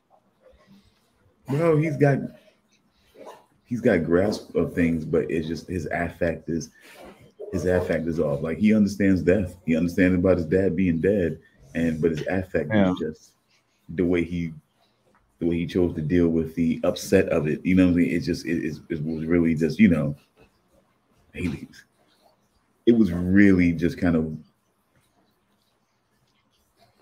i don't know kind of like wires kind of like wires crossed in in in how and any emotion to have about that about that sort of thing. But he Mhm. seemed to understand death. It just seemed to un, it seemed to upset him and make him react in a different way than it might make some other people react. Where they might be a little bit somber about it a little bit sad or something like that. But he was kind of just um i don't know. He seemed to be elevated about it uh, you know what i'm saying he seemed to be his emotion, his you know what I'm saying, his anxiety seemed to elevate about it. I guess I don't, you know, that's about about the best way to put it. Mm-hmm. But you know, and he had to deal, and of course, with, with the thing that we don't mention, of course, that he had is that Gilbert had to take care of, it, had to be more of the caretaker for his brother because his mother was was the pioneer, was the pioneer of the like six my six hundred pound life. Yeah, know, I was going to say the same thing. Yeah, So that's what I was sort of getting to. But when she got pissed off, I mean, we, you know, just in case you, just in case you see it again, I'm, I'm gonna, I'm gonna resist going back too far down memory lane on that. But, and just, uh, and just a quick check in, how are we doing on the rest of Saw? Or we, or we felt pretty good about where we've ended. Oh, we put a pause on it while you were dealing with whatever. Oh, okay, so there's more we want to say on that in the next few minutes before, so we don't make this a five-hour show. It's a bit late for that. Huh? No. Oh no, we still, we still got time to not make it a five-hour show. Yeah. Well, um, sorry, just uh, trying to. Are you eating pizza again? Yes, I have leftover pizza. God damn it! Well, then we I definitely. thought it. I thought you were going to get McGriddles. I wasn't able to leave. Yeah, true. Good point. Well, then we definitely. I have to. I have to leave to go to McDonald's, and I wasn't able to leave because we actually ended up doing the show. So in, that, in reality, it's the show's fault that I wasn't able to get McGriddles. Hmm. That's true. Stone, do you see what you've done to poor Charles? He couldn't get McGriddles because of you and your tech issues. no, No. no, He doesn't feel bad at all. No, my this tech poor issue- guy's going without No. McGriddles. No, my tech. No, my tech issue should allow him to go and to allow him to go to McDonald's. Actually, That's it's true, but we we were talking about stuff. So I guess it's my fault ultimately. Nah, nah, it's fine. It's fine. It's it's too late for McGriddles anyway because they stopped serving breakfast at ten thirty. Ah, Yeah. So yeah, it's too late.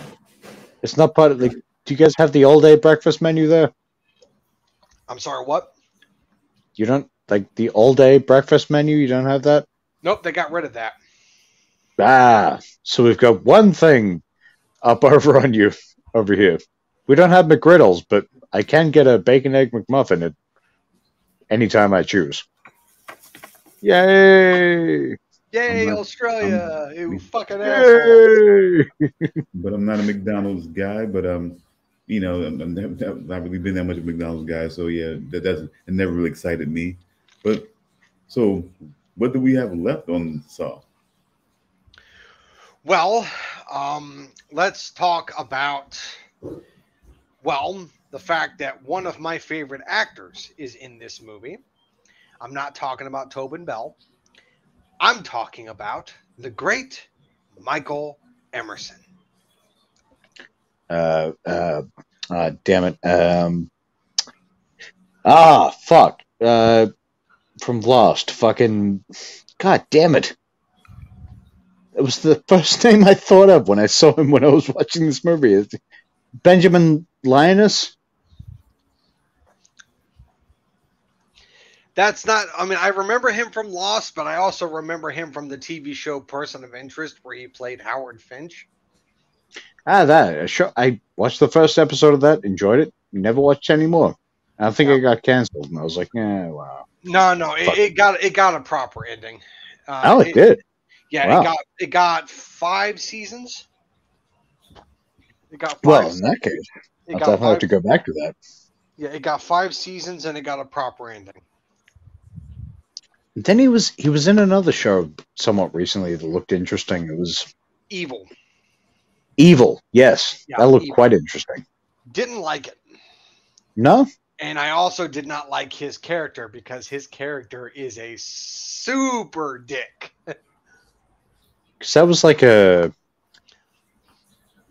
what was that show? I was actually kind of confused. Now I, I thought I had a clearer image, but I was actually Um, I was thinking about show- it, kind of confused when I saw the trailer for it. Uh, the show As to what is about um, a, uh, I think it's a psychologist, a priest, and an atheist slash skeptic. That And they all go into a bar. yeah, well, yeah, Then they what all, go, they all go into a bar, but no, they all investigate. Uh, they all work for the Catholic Church, and they investigate cases of suspected possession.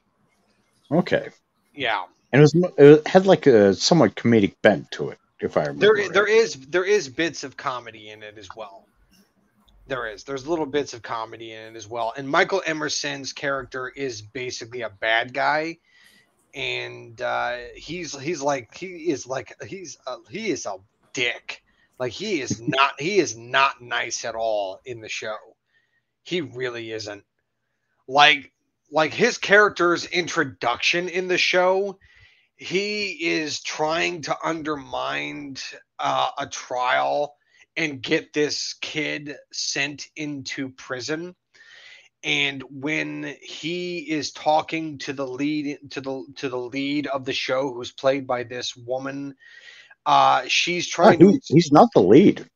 He's not. No, he's not. He's a Yeah. supporting character. Um, he's like this woman is trying to the, the lead the lead woman is explain trying to talk to him, trying to say like I mean, like she's she's saying like I mean don't like um like this this like prison life is going to ruin this kid's life and everything. And he just all casually talks about was like he's going to get an education as soon as he as, as soon as he experiences his first rape. Like he's he all casually like like says that and i'm like holy shit he did not just say that wow So just yeah, just straight out of the gate. Like this is not a guy you're probably going to root for very much. Yeah, yeah, he's a straight up asshole. Like, wow.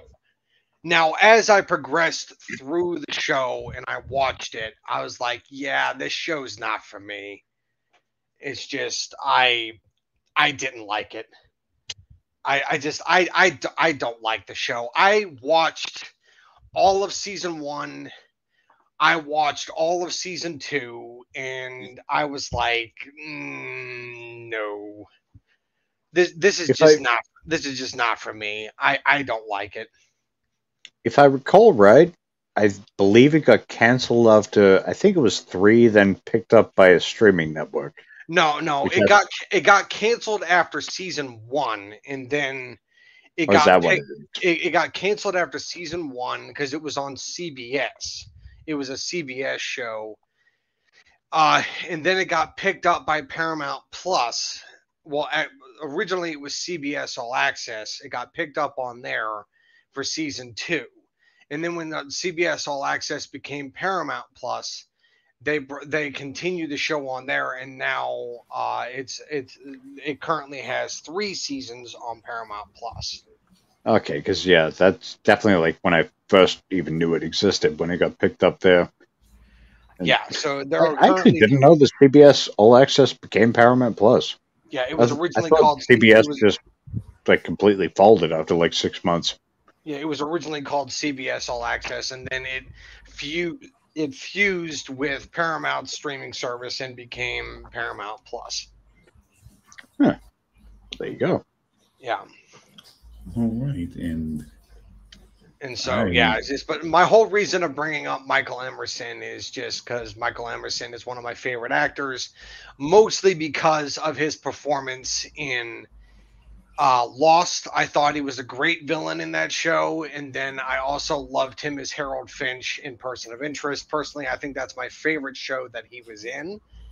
I Person of Interest was an awesome show, and I definitely recommend that you guys check it out. I actually recommend adding Person of Interest to the watch list because I, I I have Yeah, watched I Five have seasons. There you go. I have watched the first four seasons of Person of Interest, but I have never actually watched season five. I've never finished the show, so I would like to finally finish the show. Was And that I, a was that a J.J. Abrams show as well? I believe it was, yes. Yeah, I think that's why Yeah. I checked it out initially. Yeah, but no, Person of Person of Interest was an awesome show. It was. It was great. Definitely recommend it. It was just uh, Jim Caviezel was great in it, and then when they brought in the other characters, uh, Sarah Shahi was awesome. Amy Acker was great in the show. Just like everybody was great, and then of course the other characters like uh, I mean Taraj B. Uh, Taraji P. Henson even though I'm not the biggest fan of her as a person, I thought she did a great job with her character. Can't say I know that name. I'm familiar with her as an actress, and personally, I think she's. Mm, I'm not really a fan of her as a person. I'm not. I, I think she's. Uh, let's just say I'm. I think she's obnoxious as a person. I, I don't. I don't really care for her all that much.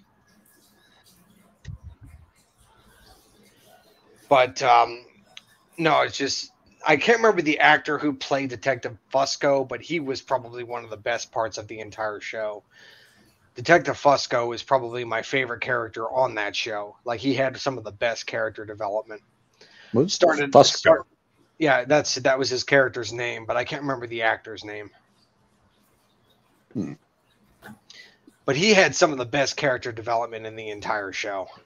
Yes, I know. I started talking about Michael Emerson, who was in Saw, and then I started talking about some of his other shows, and it's just like, uh, uh I know. I'm, I'm going. it's what we crazy. do, but it's fine. It's what we do. But I personally, I never thought I'd be a wet blanket on an actual show, but I kind of got to be because you know I'm under the gun now. They have to begin, and you know we, we promised that we were. Wait, that we were You going to do a show with. Kai? You gonna do Hmm? that to us? You can do a show with Kai Brancaccio? Is that where you going right now? I would love to. I, I, I would love to make that kind of dumbass joke, but it's just, I, I would. I would Oh love to- man, I would love to make that kind of joke. That, that- that's what's going on now, but it's really not.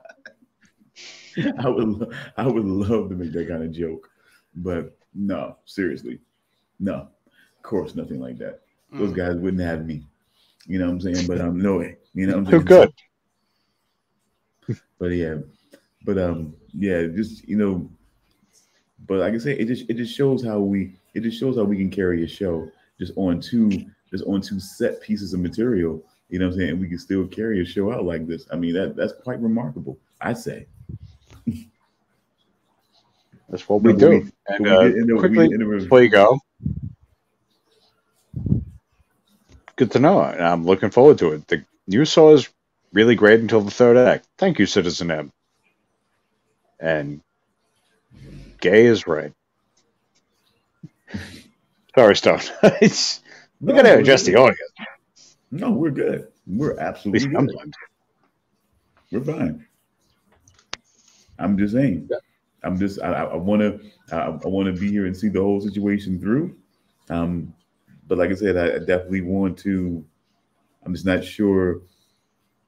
You know, again, because again, Saw for me, again, the first Saw was pretty simplified, Mm. in my Yeah. opinion. It was pretty simplified. Very different from what came afterwards. definitely. when I was looking into it, apparently this is like people were just like, "Oh, it's torture porn." I'm like, you have no idea what's coming. If you think that, like, this to me was probably closer to, it was probably more a thriller than a horror movie in a lot of ways, really. Oh yeah, there. w- This was not a horror movie at all. No, it was more like, uh, like, like Seven or something, really. Which oh, you know what? Add that to the watch list because I have never seen Seven. Oh shit! I'll add that to the list. Yeah. I'm familiar with the end of the movie. I know what happens, but um, I mean, that's one of those endings. I think. What's in the box? I think everyone knows. Yeah, it's become as horrific as it was when you actually see the movie. It's become a parody at this point. yeah. It's like, what's in the fucking box? I'm telling you. Oh, that's what's in the box. Okay, I, um, if that's who it is, I'm I'm okay with that. It's, it's like, like, like, oh, what's in the box? It's like, oh, it's Gwyneth Paltrow's head. Okay. Ah, Pepper Potts in the box. Ah,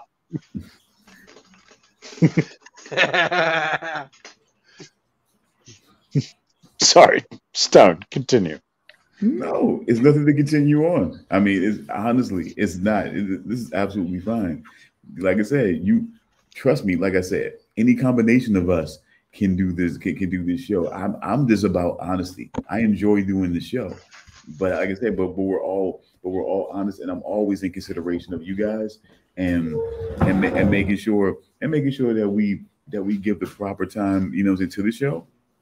And definitely so, so i definitely i never want to leave it lacking. And i want to make sure that if there is something else to say or discuss on you know on the set topics i definitely want to be there for that. And you know so i'm definitely committed to that. And then but then outside of that we're just when we're just having fun and riffing a little bit i don't i don't mind i don't mind stepping back I don't, I don't, the show doesn't have to end because I leave, you know what I'm saying? And, and, and it doesn't, it doesn't have to keep going because, you know, what I'm saying? because I'm, because I want to cut out early. It's all up. it's Oh shit, Stone. Repeat after me. I am I am. so far. Hmm? so far. We Todd Ed.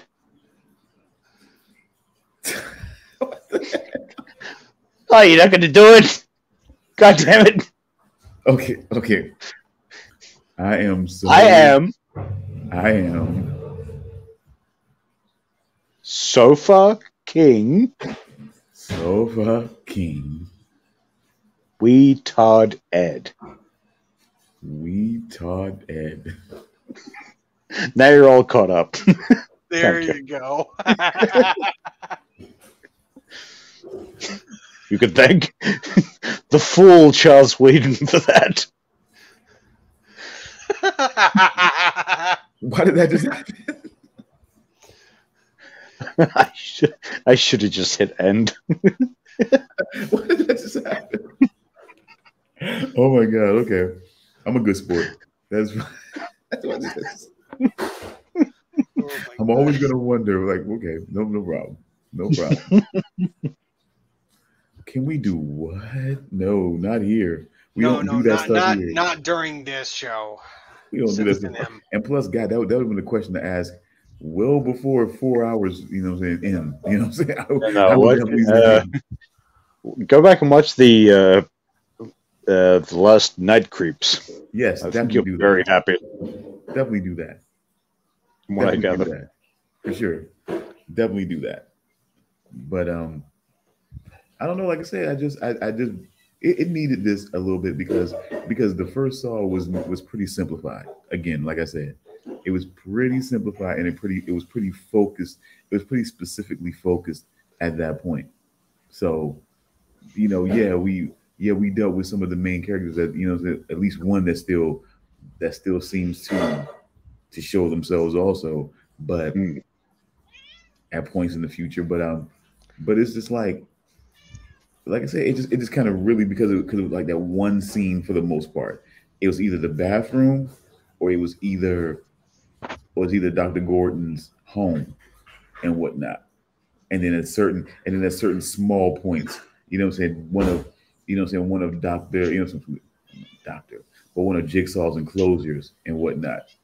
But um so I think like I said, it was very short, it was a very small, compact kind of movie, you know, and basically like I said, very focused. And I think it was just right at I think it was sort of like I said, more at the beginning ish point of things. And I think, it, but it's like it was still just like the beginning of everything that uh, how everything was going to expand at that point. So, because I Well, so it- definitely go ahead. I was saying, like, is it just me? It was the creepiest moment in the first Saw movie when Danny Glover's watching Gordon's apartment, and like he he's kind of whispering, which we find out later is because he's recently had his throat slit.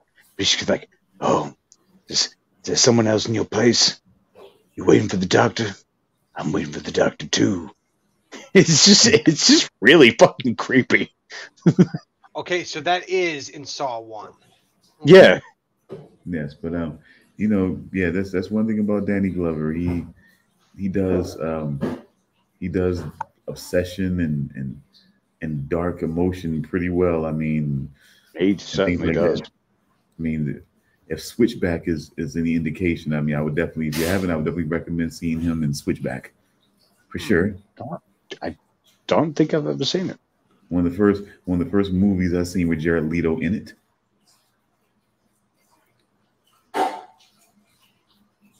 The first Jared Leto movie. Actually, no. I was going to say Lonely Hearts, but it was American Psycho. Played Paul Allen. Ah, damn it, that's another movie we need to add to the watch list. I've seen American. Oh, oh, all right. We got, we got some ideas. And we do. Yeah, American Psycho is another movie I've never seen. Even though there are scenes of that movie that I have seen, like the scene where he he does uh, hip to Be square, and uh, I I have seen that. Um, where it's like, hey Paul, yeah, I'm sh- sure you've seen the gif of him pointing at himself in the mirror, uh, I might kind of winking. It, oh, uh, um, you may not necessarily know it's a mirror, but he's pointing at himself and he's kind of winking. Just Christian Bale, super ripped and shirtless, pointing at himself and winking. Nope, uh, it doesn't sound familiar. Well, But I also uh, saw the part where he's being chased by the police and he's hiding behind his desk and he's on the phone and he says, "I've killed a lot of people." Yeah, I, I know, I know that. I know that part too. I killed a F word and his, his little dog. oh, man. Yeah, yeah. Just like there are so many fucking movies, so many classic movies that I've never seen. Oh, Weeden's review corner. It's going to be a lasting segment, I think. Yeah, yeah. As I long mean, as as long as I, you're just I, I don't you know, think it's. I don't think it's get to a be. point. I don't think it's going to be Weeden's review corner. I think it's going to be Weeden's review hour. I mean, yeah, pretty much. we Yeah. seem to be we managed to turn it into a a review corner slash more discussion. Yeah, exactly. Because there are so many movies that I have never seen.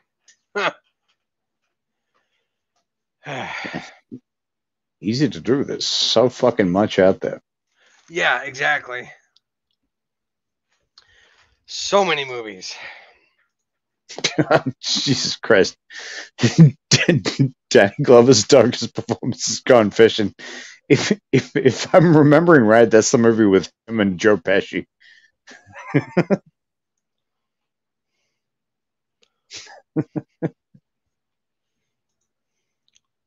Let's see. Danny Glover, Gone Fishing. I I'm fairly sure it's him and Joe Pesci. this is a comedy movie. Oh yeah. Oh my God. Yeah, that's the movie that he did with Joe. Yeah, it is. Yeah, I thought so. Oh boy. Released in 1997. Yep.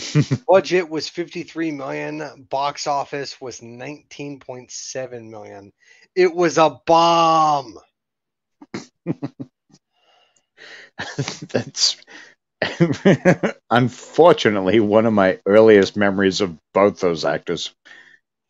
Outside of, you know, Lethal Weapon and Home Alone, but Yeah. pretty much second to those. I remember seeing that on TV. I think I liked it at the time. I I can't remember, but I can't imagine it even remotely holds up. Wow. Uh, I'm trying to see who else was in this movie. Stone, do you remember Gone Fishing? Danny Glover and Joe Pesci? Not too much, vaguely. Uh, I was going to say, if you said not at all, you're pretty much with the majority of anyone who's ever existed. But I, like I said, I have heard of it, but just vague. I don't think I did too much into that. Seriously. Hmm. Not, not necessarily going to put that next to Fargo as something that requires watching. I would definitely agree with that. All right, what's happening here, guys? Dead air. Dead air. Petering out. Dead air. I think air. it's not, I think it's I think it's a sure sign to close, at least for right now, unless- unless you guys got some more to say. I got nothing else to say. It's, well, it's 5.08 a.m., but because of daylight savings, it's 6.08 a.m. I lost an hour. So I hope everyone appreciates what I do for the show, which is not much. We definitely do, and that's why we don't want to. That's why we don't want to hold you up any longer than than what was absolutely necessary. Then,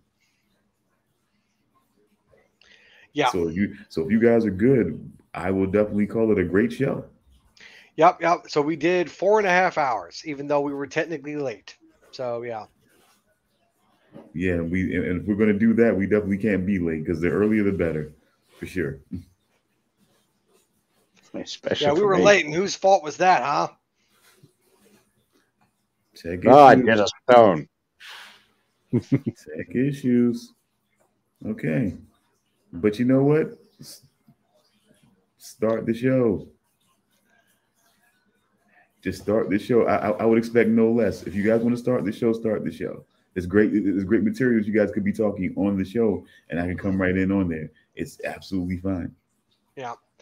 I would I would never want to hold the show to you know what I'm saying to that extent. But you know what I'm saying. But if I but if I can, I can. You know what I'm saying. And boom, when I- when I can get Yeah. there, I will definitely get there as quickly as possible.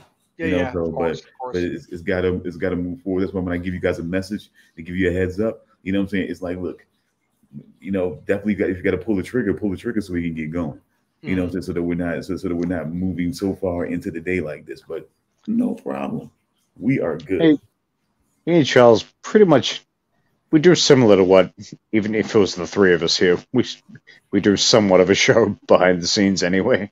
yeah. Yeah, yeah. So I'll, I'll keep that in mind next time.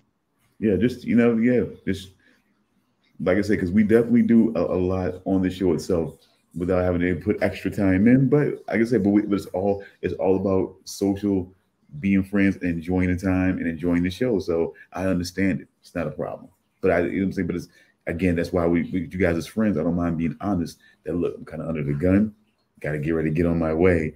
But you guys could definitely still do it if you want to extend it out. It's no problem. I never mind that. So you know what I'm saying. It's, it's about us. We're a team. You know what I'm saying? It's not, it's not about me. I'm, I'm ready to done. It should be done. No, I can go. You guys can stay. It is never a worry. You know what I'm saying? So always know that anyway. That's it. This isn't the uh, previous version of the show where if it has to end, it has to end. Yeah, but when it's time, it's time, and we and we should all and then we should all be in agreement when it's time. It's time. But but other than that, if, if I got you know, say if you guys don't feel like it's time and I gotta go, hey, all good. Again, all good. So where so where are we now? We're good to go. Yeah, we're good to go. Yeah. Um, I'll close this out if you want. Please.